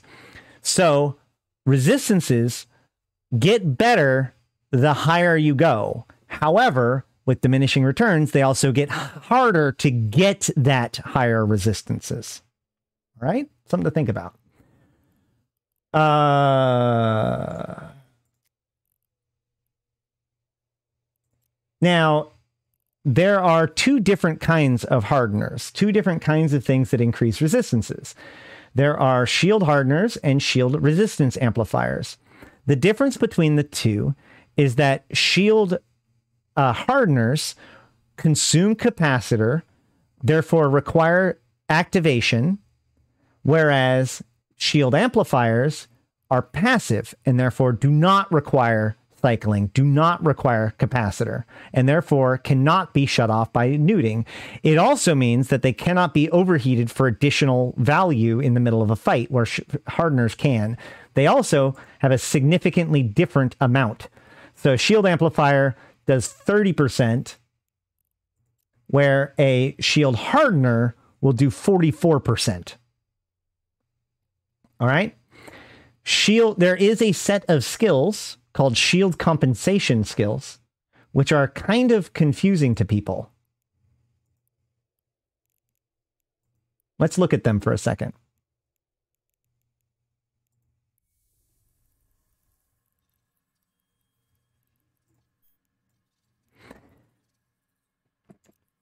EM shield compensation, 5% bonus to EM resistance per level. Wait, am I dumb? Oh, for shield amplifiers.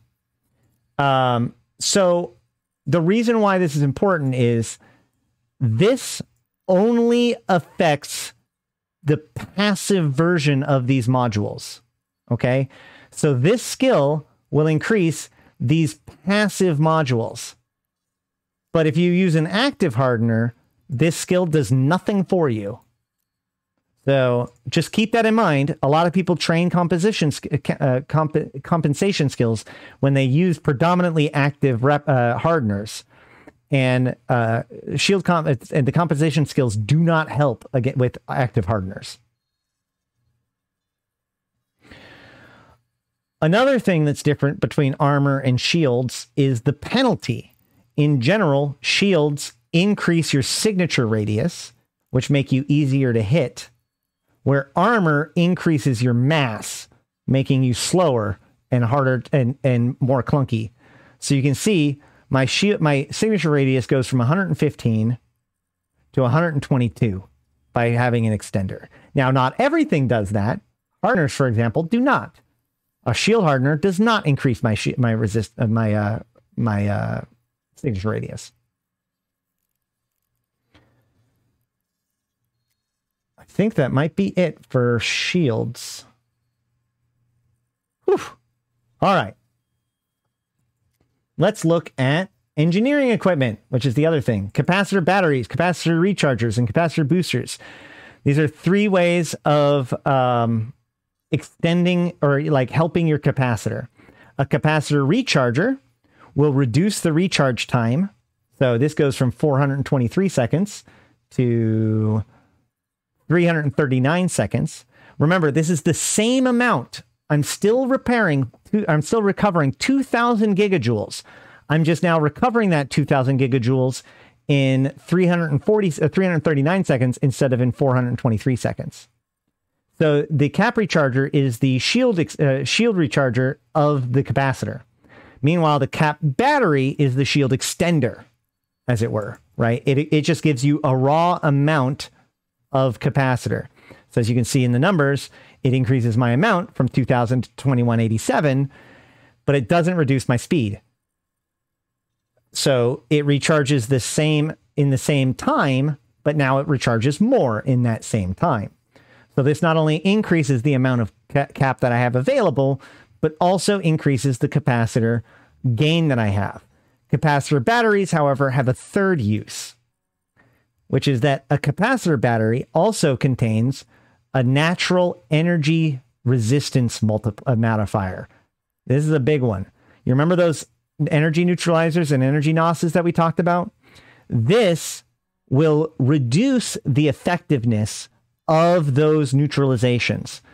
So a single cap battery 2 will reduce it by 25%. This also goes up by diminishing returns, by the way. So having multiple of these does not give you 25%. It'll be closer to like 30 to 35 or uh, yeah, 30 to 35%. Um, shoot, I had something else I wanted to say about diminishing. There's something else I've missed now twice, but I, hopefully I'll get back to it. Um, I thought it was about diminishing returns, but either way. So this will, oh, right. When it comes to diminishing returns, the way it works is this. Some people might ask, well, how do you know what gets diminished, right? If I get, if I have a, uh, if I have a cap battery two and a cap battery one, what is my answer? And the answer is, is that it gets all of the different modules, all of the different things that impact that stat, and it arranges them from biggest bonus to smallest bonus. So the biggest bonus gets the gets the full effect, and then the stacking or the stacking penalties get applied to the rest of the bonuses in order of strongest to weakest bonus. Okay? Which actually means that if you have two or three of a module type and they're like really fancy and nice, that last one that you put on, if you put on like a third or a fourth module of the same type, your diminishing returns are so great that it almost doesn't matter that it's a weaker one because it's the one that's going to get highly diminished. And so you get a small percentage of a slightly less amount.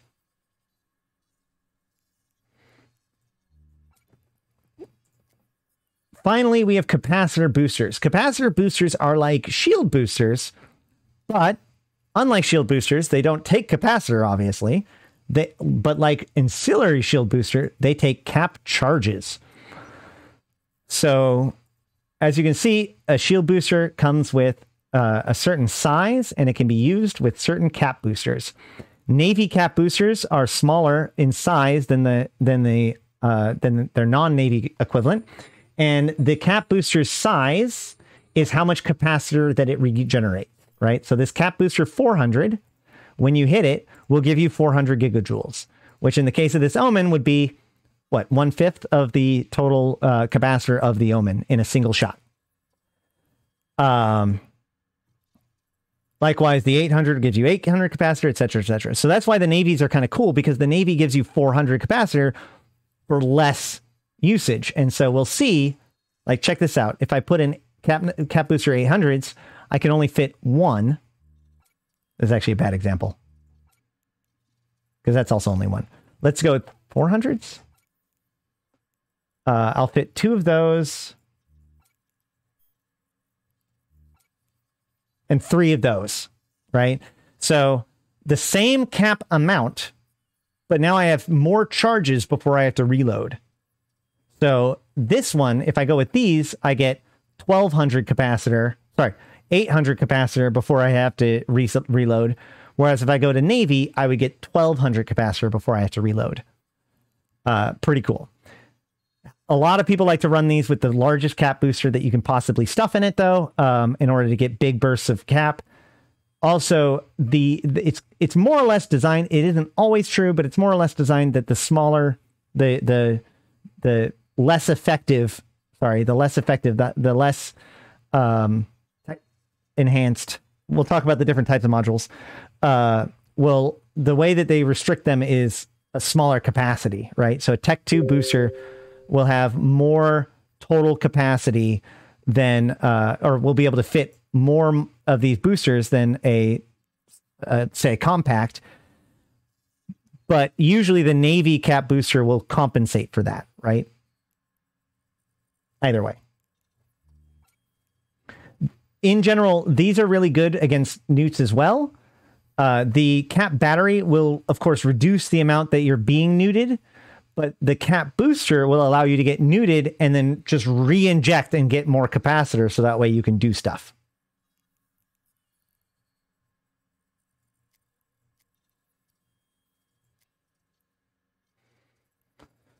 On to propulsion. All right. So propulsion are also known as uh, uh, prop mods. Propulsions uh, mods are divided into afterburners and micro warp drives. Uh, both of them will make you go faster. Actually, technically, there's also micro jump drives, but we'll get to that in a second. Um, afterburner, both of them will make you go faster. Micro warp drives will make you go a lot faster, but it has its own restrictions. So let's go ahead and look at the difference between these two.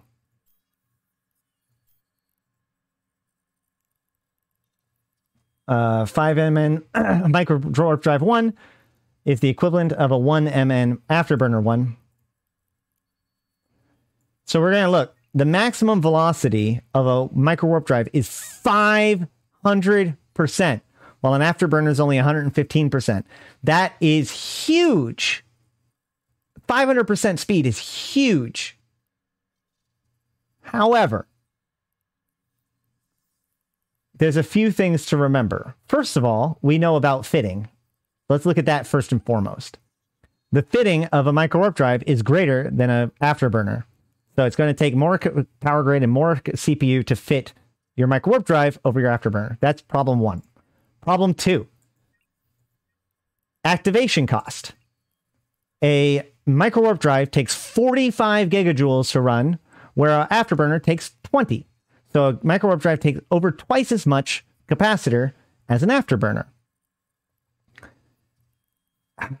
However, it gets a little bit worse because micro warp drives double dip in their in their eating away of your cap. Not only does it have a bigger activation cost, but micro warp drives have an additional penalty that reduces your overall capacitor capacity. So this micro warp drive, if I fit it, will reduce my capacitor by 25%, which remember, will also reduce its capacitor recharge rate by 25% because you now have 25% less capacitor to recharge in the same amount of time. So this is not only taking more capacitor, but it gives you less capacitor and and limits your capacitor recharge rate on top of that. So micro warp drive is far more punishing towards your capacitor. And finally, what is a reactivation delay? Why is there a reactivation delay? Weird. Uh, finally, and kind of most noteworthy, for the micro warp drive, there is a 500% signature radius modifier. Now, better quality versions of the micro warp drive have a better ratio in this. But, um, oh yeah, micro warp drive also has a faster cycle time than an AB, so it'll even get more cap than that. But here's the biggest thing the micro warp drive signature radius bonus or penalty rather even if you consider the fact that better ones have a, uh, a better rate for this what this means is is that this is increasing your signature radius at, at almost as much or as much as it's increasing your speed. And if you remember this chart right here an increased signature radius can actually undermine speed right? This is true with both turrets and missiles. So while the micro warp drive makes you go faster, the the additional difficulty in hitting you that being faster gives you is undermined by your bloom of your signature. That bloom of your signature also makes you faster to lock, by the way. So they can lock you down a lot faster as well. In addition to that, micro warp drives get shut off by warp scramblers, which we'll talk about in a little bit. So when you're under warp scrambling, you cannot use a micro warp drive. So there's a lot of restrictions behind a micro warp drive, but it, that 500% speed is huge. So what does this mean in practice? In practice, micro warp drives are used for kiting. Afterburners are often used for brawling. Micro warp drives want to stay outside of scram range, so they want to stay outside of 10 kilometers almost always, or unless you're using the micro warp drive to get into range. Um, you're not expecting to use it basically inside of 10 kilometers because there's a good chance, or that you know you might get scrammed. Um, but in general, micro warp drives are about repositioning. They make you go very fast.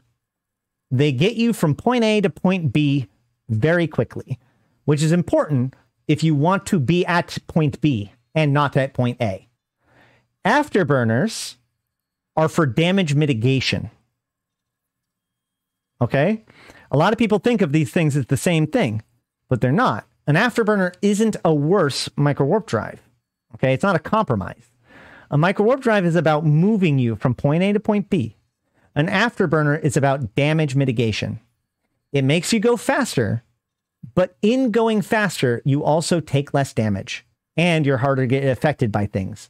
You know, you can push out of scrams, you can maybe even burn out of webs. Um, but more importantly, you're going faster without being any bigger. And as anybody knows, it's harder to hit something moving faster. And likewise, with this chart right here, going faster without making yourself bigger means that you're just going to straight up take less damage. All right? Afterburners are for mitigation. Micro warp drives are for repositioning.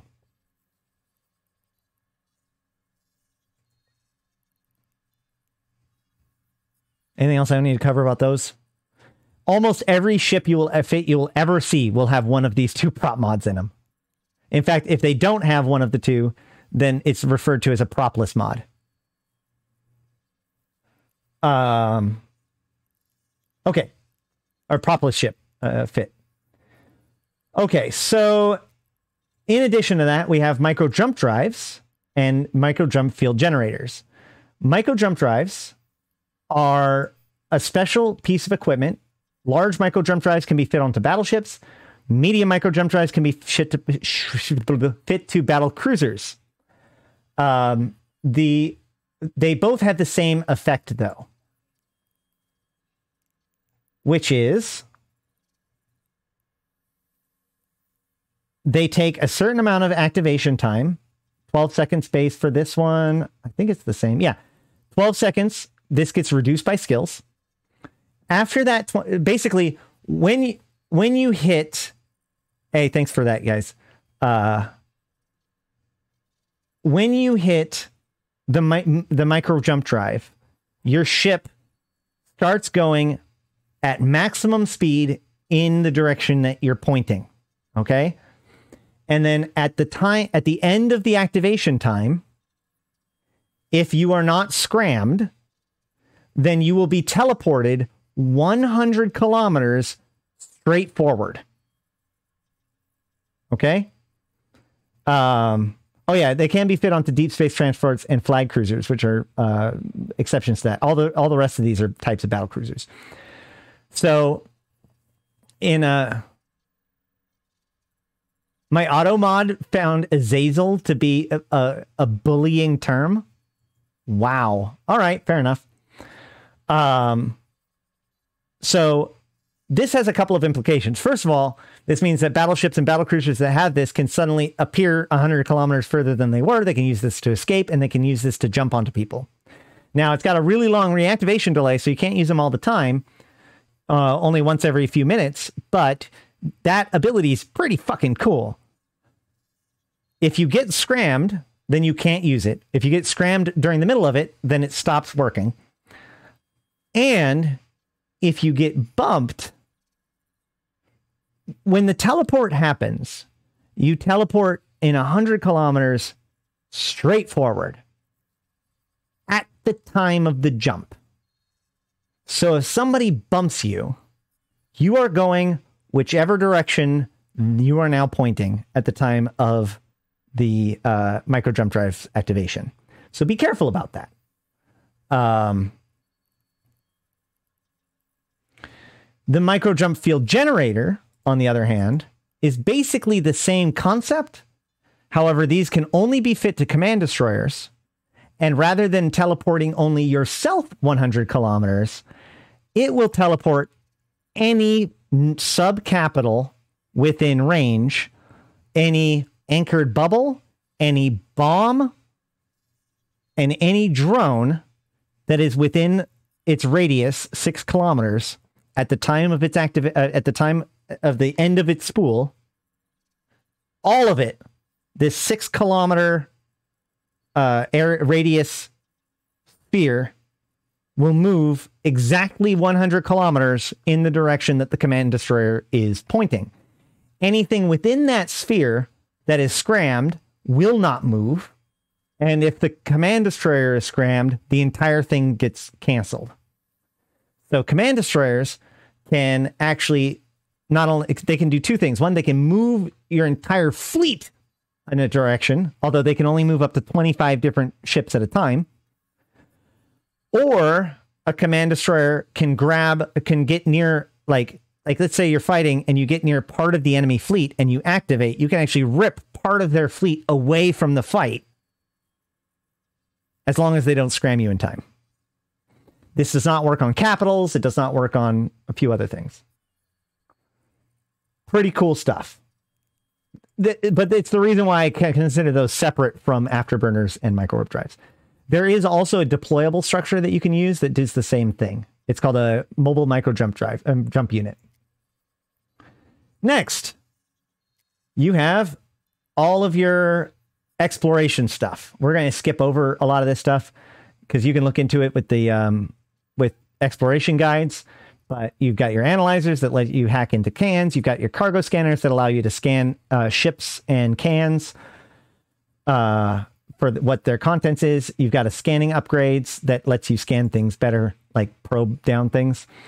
Uh, then you've got ship scanners. Ship scanners allow you to see the enemy fit or like the target's fit and their capacitor note you're not necessarily going to see their whole fit. You're going to see, you know, part of the fit based on your success rate. And then survey scanners allow you to scan like rocks and stuff to see what kind of uh, material is inside. Okay.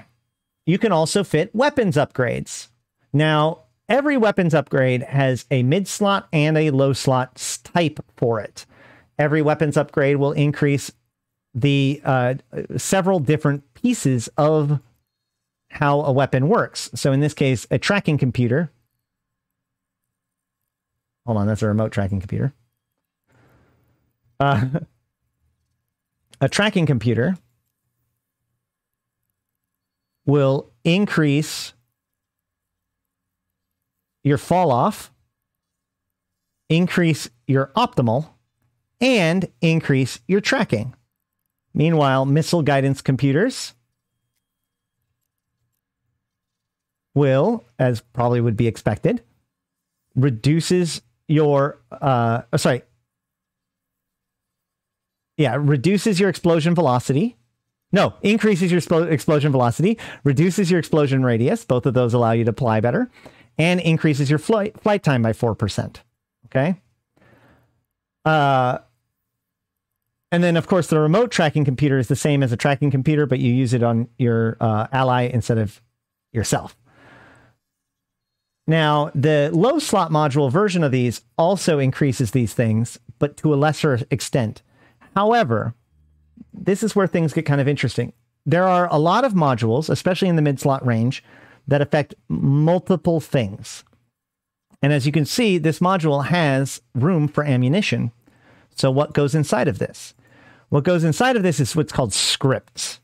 Okay. Anytime a module like this can be used with, it does multiple different things, then you can script them to make it so that you emphasize one over the other, right?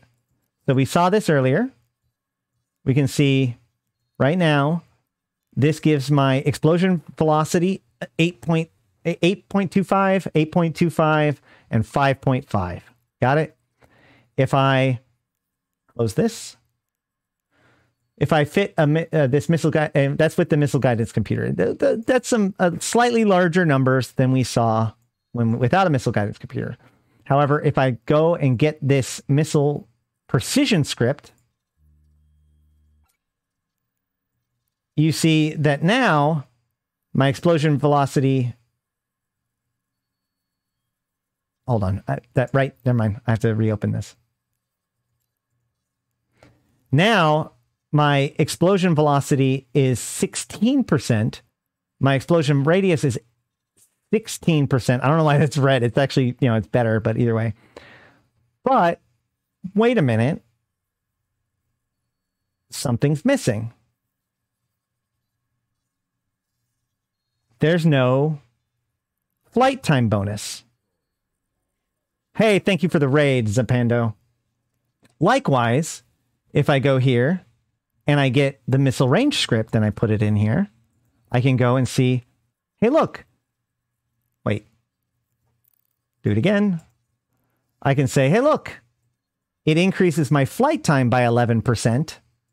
But this time, there's no explosive or uh, explosion radius or, or explosion velocity.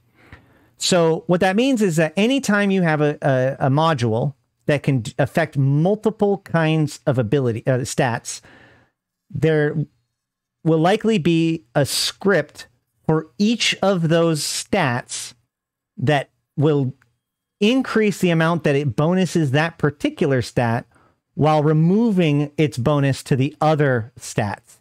The other thing that's worth noting is that, as it was just asked in, in chat, scripts do not get consumed.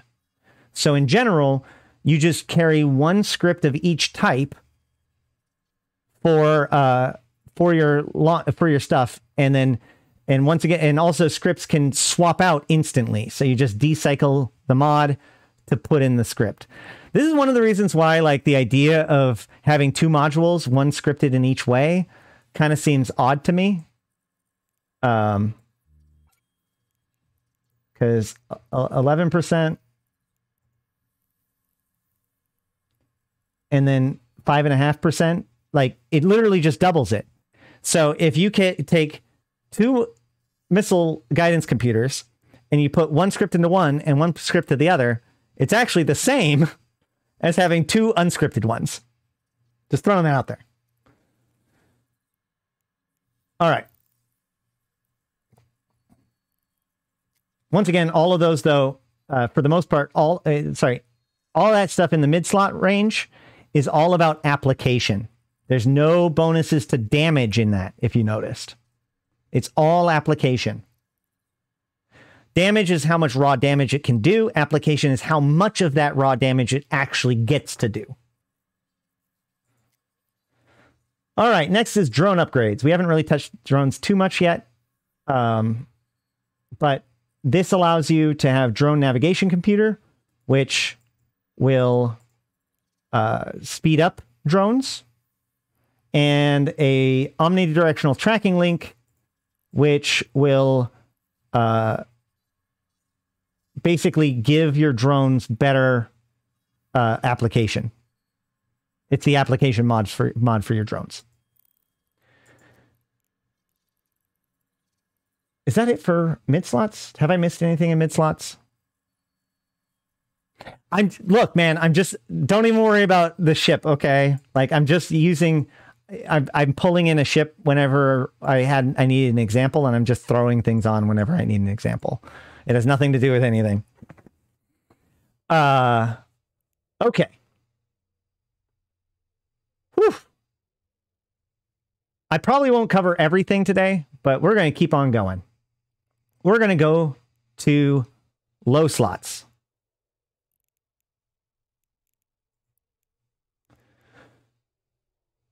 Oh, thank you. I did. I, I missed an entire category of mid slots. Electronic warfare. Forgot the biggest category of mid slots. Actually, we might we might just finish up with mid slots and then and then do the rest of this tomorrow. Uh okay. Let's settle in. As I mentioned earlier, each uh, empire has its own specialty in electronic warfare. Each empire besides the Caldari have two different focuses. The Caldari have one, uh, mostly because the one is uh, probably the most impactful of all of them. So let's look at them one step at a time. First and foremost, we're actually going to start with our good old friend that we talked about earlier, and you kind of know about from the uh, from the tutorial, the Stasis Webifier. The Stasis Webifier is very simple. It simply just reduces your opponent's velocity. Uh, this makes them go slower. It allows you to dictate range, as we noted earlier. When they go slower, you can move, you can hit them easier. Um, you know, stasis webifiers are really good, except as you notice, the range is 10 kilometers. I'm going to use this opportunity to explain overheating a little bit. There's a skill called thermodynamics. Thermodynamics allows you to overheat your weapons or overheat your modules. I'm reasonably sure every module that can be activated can also be overheated at this point. Overheating a module, uh, we're not going to get into all the details of how overheating works, but we will just simply say that overheating a module is a, an attempt to get more effectiveness out of it at the risk of damaging it and the other modules in the same rack as them. Okay. Uh, so in other words, a overheated mid slot module can do heat damage to itself and to the modules next to it.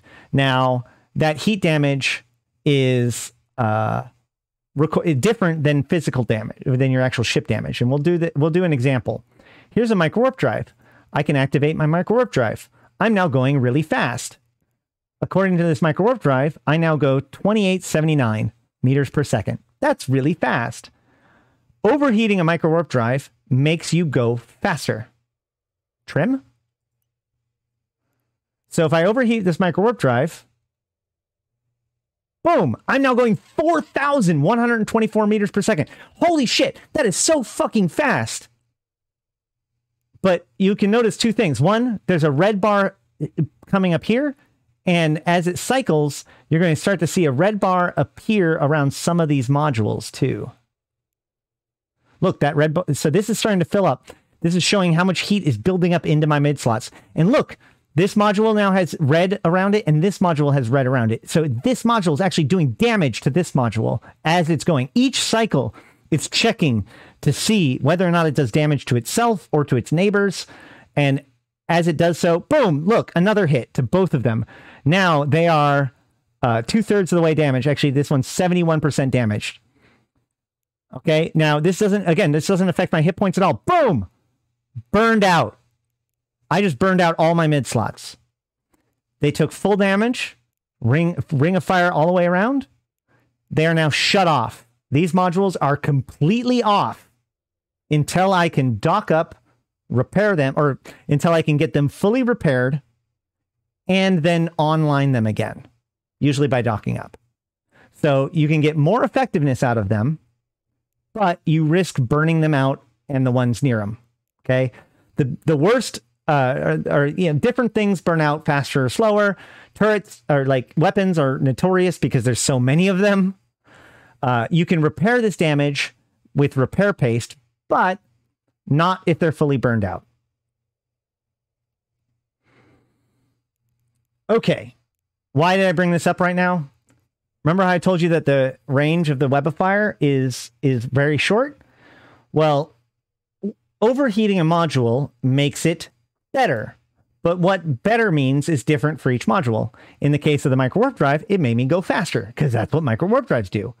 In the case of a web, though, it actually makes my web go further. So now my web goes 13 kilometers instead of 10.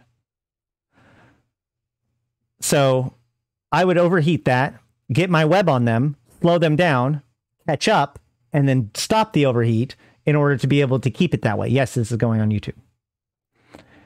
Likewise, there are other things that we'll look at that also have a range bonus in in overheating. So remembering what modules get, do what when they overheat is effect, really useful. Weapon systems most of the time cycle faster. Triglavian weapon systems do more damage instead of cycling faster because you don't want them to ramp faster.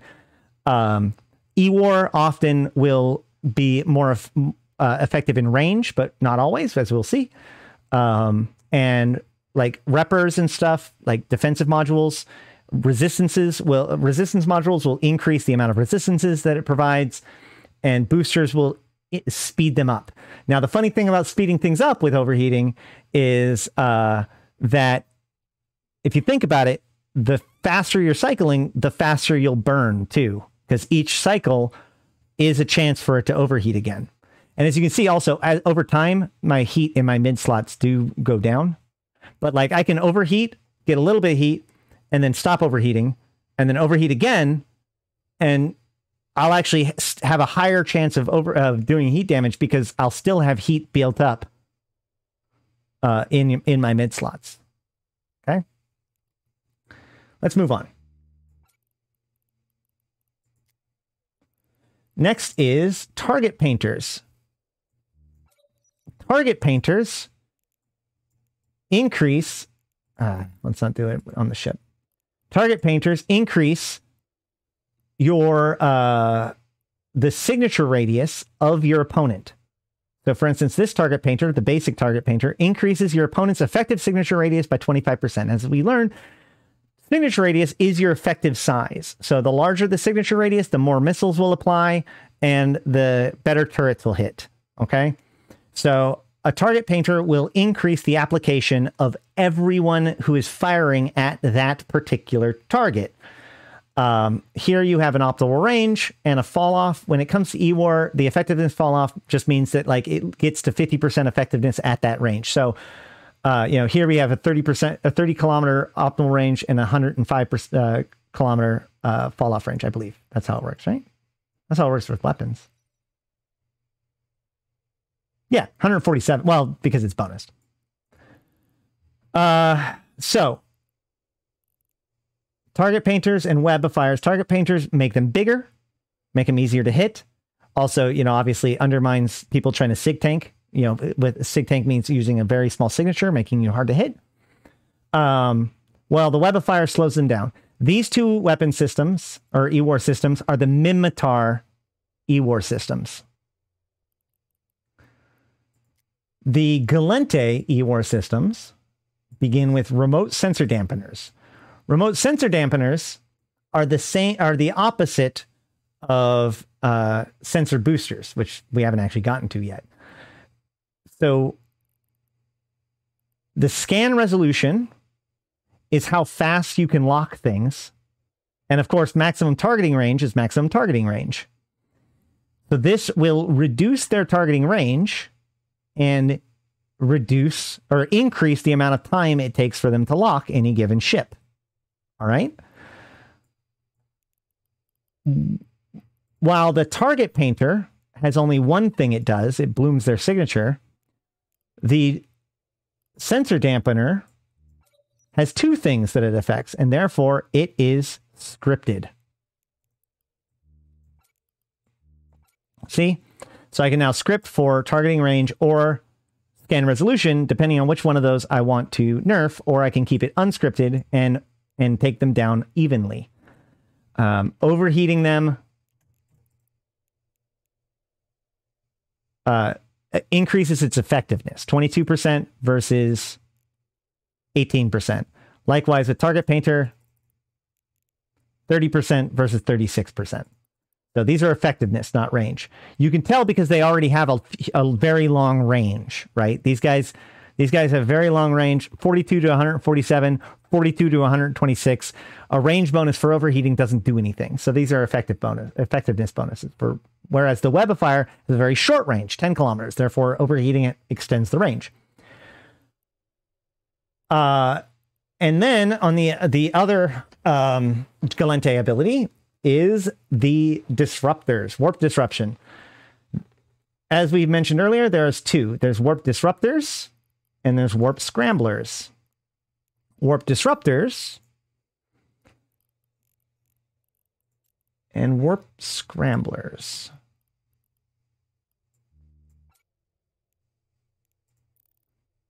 Oops. So first and foremost, the warp disruptor, warp disruptors disrupt at 20 kilometers by default. And a warp scrambler uh, scrambles at seven and a half kilometers by default. That's a huge difference. So, uh, obviously, if you want to be able to hold on to somebody, you're going to want to use a warp disruptor, right? Well, there's a couple of extra bonuses. First of all, uh, it is also the warp disruptor is going to cost a lot more in capacitor. So a warp scrambler is going to be make you less warp uh, cap say, uh, or you know will help or hurt your cap stability less. A scrambler takes less fitting, so it's easier to fit a scram than a than a disruptor. But most importantly, I think a warp disruptor or a warp scrambler will turn off. Sorry, there's another note, which is your uh, warp scramble strength. A warp scrambler is worth two or more warp scramble strength, depending on which warp scrambler it is, whereas a warp disruptor is only ever worth one. Uh, the third one, the, or the last thing, which uh, is that a warp scrambler, any warp scrambler at all, will shut off any micro warp drives or micro jump drives on your opponent's ship, right? So if you scram somebody, you can, and they they rely on a micro warp drive to move around. They ain't moving anymore. This is why I was saying earlier that afterburners tend to like to fight short, shorter range where they expect to be scrammed, whereas a micro warp drive might want to stay further away to avoid being scrammed. A, a, a micro warp drive pilot, a kiter, which would be a kiter, um, would use a 20 this 20 kilometer warp disruptor to stay far away and be able to peg them at range, whereas a more brawly ship might use a warp scrambler and a web to lock down the target to get on top of them. This warp scramble strength is based on your ship's warp core stability. Your ship by default has one point of warp core stability. There is some ships that have bonuses to warp core stability, and there's a low slot module that increases your warp core stability, but only by a certain amount, but only by two. By natural amounts, you have one warp core stability. So either of these will reduce your warp core stability to zero, and you won't be able to warp. However, if you have one of those ones that have a bonus to warp core stability, or you have an active warp core stabi- stabilizer, you would be able to warp even if they have a warp disruptor on you but if you have enough points via your scrambler or whatever, or maybe multiple people are using warp disruptors on a single target, you can still lock them down, right? If they have three points of warp stability, for example, and you have a warp disruptor and a scrambler on them, maybe two different people, then that ship is not going to warp until they can slough off one of the two. Okay? So this is how you keep people on field. And this is also the reason why you see profiles and setups that are, you know, brawly ships. You see more target, or you see more like webs and afterburners and scrams because those all kind of synergize with each other. They're all designed to be used in close quarters. Also, neuts and other stuff like that. Um, whereas disruptors, you know, micro, you, see micro warp drives, target painters, missiles, and other stuff like that that are designed to fight at range working together uh, thanks to the warp disruptors. This is also why those Mordu's Legion ships are so powerful. Because if I can scram you at 15 kilometers and you can't scram me, now I can kite you at 14 kilometers with a micro warp drive, ensuring that you don't have a micro warp drive and I do. That is very strong. Or I can shoot, I can fight at like 25 kilometers well outside of your warp disruption range and still keep you warp disrupted. And therefore, I can bug out anytime I want to, but you can't. All right, next.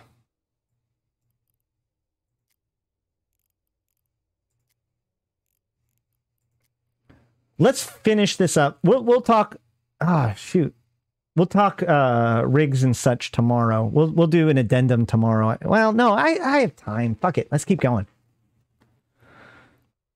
Uh, next is the so that's uh, Gallente. Next is Amarr. Amarr, we've already been introduced to one of the electronic warfare, because energy neutralization is considered to be one of the two Amarr energy uh, uh, electronic warfare, with the other being weapon disruption. Weapon disruption can be either guidance disruption or tracking disruption. Guidance disrupt- disruption, of course, does missiles. Tracking disruption does tracking. They're exactly the same as a guidance uh, guidance computer and a tracking computer, but exactly the opposite. They are also scripted. They also can do they do both application and range, and they have a script each for both of them.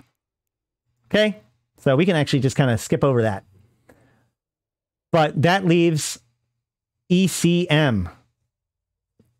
ECM, uh, so each race has a different kind of sensor, right?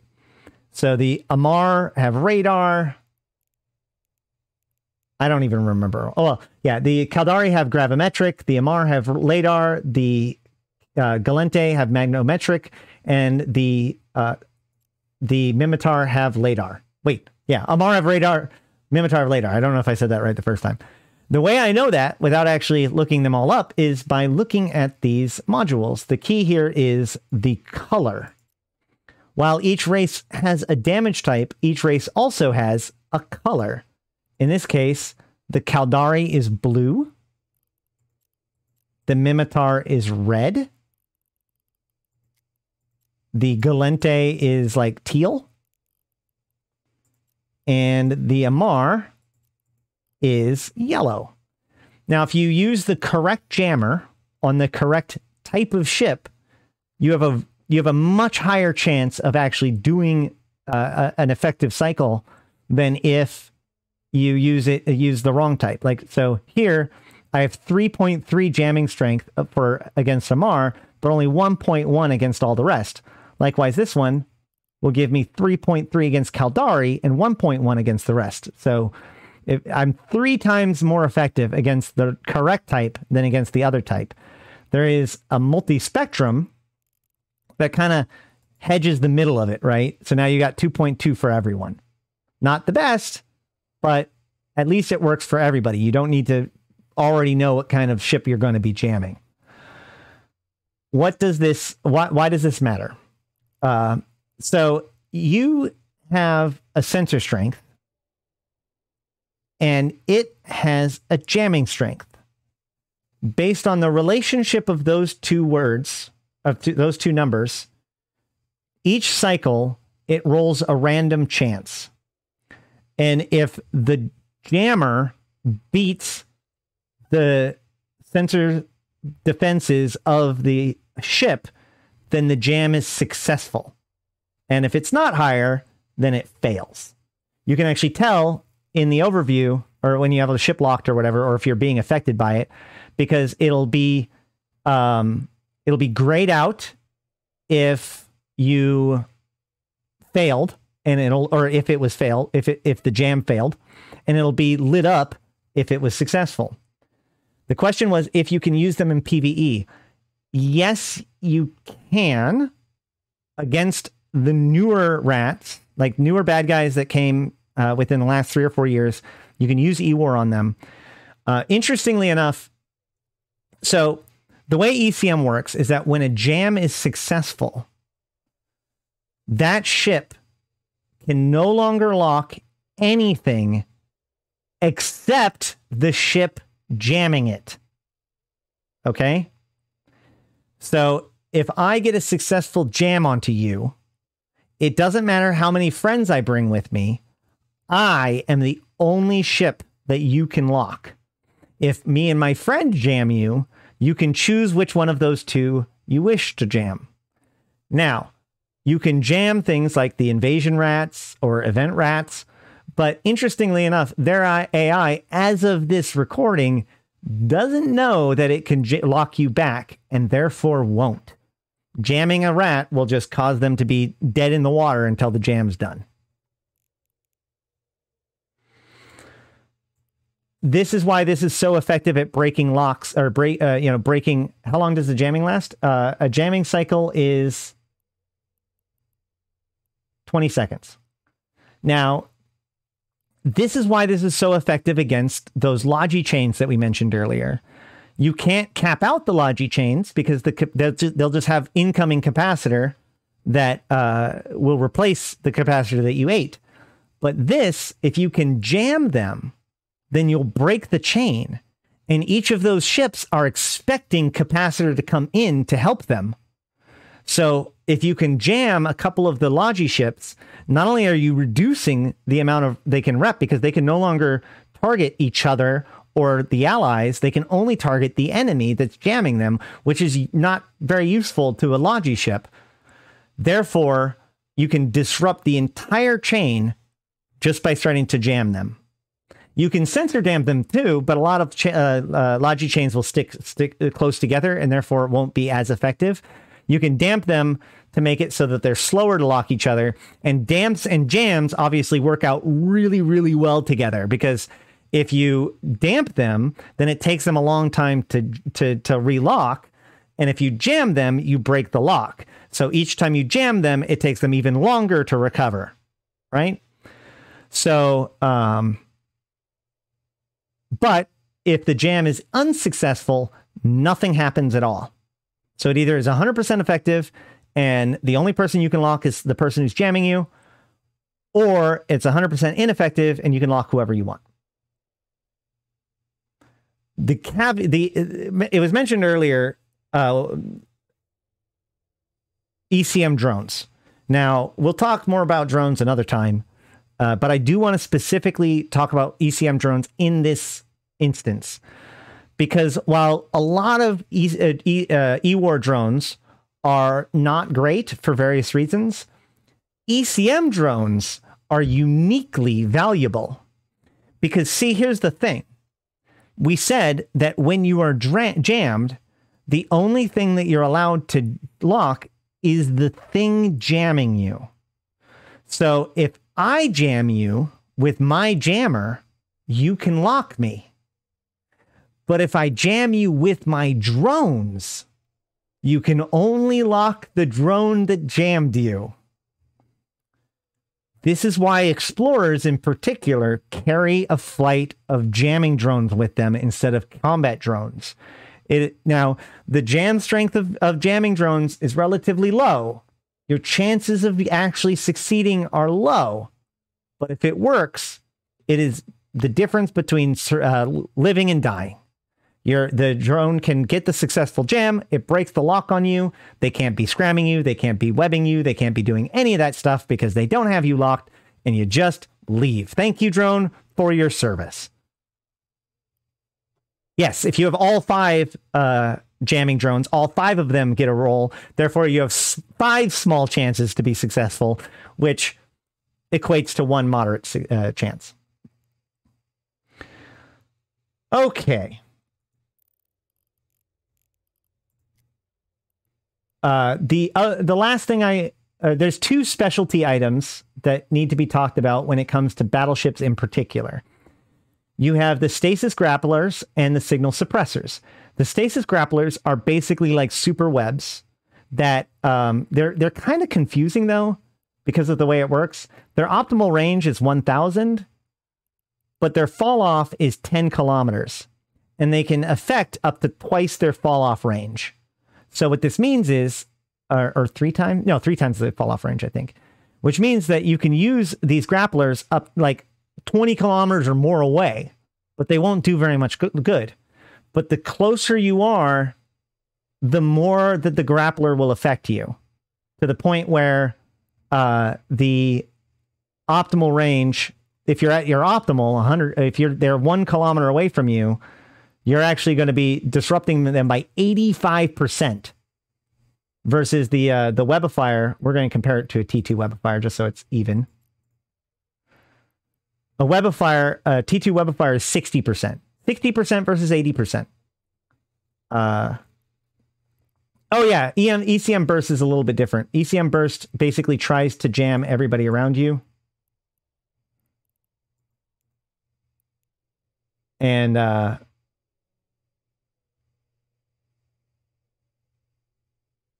I think, isn't this the one that is based on how many things are locking you. Either way, this just attempts to break the locks of everybody around you. No, this isn't the lock breaker. I actually don't. I get this confused with the other one, which is actually now the signal suppressor. Okay. Whatever. So this attempts to jam everybody around you. The target breaker doesn't exist anymore. Uh, this is also potentially very useful for a couple of reasons. One, obviously, if a lot of things are targeting you, then you know you might need to burst them. But also, again, with like the the exploration frigate, you don't necessarily want to have to lock your target to be able to jam them. So you just pop this in order to jam them. But unfortunately, because the way the jams does this allow lockback? Now that I think about it. Either way, the target, maybe we'll look back. Okay, so this doesn't allow lockback. So yeah, this is just a really good uh, uh, jammer, but it's not that effective.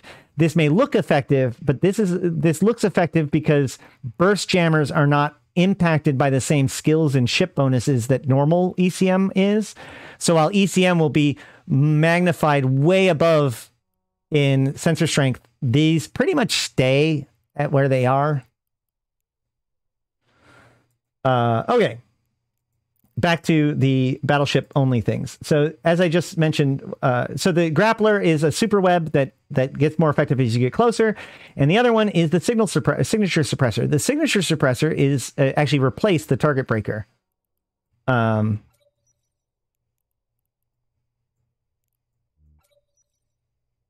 Oh yeah, it has to be a battleship. So uh, what a signature suppressor does is it actually just reduces the signature radius of the battleship. Um, this does a couple of things. One, it makes it harder to hit. Uh, even even if it's just passively on it, it reduces your signature radius by a certain amount, but then it reduces your signature by a big amount while it's activated. Um, now, it can only be activated once every uh, 150 seconds unbonused. So it can't be running all the time and it only lasts for 12 seconds. So it certainly doesn't run all the time. But during that window of opportunity, you are very small compared to other battleships. Interestingly enough, the signature radius suppressor or the uh, uh, signature radius suppressor, even its passive bonus, the smaller your signature radius, the harder you are to scan down. And your sensor strength, there's a little known benefit of sensor strength it actually specifically says larger values reduces the chance of being jammed by ECM and assists in avoiding detection by probes.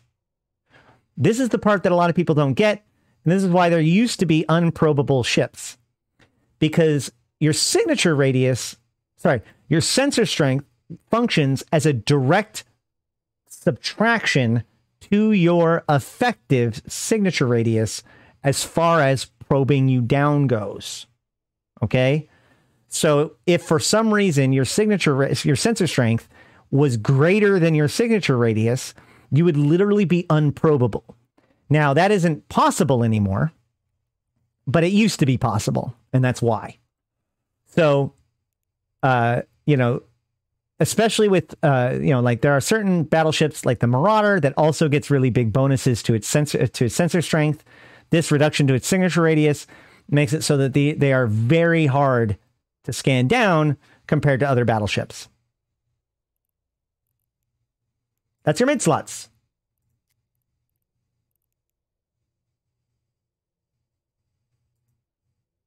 If your sig radius divided by sensor strength was below one, you're unprobable. I thought it was a direct subtraction. Either way, whatever. It it has a an effectiveness against it. I don't remember the exact math. All right, low slots. Let's go. We'll see if we run out of time. I was wanting to cover meta modules and like different stuff like that. That might be tomorrow. We'll, we'll, try to get like all of the mods types and slots and everything today. And then tomorrow we'll talk about like faction and dead space and meta and all that kind of stuff. All right. So in the low slots, low slots are generally speaking the domain of armor, uh, armor tanks, damage increase, and to a lesser extent, like stat bonuses. Okay. So let's start with one of the most popular um, low slot modules the damage control. The damage control, you can fit one damage control on each ship. It is uh agility is a stat. uh anyway, uh yeah.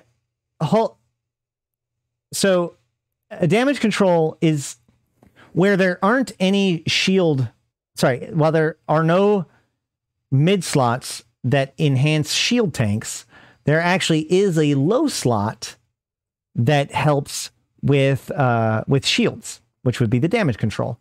Also, the damage control is on a different diminishing returns than most other uh, resistance bonuses. Therefore, uh, especially when you're getting up to stacking penalties when it comes to your resistance modules, the damage control can come along and be more effective. What mid slot module affects uh, armor tank? All there is is hull repairers. Whereas the she- the the uh, damage control increases the resistances of shields, as well as armor. Oh, my bad. There are no mid slot modules that enhance armor tanks. There are there is one low slot module that enhance well, actually there's several low slot modules that enhance shield tanks. This one is the one that enhances the resistances. The other big one is this 30% hull resistance. Um, this is where hull tanking comes in. This is actually a pretty big resistance uh, to your hull, especially given the fact that you've already got 33% natural resistances. So single damage control increases your hull resistances by quite a bit, uh, up to a very reasonable amount just by one module. Uh, however, only certain just like a passive regeneration of your shields for a passive ship, so too, not a lot of ships can get away with utilizing this resistances to hull, but some can. All right. Uh, so the damage control is uh, it's just generally really good. There's an advanced version of that called the assault damage control that can be used by only assault frigates and heavy assault frigates that has a slightly lower natural resistance than the um, than the normal damage control. However, these can be activated. The damage control is a passive. This is an active module. When you activate, when it's passive, it gives you these. When it's active, it increases these resistances by 75%. So this thing spikes your resistances to like over 90% in everything for like eight to 10 seconds. So assault frigates and assault cruisers that utilize assault damage controls can become basically extremely difficult to kill or unkillable. extremely difficult to kill for a short period of time.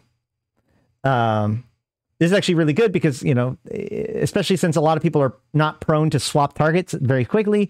So if you just waste your time trying to burn through an assault uh, something with an assault damage control running then uh, they'll just live while you don't.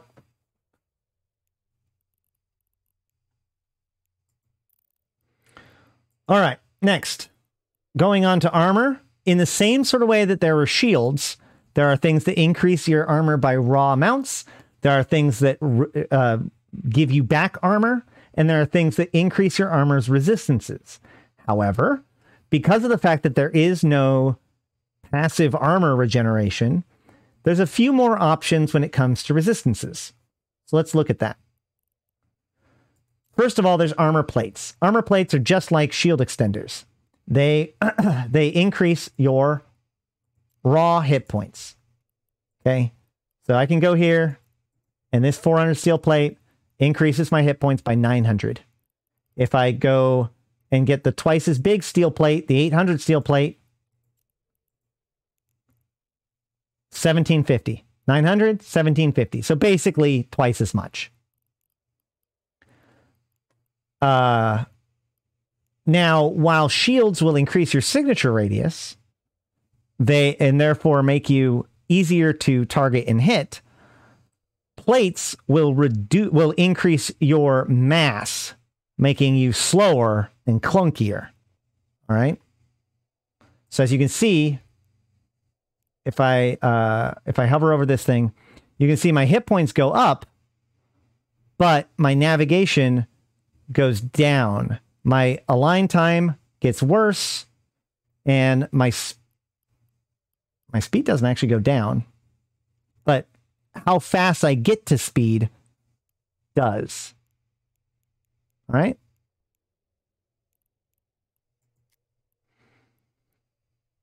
Armor repairs are much like at cost of higher inertia. Less agility. Yes, less agility. Thank you. Which is agility affects how fast you can uh, change your speed or vector.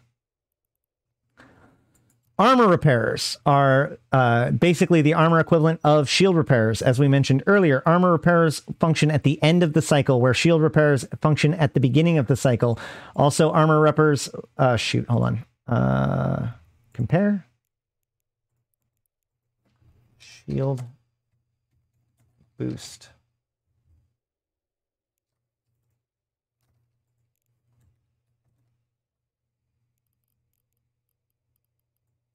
Small armor repper one, small shield booster one. So as we see here,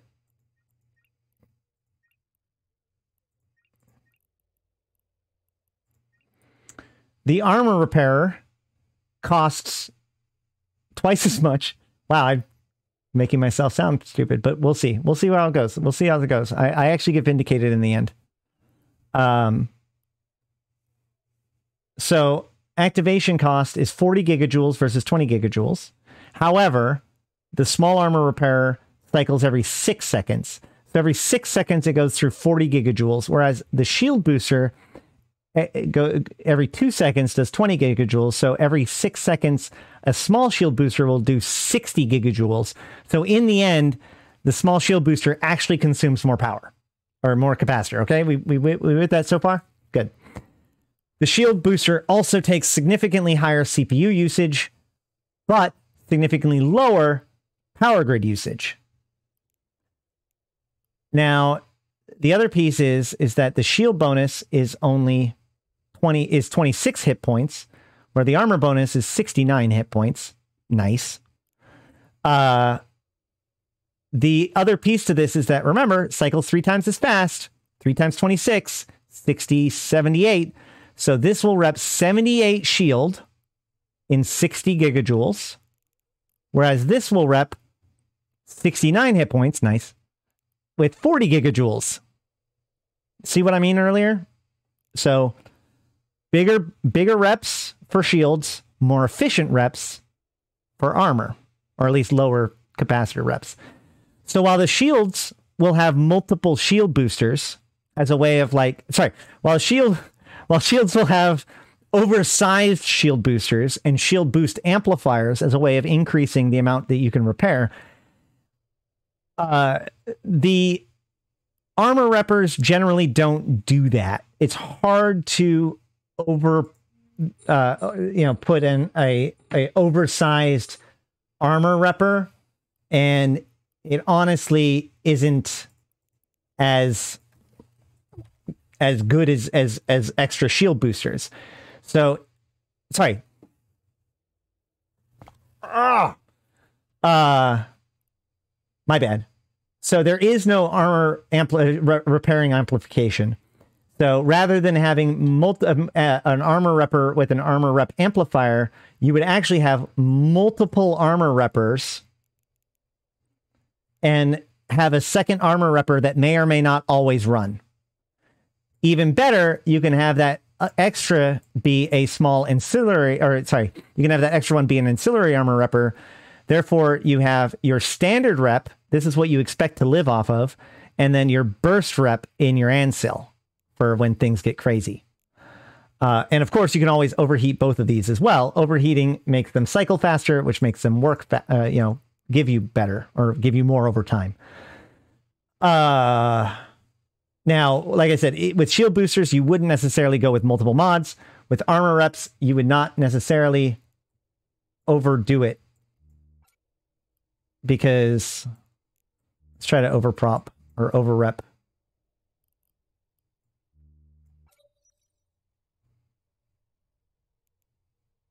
That's, well, but it's still not that much, right? So if I go here, armor repper 30 versus 30.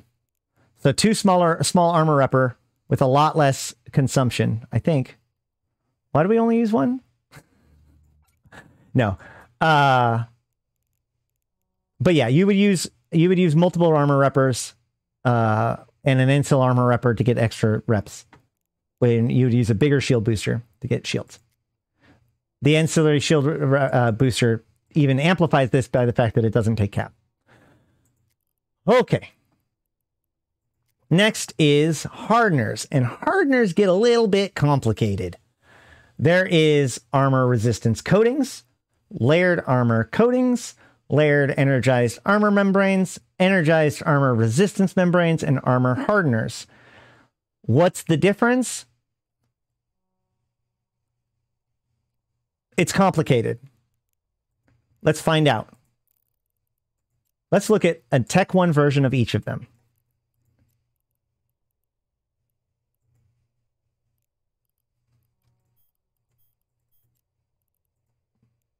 Here's an EM armor hardener.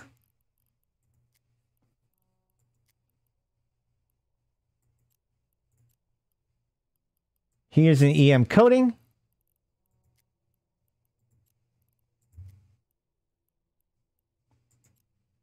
Layered armor coating.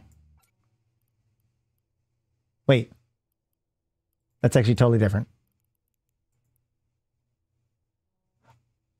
Oh, layered armor coating increases a, a, percentage of hit points. Holy crap. Like nobody ever uses this thing. All right. Well, the layer coating increases your uh, your hit points by a percent, where plates increase by a flat amount. I'm sure somebody uses them.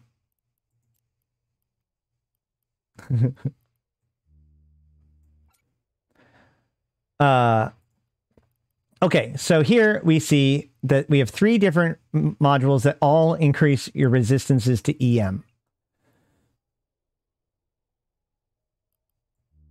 Hold on.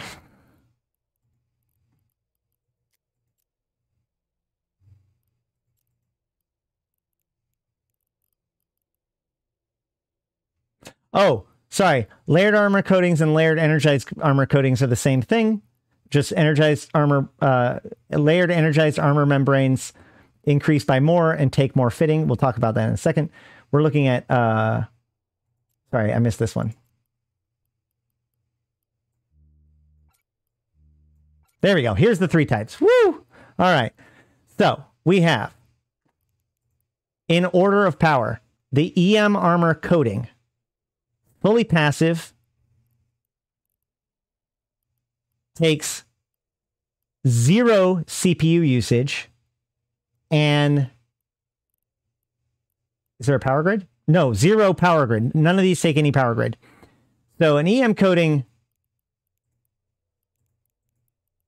takes, sorry, one teraflop or megawatt. One megawatt. That's it for the entire coating.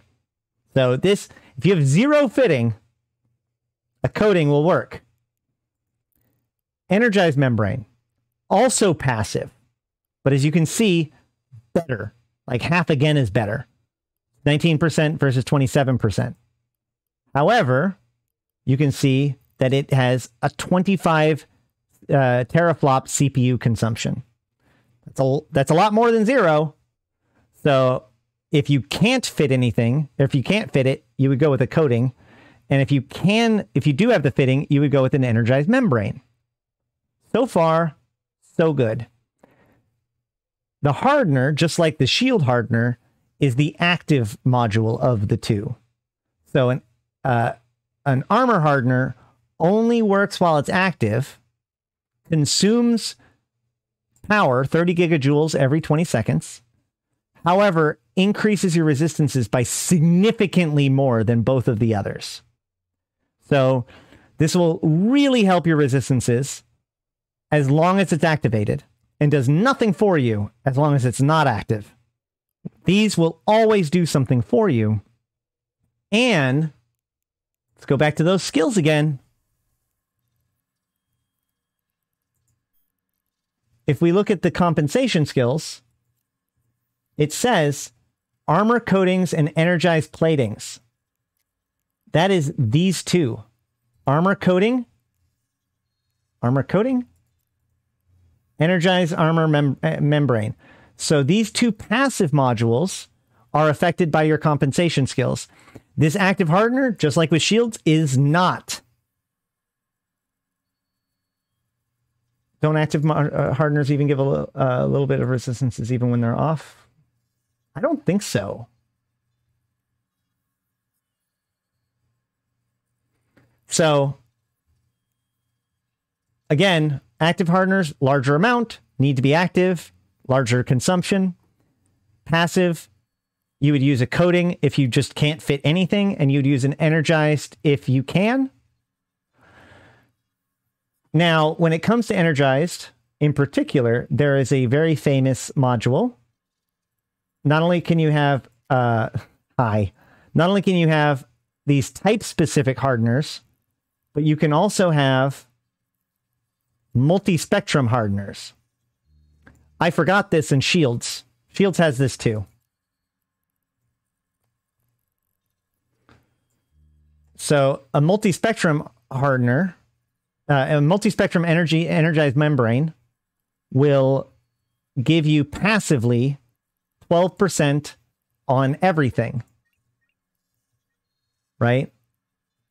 But it won't give you so it doesn't give you as much as a type hardener, but it gives you good for everything. Also, we can compare this to the damage control, and we can see that, uh,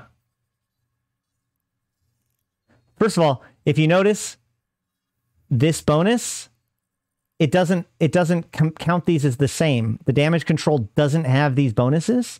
This is why the damage control can stack and doesn't cause diminishing returns because the bonus that makes the um, the damage control work is different than the bonus that makes the membranes and the hardeners work. So, uh, likewise, I can look at the uh, kinetic armor hardening.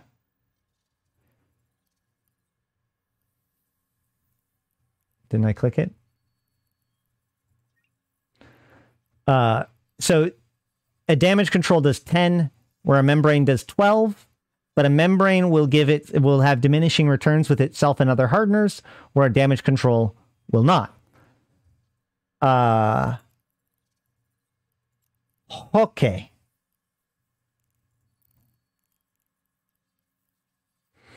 In addition to that, uh, sorry, uh, the, the, the shield hardeners or the armor hardeners have two advantages over shields, though. While the shields do have a multi-spectrum hardener,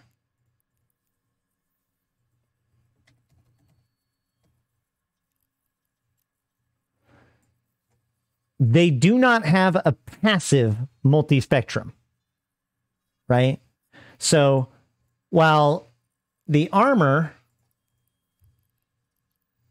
has no active hardener that's multi-spectrum, but does have passive modules that are multispectrum, which also should mean that these modules, these passive multispectrums, are enhanced by your armor skills, your compensation skills, while the shield multispectrum is not. That's an interesting thing.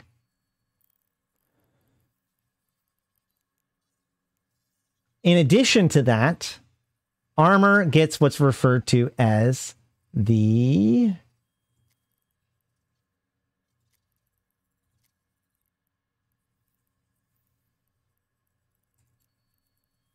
reactive armor hardener. The reactive armor hardener is really cool. Basically, it starts out at 15% across the board. Um, and then every cycle, it will take in all of the damage that you have taken within that last cycle and then attempt to adjust your resistances to compensate to the actual damage that you have taken. Uh, so what this means is is that it well, first of all, if you're taking only one type of damage, then it'll shift all of its resistance power to that one type of damage. If you're taking two types of damage, then it will split its resistance profile 50 50 between those two types of damage. If you're taking three or four types of damage, however, it will take the proportion of how much of each damage type you are taking and adjust your resistances accordingly, such that, like I said, it will plug a hole, for example, right? So if they're doing even damage, but you don't have even resistances, it will begin to compensate for the resistance that you don't have. Now, each cycle is about 10 seconds long. This gets increased by bonuses. Um, I don't think this says it here, but the shift, it doesn't shift instantly all at once. It can only shift so much at one time. So, uh, yeah, it spreads its 60% re- uh, resistance over the four damage types. Which means if you're taking one damage type, it can shift that entire 60% to that one damage type, which is really, really good. And then if you start taking another damage type, it will cycle over to the other side, but it takes some time. Shield resistance amplifiers are uh, affected, and they got higher resistances and higher energized armor ones. Right, but are, it, uh, there's no multi-spectrum shield resistance amplifier, right? Um, so the reactive armor hardener is one of my favorite. Uh, yeah, it goes. It's it's about three cycles for it to go from one extreme to the other. So it actually reacts pretty quickly. Um, and I just love to. Uh, this is one of my favorite modules because not only does it help with all kinds of different resistance profiles, but you can actually hover over the module while it's running to see which resistances it is shifted to. So that way you can know, like, you know, if I've got a ton of incoming damage and it's all different kinds, uh, I can hover over it and see, oh, while I am taking some EM damage, it's so low that it's like shifted over to something to explosive. Oh, okay. Well, these enemies are mostly doing explosive. Now, granted, that might be a me thing because I'm trying to figure out these things so that way I can talk to you guys about it. Um, but yeah, I use this all the time for that purpose.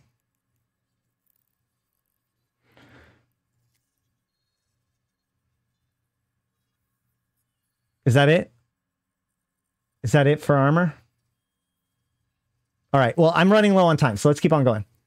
Uh, for shields, we have shield flux coils, shield power relays. Uh, sorry, shield flux coils and shield power relays. We're actually going to talk about those separately. Uh, next, weapons upgrades. So each weapon system has their own weapons upgrade. And rather than going through them all separately, we'll just look at uh, two of them for now, or three of them for now. Show info. Show info. Show info. No, no, no, no, no, not show info. Compare. Compare. Compare.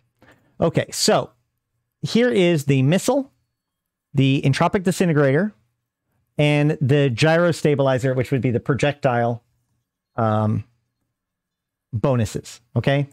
We can see that the entropic disintegrator gives a larger bonus, but a smaller rate of fire bonus. This is because, like I said, you don't necessarily want your entropic disintegrators to be uh, cycling faster because that also lets them ramp faster. However, uh, for the gyro and the ballistic, it gives you an 8% bonus by default. And then likewise, it also increases your missile damage. And it, of course, it, it increases. So it increases damage and your rate of fire for whichever it is that you're using.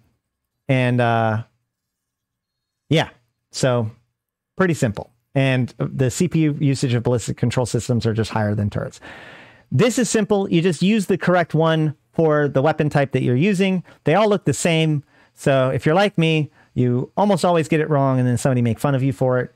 You've got gyro stabilizers for the projectiles. You've got magnum, uh, magnetic stabilizer. Mag, uh, we call them mag stabs. Hold on. Magnetic field stabilizers for projectiles. And we have uh, uh, heat sinks for lasers. In addition to that, we have tracking enhancers and missile guidance enhancers. These are both basically the same as their mid slot equivalent, the guidance computer and the tracking computer, in the fact that it increases your application and your range. However, it is a significantly smaller amount than uh, the Tech 2 equi- or than the mid slot equivalent. So let's look at this. Remove. I still have this one, so we'll go with that.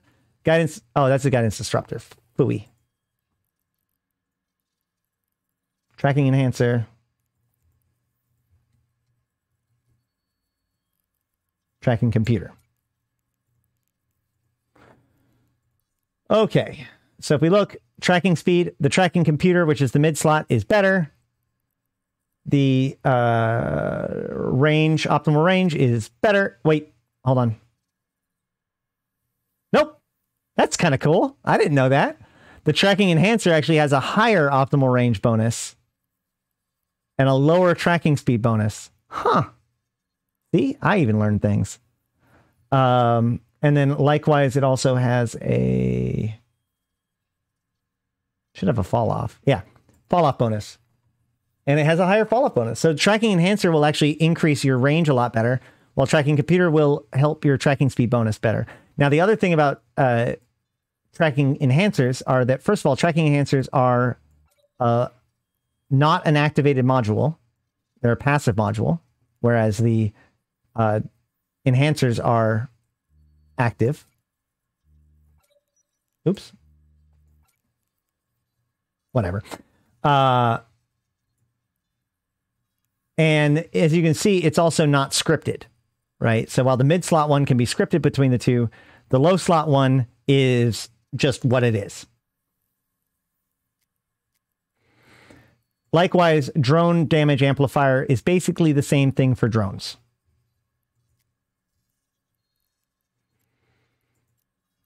Now, the only electronic warfare benefit it has uh, in the electronic warfare category is a single disruption amplifier. This literally all this does is amplify the. Uh, this is one of the things that amplifies the jam strength of your jam module. So, like a Caldari ship or you know any sort of ship with a jam ECM, the actual ECM EWAR, uh, this will increase its chance of being successful. Okay, and also its range.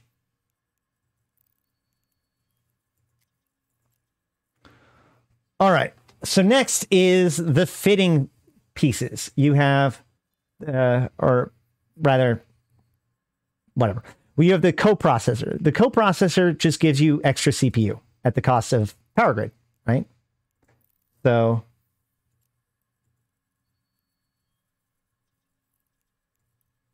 actually not even with for power grid. It just gives you CPU for a slot, I suppose I should say. So if you're over on CPU, a coprocessor is a good way to do that. You sacrifice a low slot, but depending on what it is, you can just uh, you know, it, it may be a good idea. Signal amplifiers are much like sensor boosters, which I think I might have skipped with mid slots. But sensor boosters are just like sensor disruptors, where they increase your scan resolution uh, and which speeds up how fast you can lock, and your targeting range, which speeds up how far you can lock. Signal amplifiers, likewise, uh, increase your maximum targeting range and increase your scan resolution. let's also compare these because I, I found out so much new eh, like i found out something fun last time. So let's go ahead and uh, signal.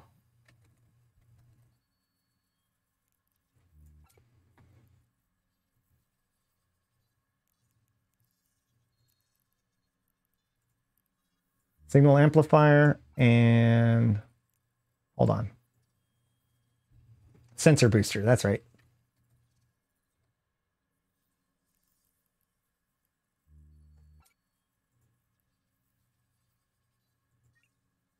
Ah, signal amplifier increases your maximum lock targets too. That's kind of interesting. That's something I didn't know. Um, so as you can see, the sensor booster activates when the signal amplifier doesn't, just like the others. Um, and that also means they can be overheated and scripted. Uh, but the scan resolution strength is twice as good for a sensor booster, unscripted. And the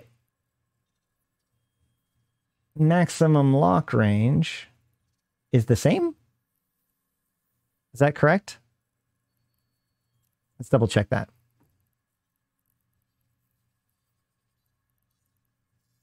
Maximum targeting lock range 25%. 25%. Yeah, so they both have the same increase to maximum targeting range bonus, but way more scan resolution bonus to the mid slot than the sensor amplifier. But the sensor amplifier also increases your maximum targeting by one. Of course, as we said earlier, you still need to have the skills to be able to lock that many. That's true. There is a uh, there is a high slot signal amplifier that well. Oh right, there's a passive targeter that but whatever. That just lets you target somebody without them noticing that you're targeting them. Uh moving on. Okay let's talk capacitor and power. Nope let's let, we're going to save that for last. Uh so let's talk about speed you have inertial stabilizers and you have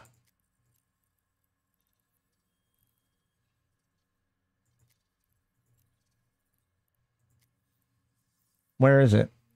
Where is it? You have overdrive injectors. And hull upgrades. I, I thought it was here. Oh, yeah, there it is. You're right. And a nano fiber. Okay. So all three of these slot are low slots, and all of them make you go faster, right? Now, the inertial stabilizer doesn't actually make you go actually faster, but it just makes you more agile. Okay. The overdrive injector will make you a lot faster, and the nanofiber will make you a little bit faster, but that's only the start. Next, the inertia modifier. This is where things get uh, so inertia is countered. Agility and inertia are against each other. The higher your agility, the the faster you can change your vector, i.e., speed and direction. And the higher the inertia, the slower you can change your speed and direction. So these not only so the nanofiber not only allows you to go faster, but allows you to get faster faster. Whereas the initial inertial stabilizer does not let you go faster, but makes you get faster way faster. The overdrive injector system makes you go the fastest, but does not make you get to your top speed any faster. Now, when you're getting into warp, the way warp works is that the first tick in which you are over 70% of your speed in the correct vector of your warp target, you go. Which means if your warp speed is under two seconds, then you can actually warp before an opponent can lock you and scram you. This is called unlockable or insta warp. Um, as you can see, like reducing your inertial modifier is the secret here, right? The, the more you can reduce your inertial modifier and increase your agility, the faster you'll be able to get into warp. So you would see this and say, okay, well, the inertial modifier from the inertial stabilizer feels better. I should use inertial stabilizers. But there's two, there's another piece to this, which is this your signature radius modifier. This signature radius modifier increases your signature radius in the same way that like a shield extender would. So what this means is, is that while an inertial stabilizer can make you insta warp uh, more effectively. If it fails to, then it's actually easier and faster for your opponent to lock you. So if you move your warp speed from like five seconds to four seconds, that may actually not help you because now you've made it so they've gone from six seconds to four seconds to lock you or whatever. It's sub two. Sub. Uh, if you're under two seconds, then you're basically un ungrabbable because the first second is locking you and the second second to activate. By that point, you're already in warp.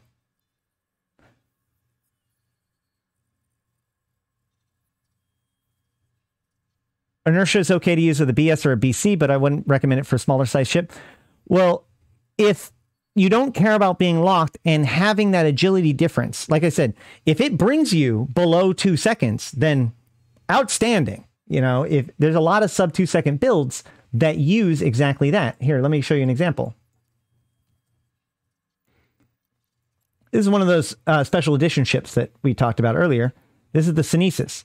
As you can see, I actually use it, or I, Fonsui, who made this build, I believe, uh, put an inertial stabilizer here because, let's turn off the micro warp drive. That's all that's needed to bring it below two second uh, alignment. A nanofiber would not. So in this case, the inertial stabilizer becomes the thing that makes it unscannable or un ungrabbable. In addition to that, the nanofiber in uh, also, sorry, the overdrive injector system. I thought the nano, not, whatever, overdrive injector system reduces your cargo capacity so you can carry less, even though you're going faster. And the nanofiber reduces your structure. So people will often use nanos and overdrive injectors in order to kite but an overdrive injector would make it so that they have less cargo, they can carry less ammo, they can carry less cap charges, they can, you know, all that sort of stuff. A nanofiber reduces their structure, which means that they're faster, more agile, but they explode quicker when you grab them.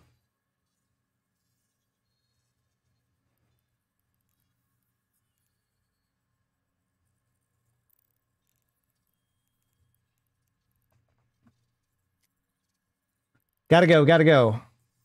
Uh I think we're going to have to talk about shield flux coils and all that stuff next time. So we're going to finish up the low slots, go into rigs and uh, meta types and all that stuff tomorrow.